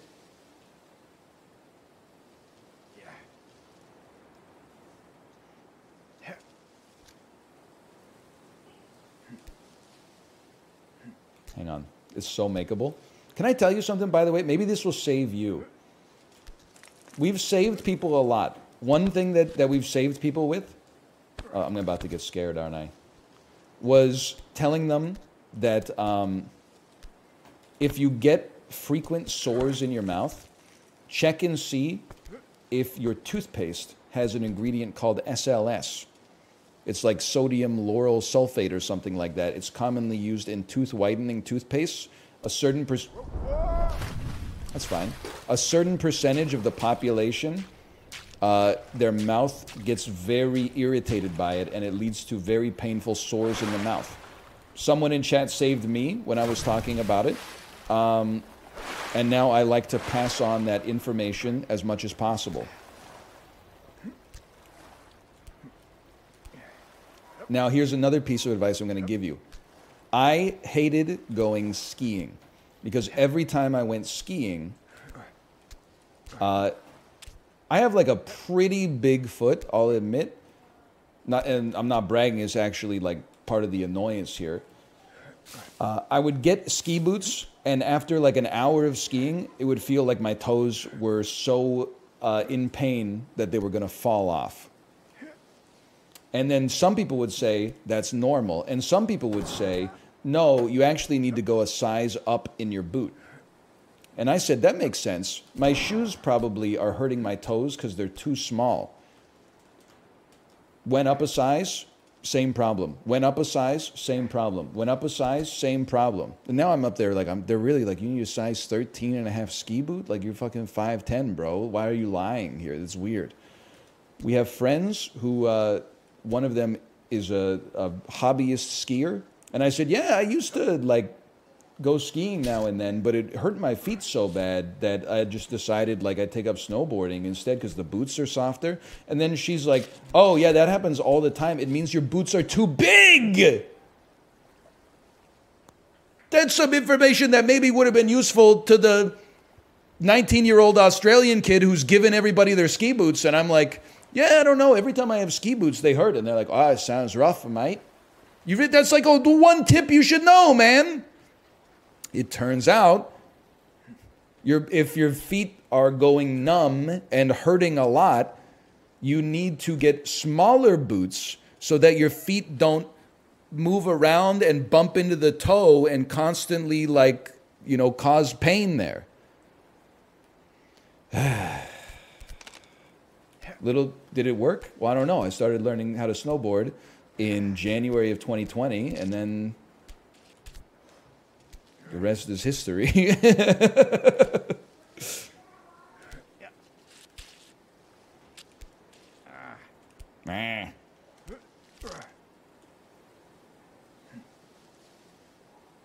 Whee.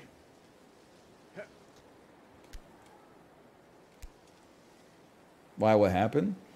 Well, like you know, I snowboarded a few times, and I was I wouldn't say I was like learning how to do it very well, but I was starting to make a little bit of progress. And then we were like, you know, next season maybe I'll take it more seriously. And then COVID happened and kicked off for like two years. In that period, we also had a child. I'm like, I wouldn't say I'm more nervous than the average person, but like, I'm not one of those people who's going to take, like, our daughter's three and a half now. She's a little older, but I'm not taking my one or two year old to the fucking ski hill. It's insane to me that you're allowed to go to the ski hill and it's just kind of like buyer beware. Like you don't have to pass a test or, or anything. Skiing is way more fucking dangerous. It, at least it feels more dangerous than driving, bro. And you gotta go through some serious red tape to learn how to drive, which, by the way, I'm for. But like you literally just press the pedal to go and you press the pedal to stop. And like that's it. On skis, you're like pizza and french fry, but you like the pizza doesn't work all the time. Sometimes you really got to dig your feet into the crust and then you're like uh you're skiing like through trees basically. Like even the the tracks that are like well maintained you're like one sneeze away from going over the edge and like being face down in a in a snow pile or something like that or smashing your head on a tree trunk.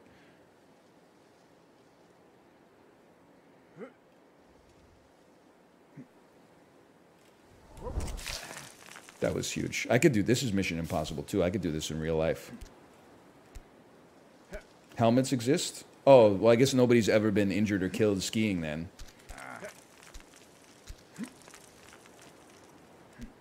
You know, two can play that game. Helmets exist, motherfucker. Discourse Andy. You in debate club in the ninth grade. Helmets exist. A plus. Nobody's ever tried that technique before.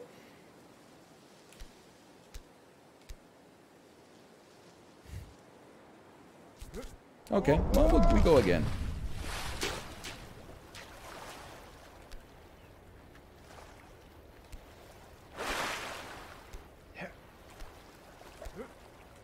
Shouldn't we all wear helmets when driving?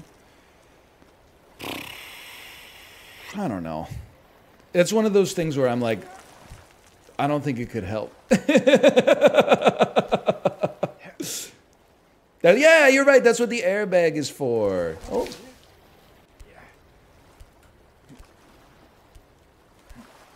It's crazy the airbag comes out in time, man. Skiing is actually not that dangerous. Well, here's the thing. I, I agree with what you're saying. You know, probably tens of millions of people do it every year and don't get injured. But at the same time, it kind of is that dangerous on the scope of like comparing it to other activities that people tend to do.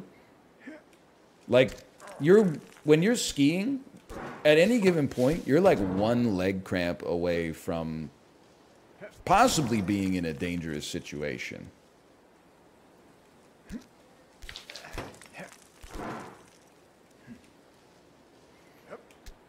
I was feeling like that when I was swimming too. I did a lot of swimming while we were on vacation. I can swim. The, when you're a kid, you like I don't know, you're just buoyant, and also like in better cardiovascular shape, and you weigh a lot less. As an adult, there were some times where I was like, like man, I'm getting kind of winded out here, and then you look around and you're like, uh, well, I guess it's uh, like your body sends you a, a quick little lightning bolt that's like, "Are you going to die today?" And you're like, "I'm gonna try not to." And then it's like, "Okay, here's some here's some adrenaline," and then you're like, You get you know your wife and your daughter are chilling on the beach. You get back and you're like, you're hiccuping. Hey, how was it out there? It was good. It was good. I had a good time. So relaxing. So relaxing. I'm very comfortable in the water.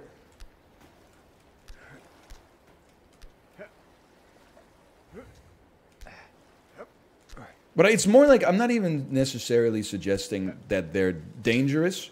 But I think that like it's insane to me. Well, I think a I think they are dangerous, and I think some people are being disingenuous.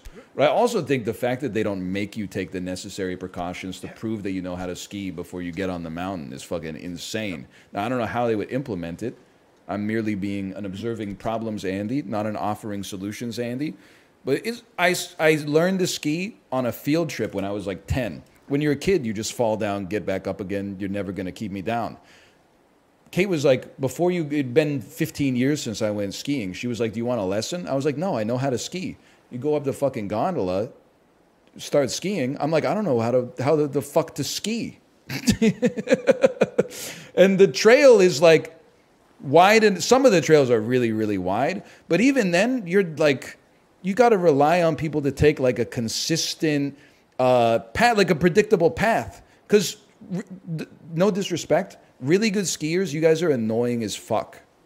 I'm sure some of you are like very professional and you're like, I'm to give newcomers like a wide berth. But some of you are like shithouse drunk or on mushrooms and are just zooming down the mountain at like Mach 500, coming like a centimeter away from everybody else on the ski hill. It's very intimidating as somebody that's, that's trying to learn the damn ropes.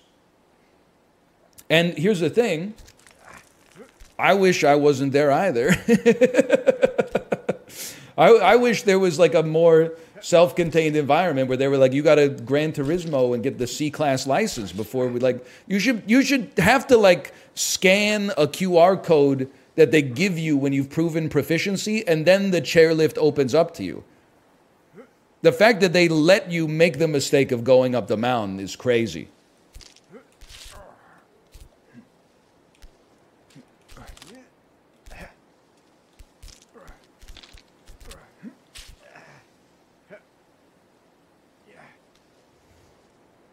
You need a license to ski? Well, I'm just saying, you know, like for the safety of everybody, it would probably help. If you like, there should be, here's what I'm thinking, okay? There's a proficiency ski hill. When you ski down it, the instructor, there's like a guard at the bottom that watches the whole time. If you make it to the bottom and you appeared to be comfortable, they give you the password. They go like, Stroopwafel. Then you go to the ski chair and you got to say the password in order to for the chair to open up. Otherwise, they put you on the lift that goes to the proficiency uh, hill, and on and you can do the proficiency hill as many times as you want, of course.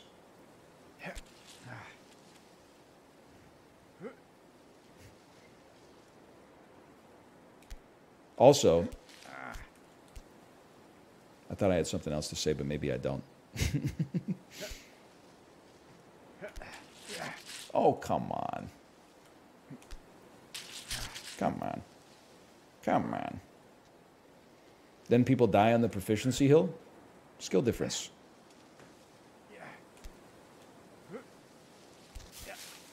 Oh, I remember what I was going to say. The other thing is, like, there's, like, activities where if you get in, like, over your head, you just back the fuck out, right? You're like, I'm not built for this shit. I'm out if your ass is like, I'm going to run a marathon, and then you get a mile into the run and you're like, I don't know how to run, you just walk off to the side and like disappear into the crowd like Keyser Söze. If you go up the gondola, like, and you ski a little bit down, there's only one fucking direction you can go, dude. Your ass is not going to climb back up the hill to get on the gondola and ride it down. You got to ski down to either the bottom of the hill or the next gondola station. Like you you got to go, man.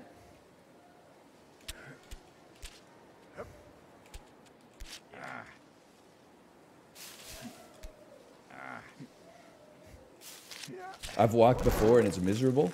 My fingernails hurt just from watching that.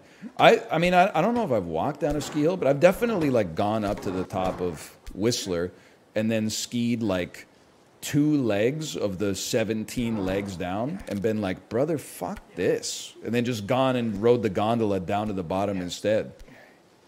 I mean, I like the sensation of skiing. It's just kind of like, sometimes it's just too intense. Like, you give me the choice, would I rather, like, you know, be in the chalet eating the pulled pork sandwich or, like, possible, like, thinking that I'm going to get a concussion every 10 minutes when I'm out on the mountain? my toes feeling like they're gonna fall off. I'm like, just give me the pulled pork sandwich, bro. Snowboarding kind of fun though. I kind of like snowboarding. I'll stay on the bunny hill all day. But the other thing is, risk uh, uh, focused Andes don't understand the thrill that comes from uh, meditation. Even as a kid, I was like this. Learn how to ski on the bunny hill. Master skiing on the bunny hill people are like, why don't you go to the blue circle? Why don't you go to the green circle? Well, I don't, I don't know the shapes, right? I say, brother, I just achieved mastery on the bunny hill. I'm, uh, I'm enjoying the serenity of mastery. I know every nook and cranny on this bunny hill. I know the parts that are iced over because that's where all the lessons took place. I know the parts where the sun is hitting in and it's melted the powder a little bit. You get a little extra speed on that. This is my home. Like it's uh, the, the otter and the beaver are my friends, you know, and we are all connected to another in a loop and in a cycle that never ends. And then they're like, no, why don't you why don't you start from square fucking one on a hill you've never seen before? Brother, this is my this is my garden. Are you crazy?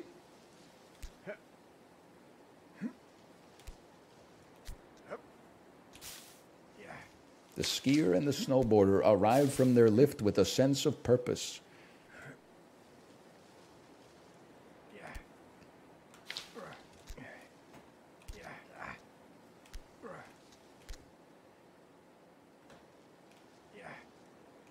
You can take it too far, though. I definitely, uh, I'm the kind of guy who will like be scared of a roller coaster, and then like ride a roller coaster and be like, "That was sick. I'm just gonna ride this one over and over." But I'm like, I think that's fucking kind of sick, bro. Something cool about that, in my opinion. you know what to expect. I think you got to ride a roller. If you're scared, you got to ride a roller coaster twice, bro. The first time is just to get over the fear, and the second time is to really appreciate the flavor.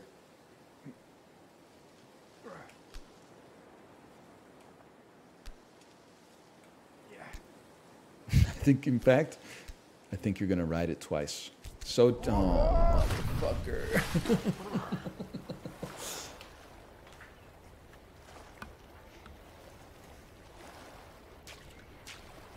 hey, Schnitzel Slap, thanks for the gifted subscriptions. Thank you. Thank you. Are they making um, insane roller coasters that almost kill people still? Or is that like a 90s, 2000s thing?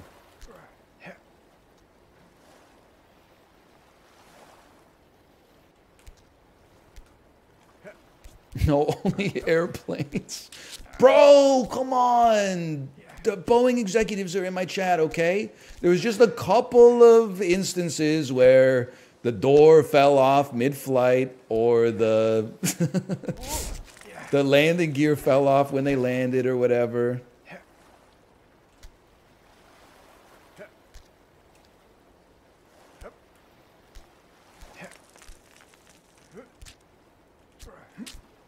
The window came off on one of them.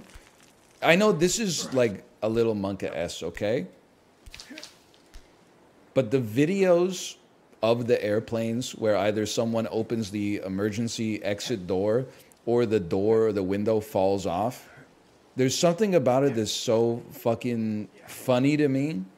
Like the people in the seats, like they can't do anything, but they're not doing anything, and that I think that's where the humor lies, because they're like in an airplane and the wind is going. This is like minus 50 degrees Celsius wind whipping at like 500 kilometers an hour, and they're just sitting in the seats like. and I know you're gonna say like, "What do you want them to do?" And that's the thing; they can't do anything.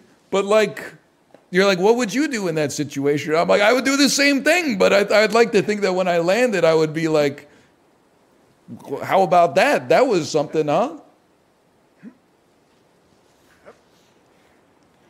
There's something about it, man. I don't know how to describe it, but it's like, it's just something you don't see. Oh my God. It's something you don't see every day.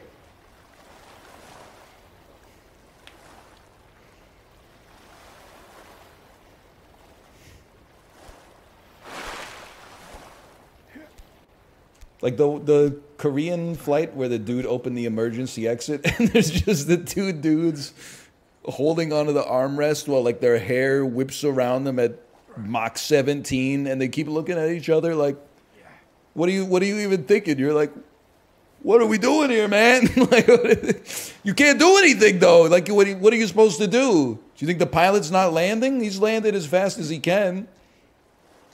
It's just there's some inherent like absurdity to it that's very funny to me. To me. Also, why the fuck are so many people opening the doors in mid-flight? Stop it, bro.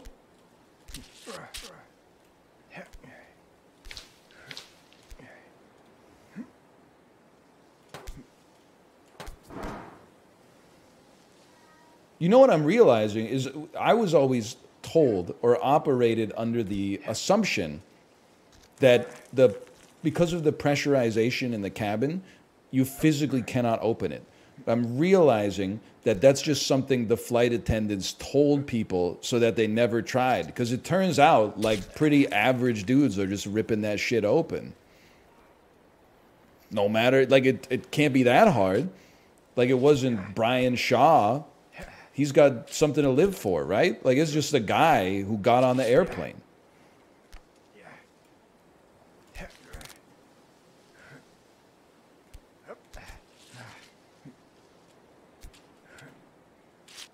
Help me.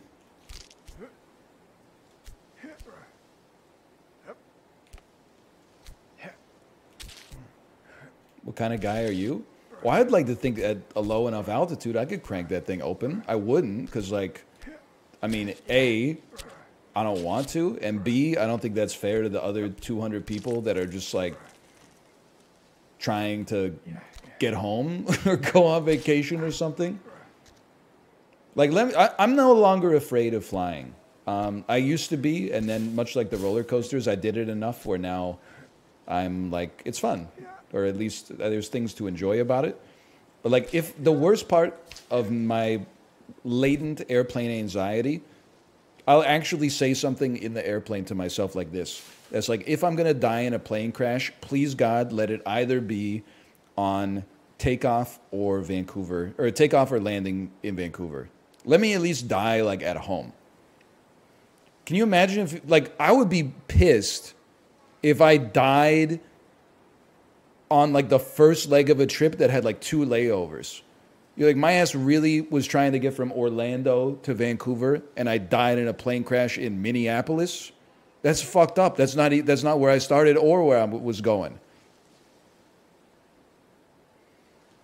That's why they should only have direct flights, bro. I didn't really think about this too much, but you're like, my ass didn't even want to be in YYC, and then all of a sudden it's so oh I was decapitated in a overhead luggage bin snafu while taxiing at Calgary International Airport. No, thank you, bro. Let me let me experience a rapid depressurization of the cabin on approach to YVR or something like that.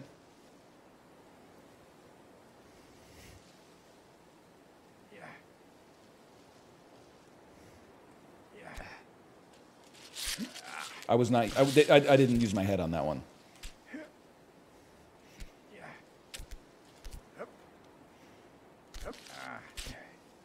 Apparently, the guy who opened the door on the Korean Air flight said he couldn't breathe and he wanted to get off the airplane faster. No joke. I'm not saying you have to hand it to him, but they should just open the emergency exit doors during deplaning. get everybody out of here a little bit faster.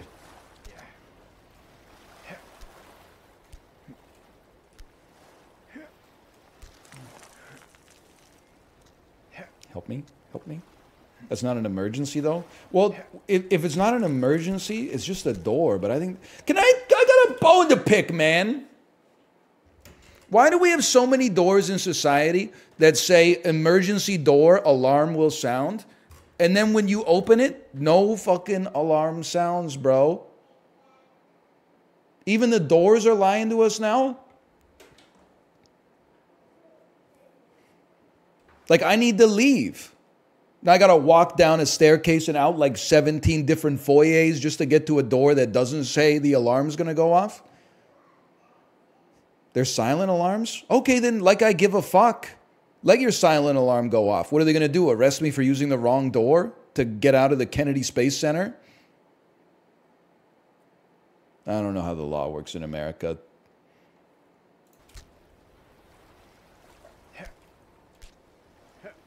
Hello, Chiblee, by the way. Hello. Are you enjoying your daylight savings time?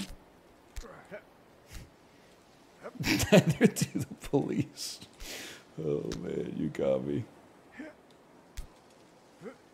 Have you actually opened those doors, though? Yeah, well, here's my experience. In college, I started opening those doors when appropriate, right? I would say one in eight actually have an alarm attached to them. And honestly, it's a it's a boy who cried wolf situation. Sucks for anybody who had their um, serenity ruined by that alarm going off. You should tell the fucking door manufacturers to stop crying wolf. If eight out of eight of them had an alarm that actually sounded, my ass would not be opening that door. When there's a an 86% chance that no alarm's going to go off, you show me the incentives, I'll show you the outcomes, brother.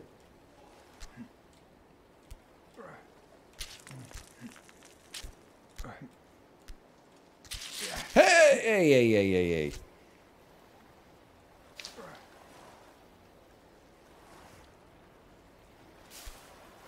What's the upside?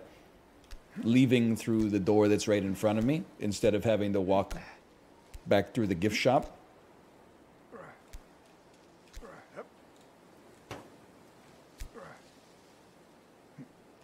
celebrating the five year anniversary of you asking me this question.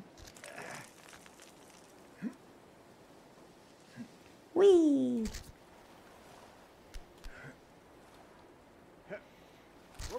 Okay, nuts on the table. If they made a 24 hour Costco, you think that bitch is still going to be busy at 2 a.m.?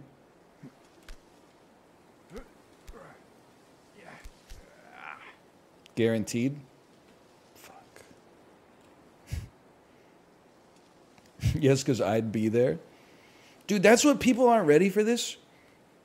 I was kind of hoping, like, I don't really care if the Wendy's Corporation lives or dies, but I kind of wanted to see surge pricing happen at Wendy's just to see what effect it would have on the restaurant. Because it's one of those things you come up with when you're like high as fuck. And you're like, if nobody's buying filet of fishes, then shouldn't the filet of fish be cheaper?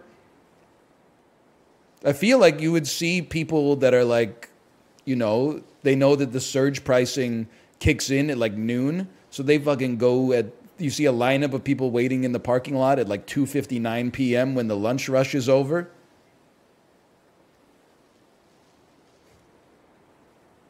I'm with you. I know it would only work one way. And it, you would be like, you'd anchor on paying lunchtime prices for a Baconator. And then, like, if you were ever there at like 2.30, you'd be like, yo, the Baconator's the same price it used to be. I'm saving so much money. But in a perfect world, could be kind of interesting at least. Now, do we live in a perfect world? I don't know. Did you know Costco says it opens at 9? I always go at 8:30. They're open. I leave at 9, no lines.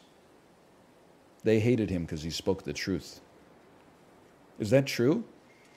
I mean, I'm not in a position to be going to Costco at 8:30 a.m., but that seems like a like a life pro tip for sure. Wait, do, do they make you pay for the food or do you just take the stuff out through the front door?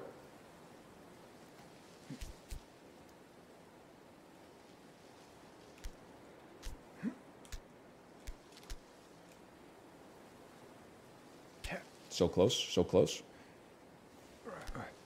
I do have to say something about Costco, okay? I've come to respect the receipt checker because even if I don't think that they're really serving much of utility, they're serving a utility to the person employed as the receipt checker. And I think that's cool, you know?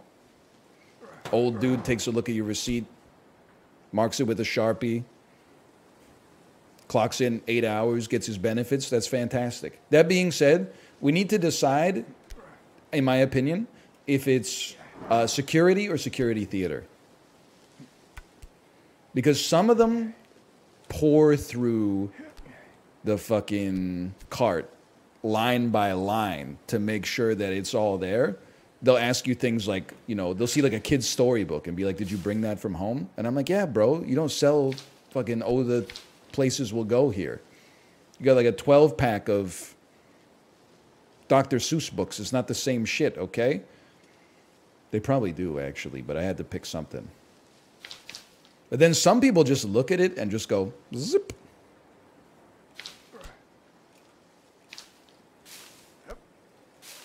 Also, sorry for the, the airline work again, but we got to figure out what we're doing with the shoes, brother. We taking them on or taking them off? Are we keeping them on? What's going on? I never know. And they, they just love to, to tear you down, right? If you take your shoes off, they go, Sir, you didn't need to take your shoes off. You're in TSA pre check. If you keep your shoes on, they're like, Sir, we told you 20 times to take your shoes off. I'm like, No, you fucking didn't, bro. You've seen 20 other bald guys come through here. Also, can I? T- I, I I've mentioned many times before how I I rolled a nat one on my charisma on this vacation. On the flight from Calgary to Vancouver, you know, it's late. Everybody's tired, including the staff. We've been ascending for six, seven minutes, right? It's a little rocky, but my bladder is going to explode. I look up, no seatbelt sign. Nobody else is up. I say, fuck it, nuts on the table. I'm going piss.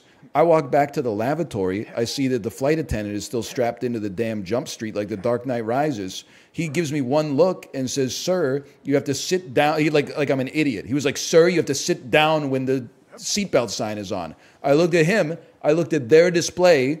There's no seatbelt sign, and I just shrugged my shoulders and went back to my seat. And then that same dude was doing the like drink and snack service and uh, he said, Can I get you guys anything? I said, Sure, I'll have a Diet Coke. Um, and then when he handed it to me, at the exact same time he handed it to me, he had three cookies in his hand. I didn't know that in advance. I said, And can I get some pretzels? And the dude's face went from like the fake smile to like a very serious, neutral tone. Because um, he's like, I'm really giving this guy three cookies. And he said, And some pretzels. And then when I took the pretzels, I said, thank you. And he said, no problem. Is there anything else? And I said, nah, I'm good. I don't think he realizes that, like, I know how to fly, like, as a passenger on the airplane is actually very easy. It was the pilot that made the mistake by not turning on the seatbelt sign. And I'm being unfairly judged as being entitled to the piss of my own bladder because the passenger did or the pilot didn't turn the seatbelt sign on.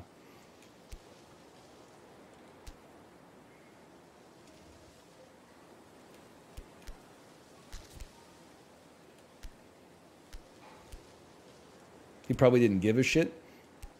Nah, man, he was pissed. Two hands and swing. Also, I think they've made the conduct of flights too safe.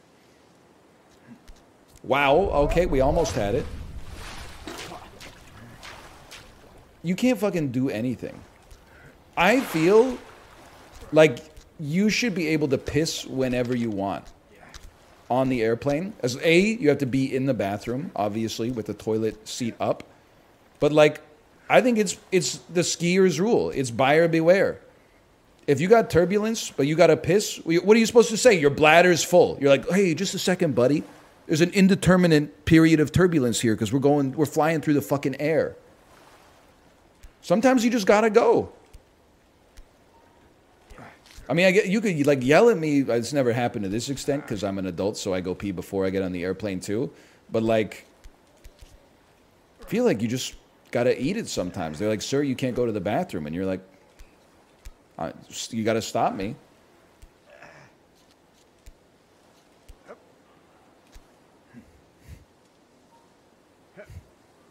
Then you gotta wait 20 minutes because some motherfucker's cooking shrimp scampi in the airplane toilet.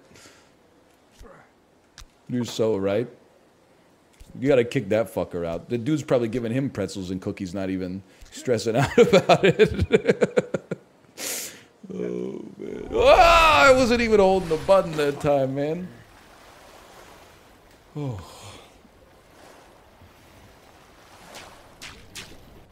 I'm rebelling. I'm I'm not pissing whenever I want. I, I don't want to, you know, be a square peg. But I'm I'm genuinely I I think I'm becoming the guy that's breaking all the rules.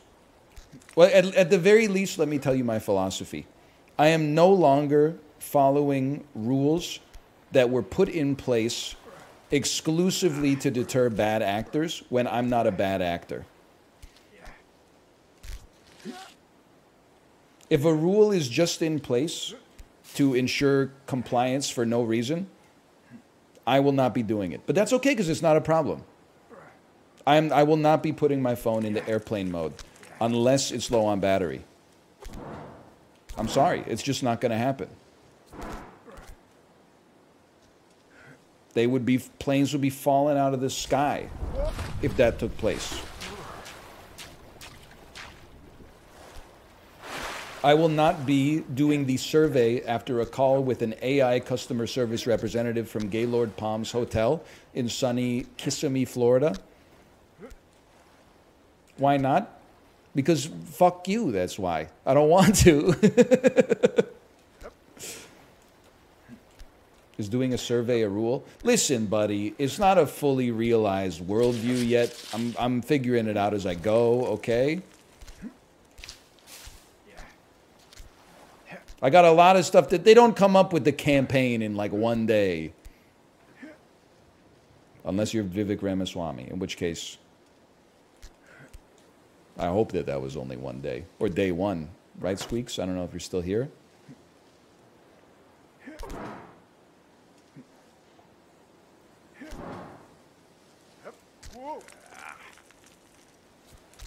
Huge. And I'm sick of the, all the signs in the bathroom telling me what to do. How you think I'm going to take advice from someone that can't even make like doors that don't have three inch gaps? So everybody looks at my cock while I'm in the toilet taking a diarrhea shit. You're not a, a, a trusted source for information.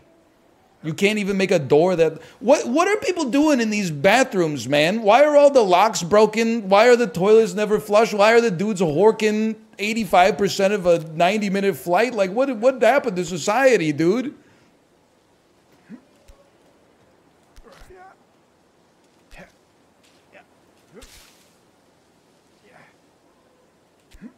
Hello, Chiblee, by the way. I know I said hello earlier. I didn't see your response to the daylight savings question, though.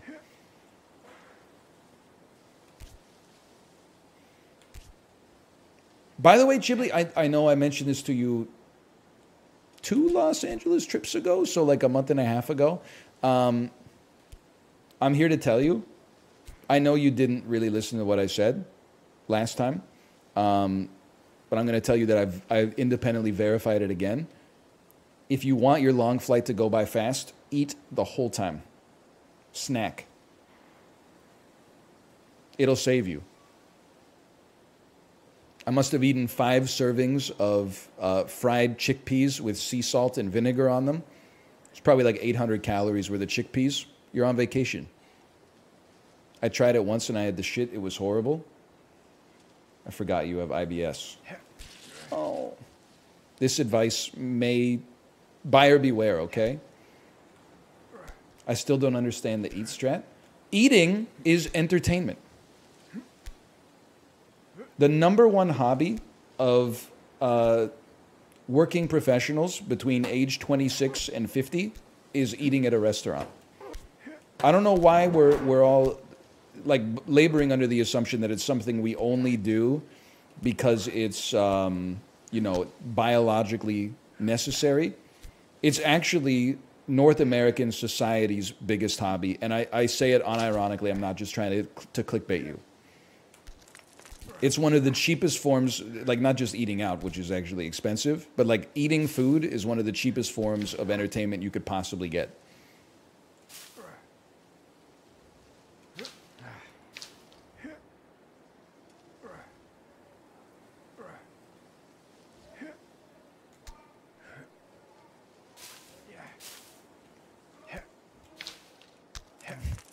It's so true. Where'd you get fried chickpeas? At the SIBO Express at the Canadian terminal of MCO International Airport? Tell them I sent you.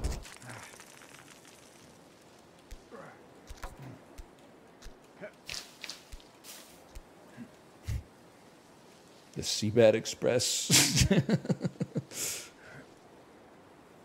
oh, man. Okay, here you go. Here you go. Here you go.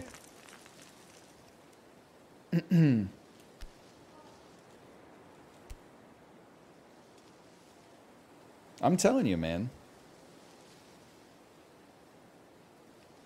Once I started seeing food as enter- entertainment, it made a lot of things snap into place for me. That doesn't mean it's true, but it made a lot of sense. Ready? Not even close. Not even close.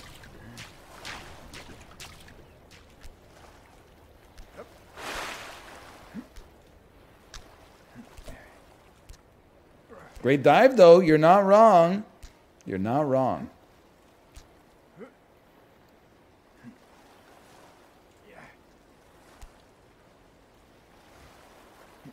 Permission to swag out. You know what? It's the first Monday in March that I've been here for. Easily granted. Norm- normally, I wouldn't grant it. I like to save some swag in the tank.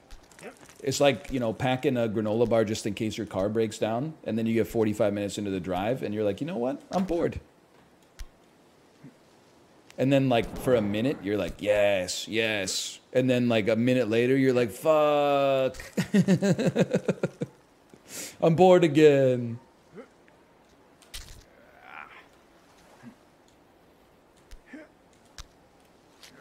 And now I got to shit.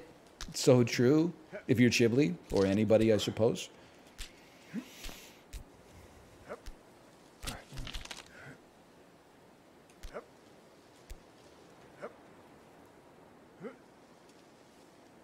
By the way, you guys all lied to me about uh, Nerds Rope. Anytime I talk about candy, people are like, you gotta have Nerds Rope. It's the best candy. I don't know if they sell it in Canada, but I never saw it as a child. I had we had regular Nerds, not the rope.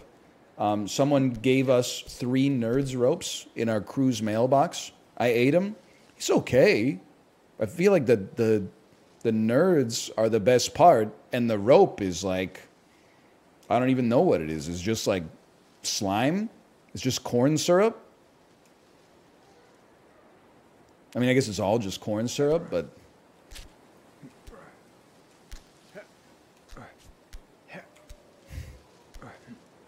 you get the idea.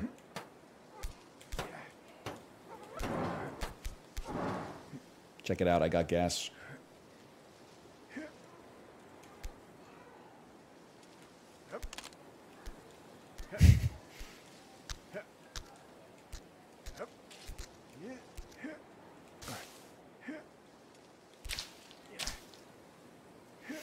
I forgot I was talking about.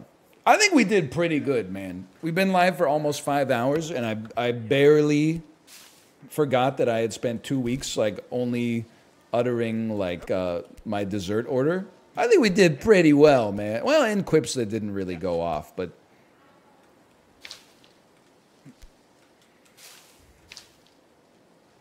hold, hold. You were only gone for a week. Well, hey, uh, for once, I'm doing what you guys do. I'm counting the Saturdays and Sundays as well, so it's almost two weeks. You had the wrong crowd. You're telling me, brother, you will not catch my ass heading down to the Walt Disney Theater at 8:45 p.m. to see a dude who won Las Vegas Comedy Magician of the Year two years running. It's just not gonna happen. But he fucking slayed. Apparently, people were saying it was a once in a lifetime. I'm not even knocking the guy with his Michael Scott energy. Okay. He had a, a very receptive audience. Wee.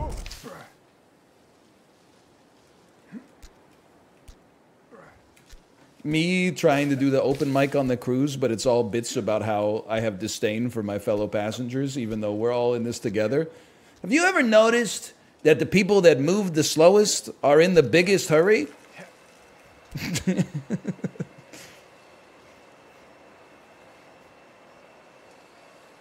Yeah, not me, not me. They would throw me overboard for sure. Oh, I almost made it. I got one more try, okay?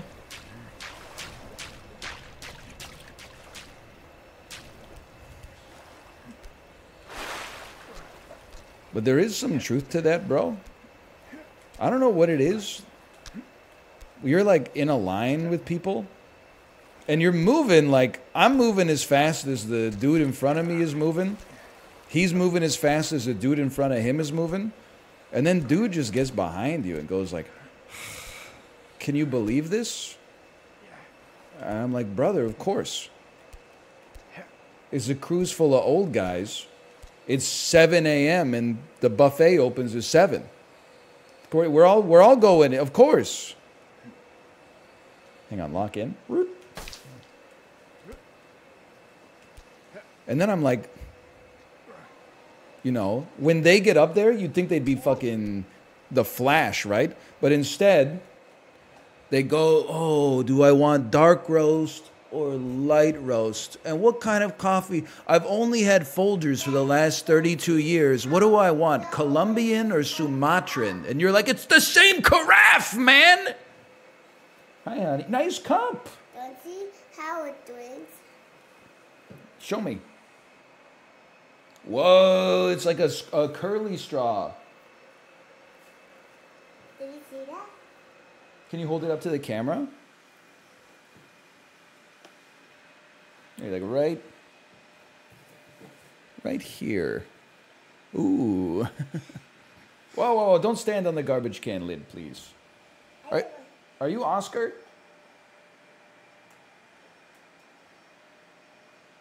Wow, so cool, so cool. What did they say to it? They said wicked. They said that's amazing. Also, then the dudes on the cruise, they get like the coffee cup and then they put the milk in it and then they go to the the sugar and the cream and the Splenda and the sorbitol and the stevia and the it, and they examine it like it's a, a wine cellar. Hmm, what what would be the best sugar or fake sugar to put in my coffee this morning? Am I in a stevia in the raw mood today? Certainly, it couldn't be nothing or just a little bit of regular sugar. That that's bad for you. Instead, hmm, can I get a little bit of simulated and and then they put the stuff in and they stir it, but they don't move away from the place where you grab the stuff so that other people could have the luxury of having the same choice that they have. There's a little counter behind them where they're supposed to put the cup and then they stir and put the lid on.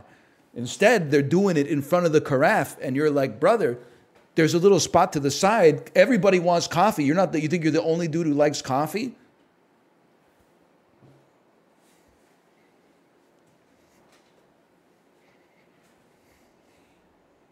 Hi, Tomo. Put that there. I got one.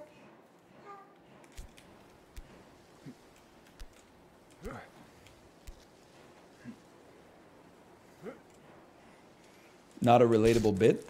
Listen, I can't say what I want to say because of the fact that um, my child is right next to me. Why is the onus on the streamer to be relatable? How about you start living life like me? Instead, the onus is on me to construct a, a single sentence that the entire population of Earth can relate to simultaneously. That's unrealistic. How about if you want to get more meat out of the bone here, you start living like I do. You know what I'm saying? No. She said no. Now that's relatable.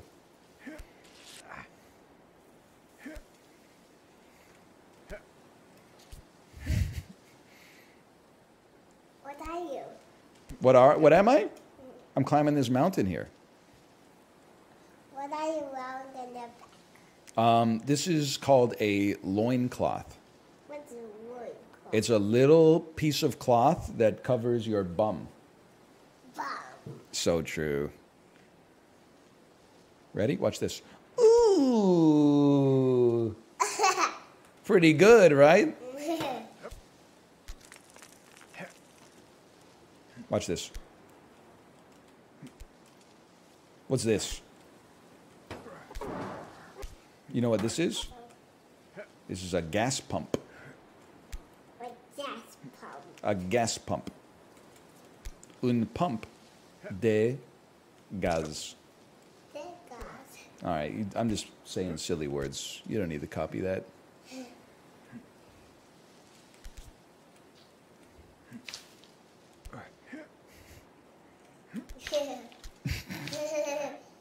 Are you laughing at daddy or are you laughing at your straw? I'm laughing at you. Yay! Go da da, go da da. I'm doing my best, okay? My arms got crossed a little bit though.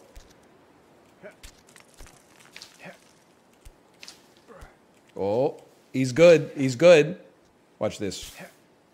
There's not even any need to be swinging here. Make good decisions. Ooh. Ooh. Ooh. Ready? Oh no, I fell! Just kidding.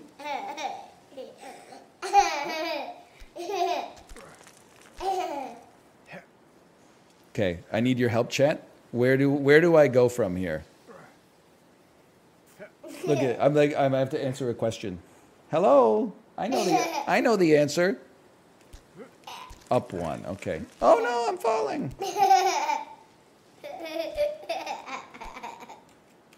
You know what he says when he when he falls down? Uh-huh. Ouch! Wahoo!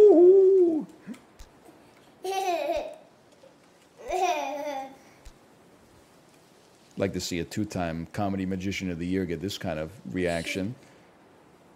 Three, two, one.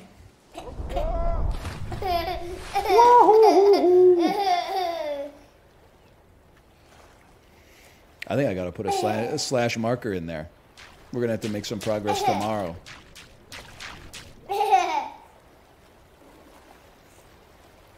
My tree, my tree, my tree.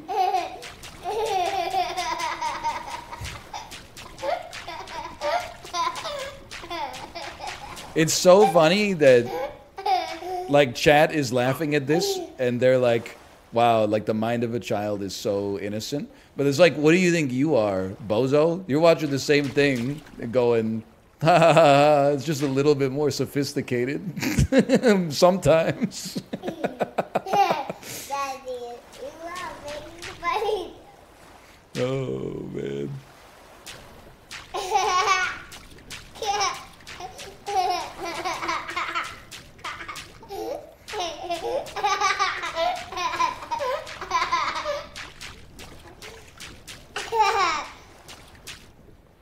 Oh. Pretty pretty cool game, right? Goodbye.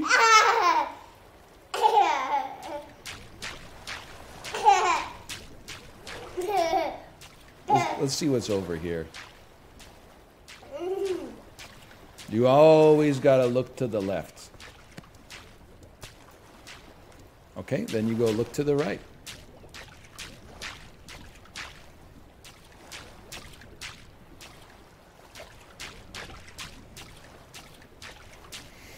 A long trip. Can you swim down? Of course, watch this.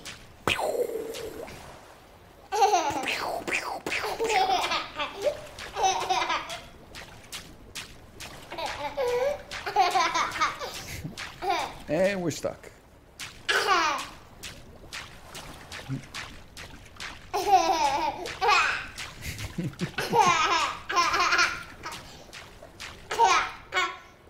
No, my rock.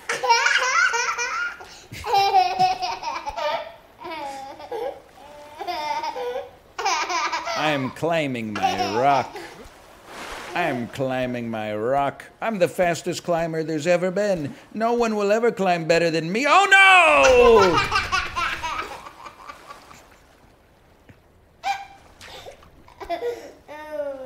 I'm climbing my rock. I'm climbing my rock.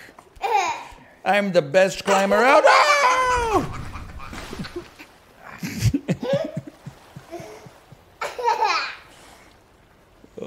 She's got tears in her eyes.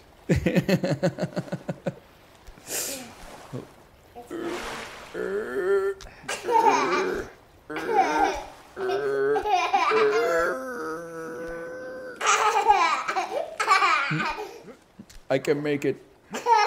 I can make it. I can make it. I can't make it.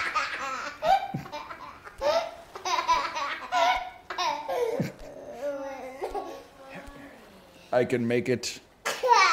I can make it. I can make it. I can't make it.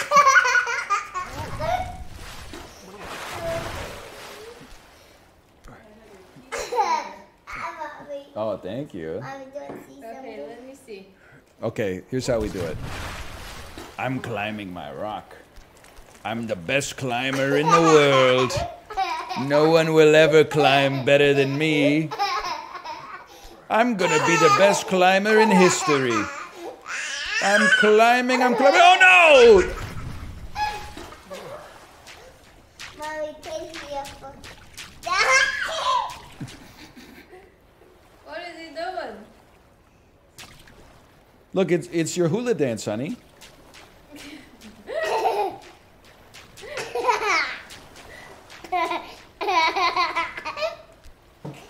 Whoa!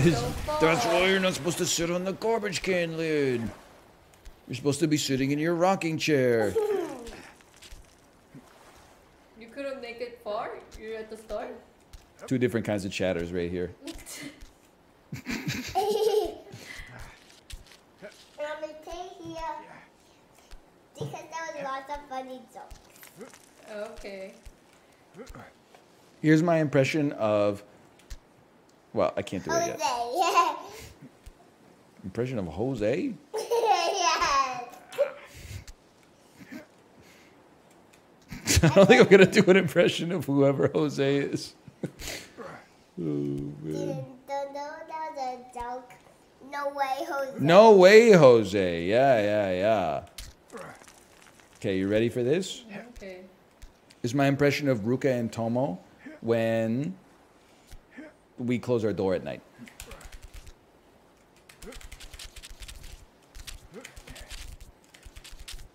Okay, that one, this is why they go on tour. This is why comedians go on tour. Some of the jokes that you think would work do not work. But sometimes you just gotta go like this. You just gotta go, I'm the best climber in the world. I'm the best climber in the world. Oh no, I fell! And we got him back.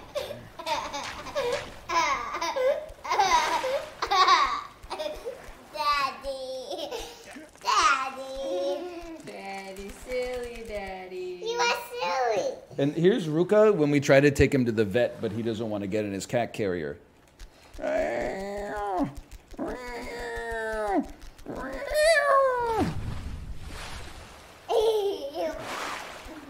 I'm the best climber in. Oh no! All right, let's let's throw a little slash marker in here then.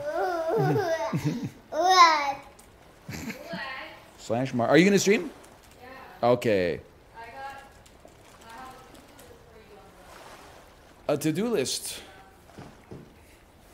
Don't scratch me. I got my own to-do list, but I guess I'll put this one on top of it.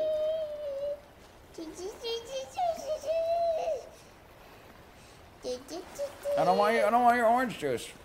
I'm doing it. Mmm, it's so yummy.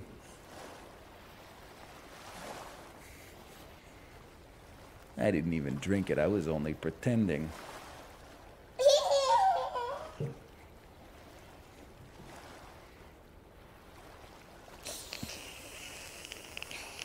Hmm. She fell for it again. Rusted. You say busted? No, rusted. Rusted? Rusted.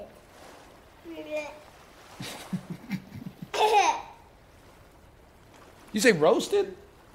no, boasted. Boasted? what is boast? You're the one who said it.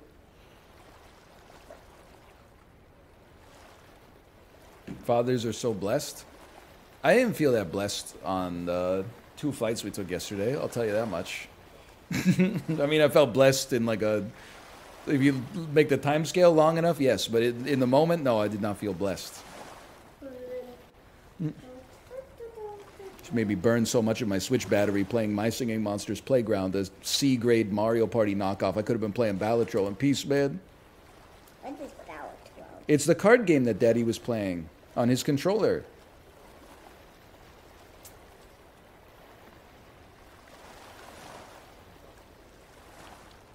Do you have anything to say about that? Uh, hmm. Sad. Sad.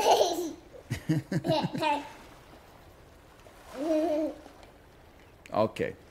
Please let me know when my wife is live. I will send her over, send the chat over to her, and I will eat my lunch and do this to-do list. Do this to-do list. no. Do this to-do list. No. 35-year-old man playing video games on the airplane. What am I? What am I supposed to do, bro? Read the newspaper? Papa, they're not exactly selling the New York Times and the Hudson News, bro. It's all like you know Esquire magazine. 17 different ways to buckle your belt. Snack? Now we're talking. Snack.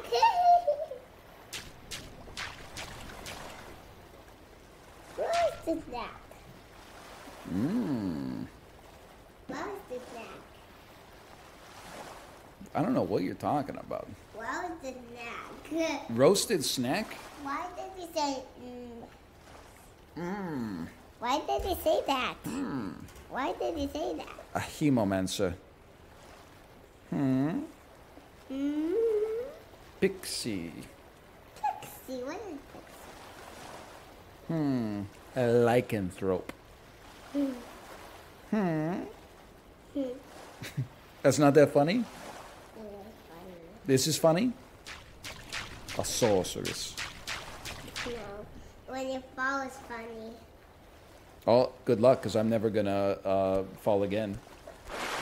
Look at how fast I'm climbing. I'll never fall again. Whoa! No!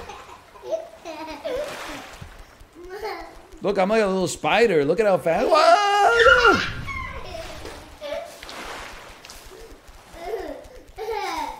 Where am I going? Where am I going? Where am I going? Okay, go, go, go, go, go. Oh. Oh. Oh. Oh.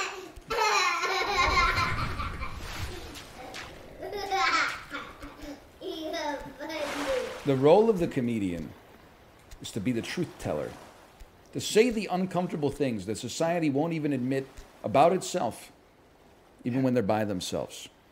And in doing so, revealing uncomfortable truths about the human condition. Oh no, I fell! Oh, oh, whoa, whoa, whoa, whoa, whoa, whoa, whoa, whoa! Spider, spider, spider, spider, spider, spider. Woo!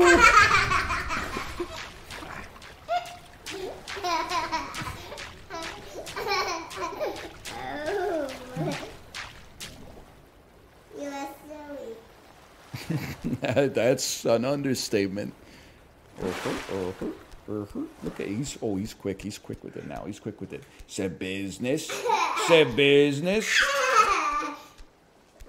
I better not fall now. Is a long fall. It's a long fall. Oh oh oh oh oh. oh, da, da, da, da.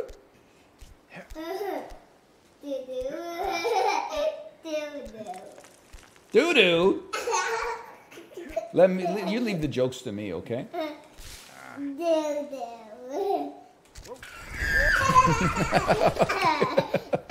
Okay, okay. Let's send chat over to Mommy, I'll see you tomorrow. As they say, bye. Baba. Bye. Will you play with me? Of course.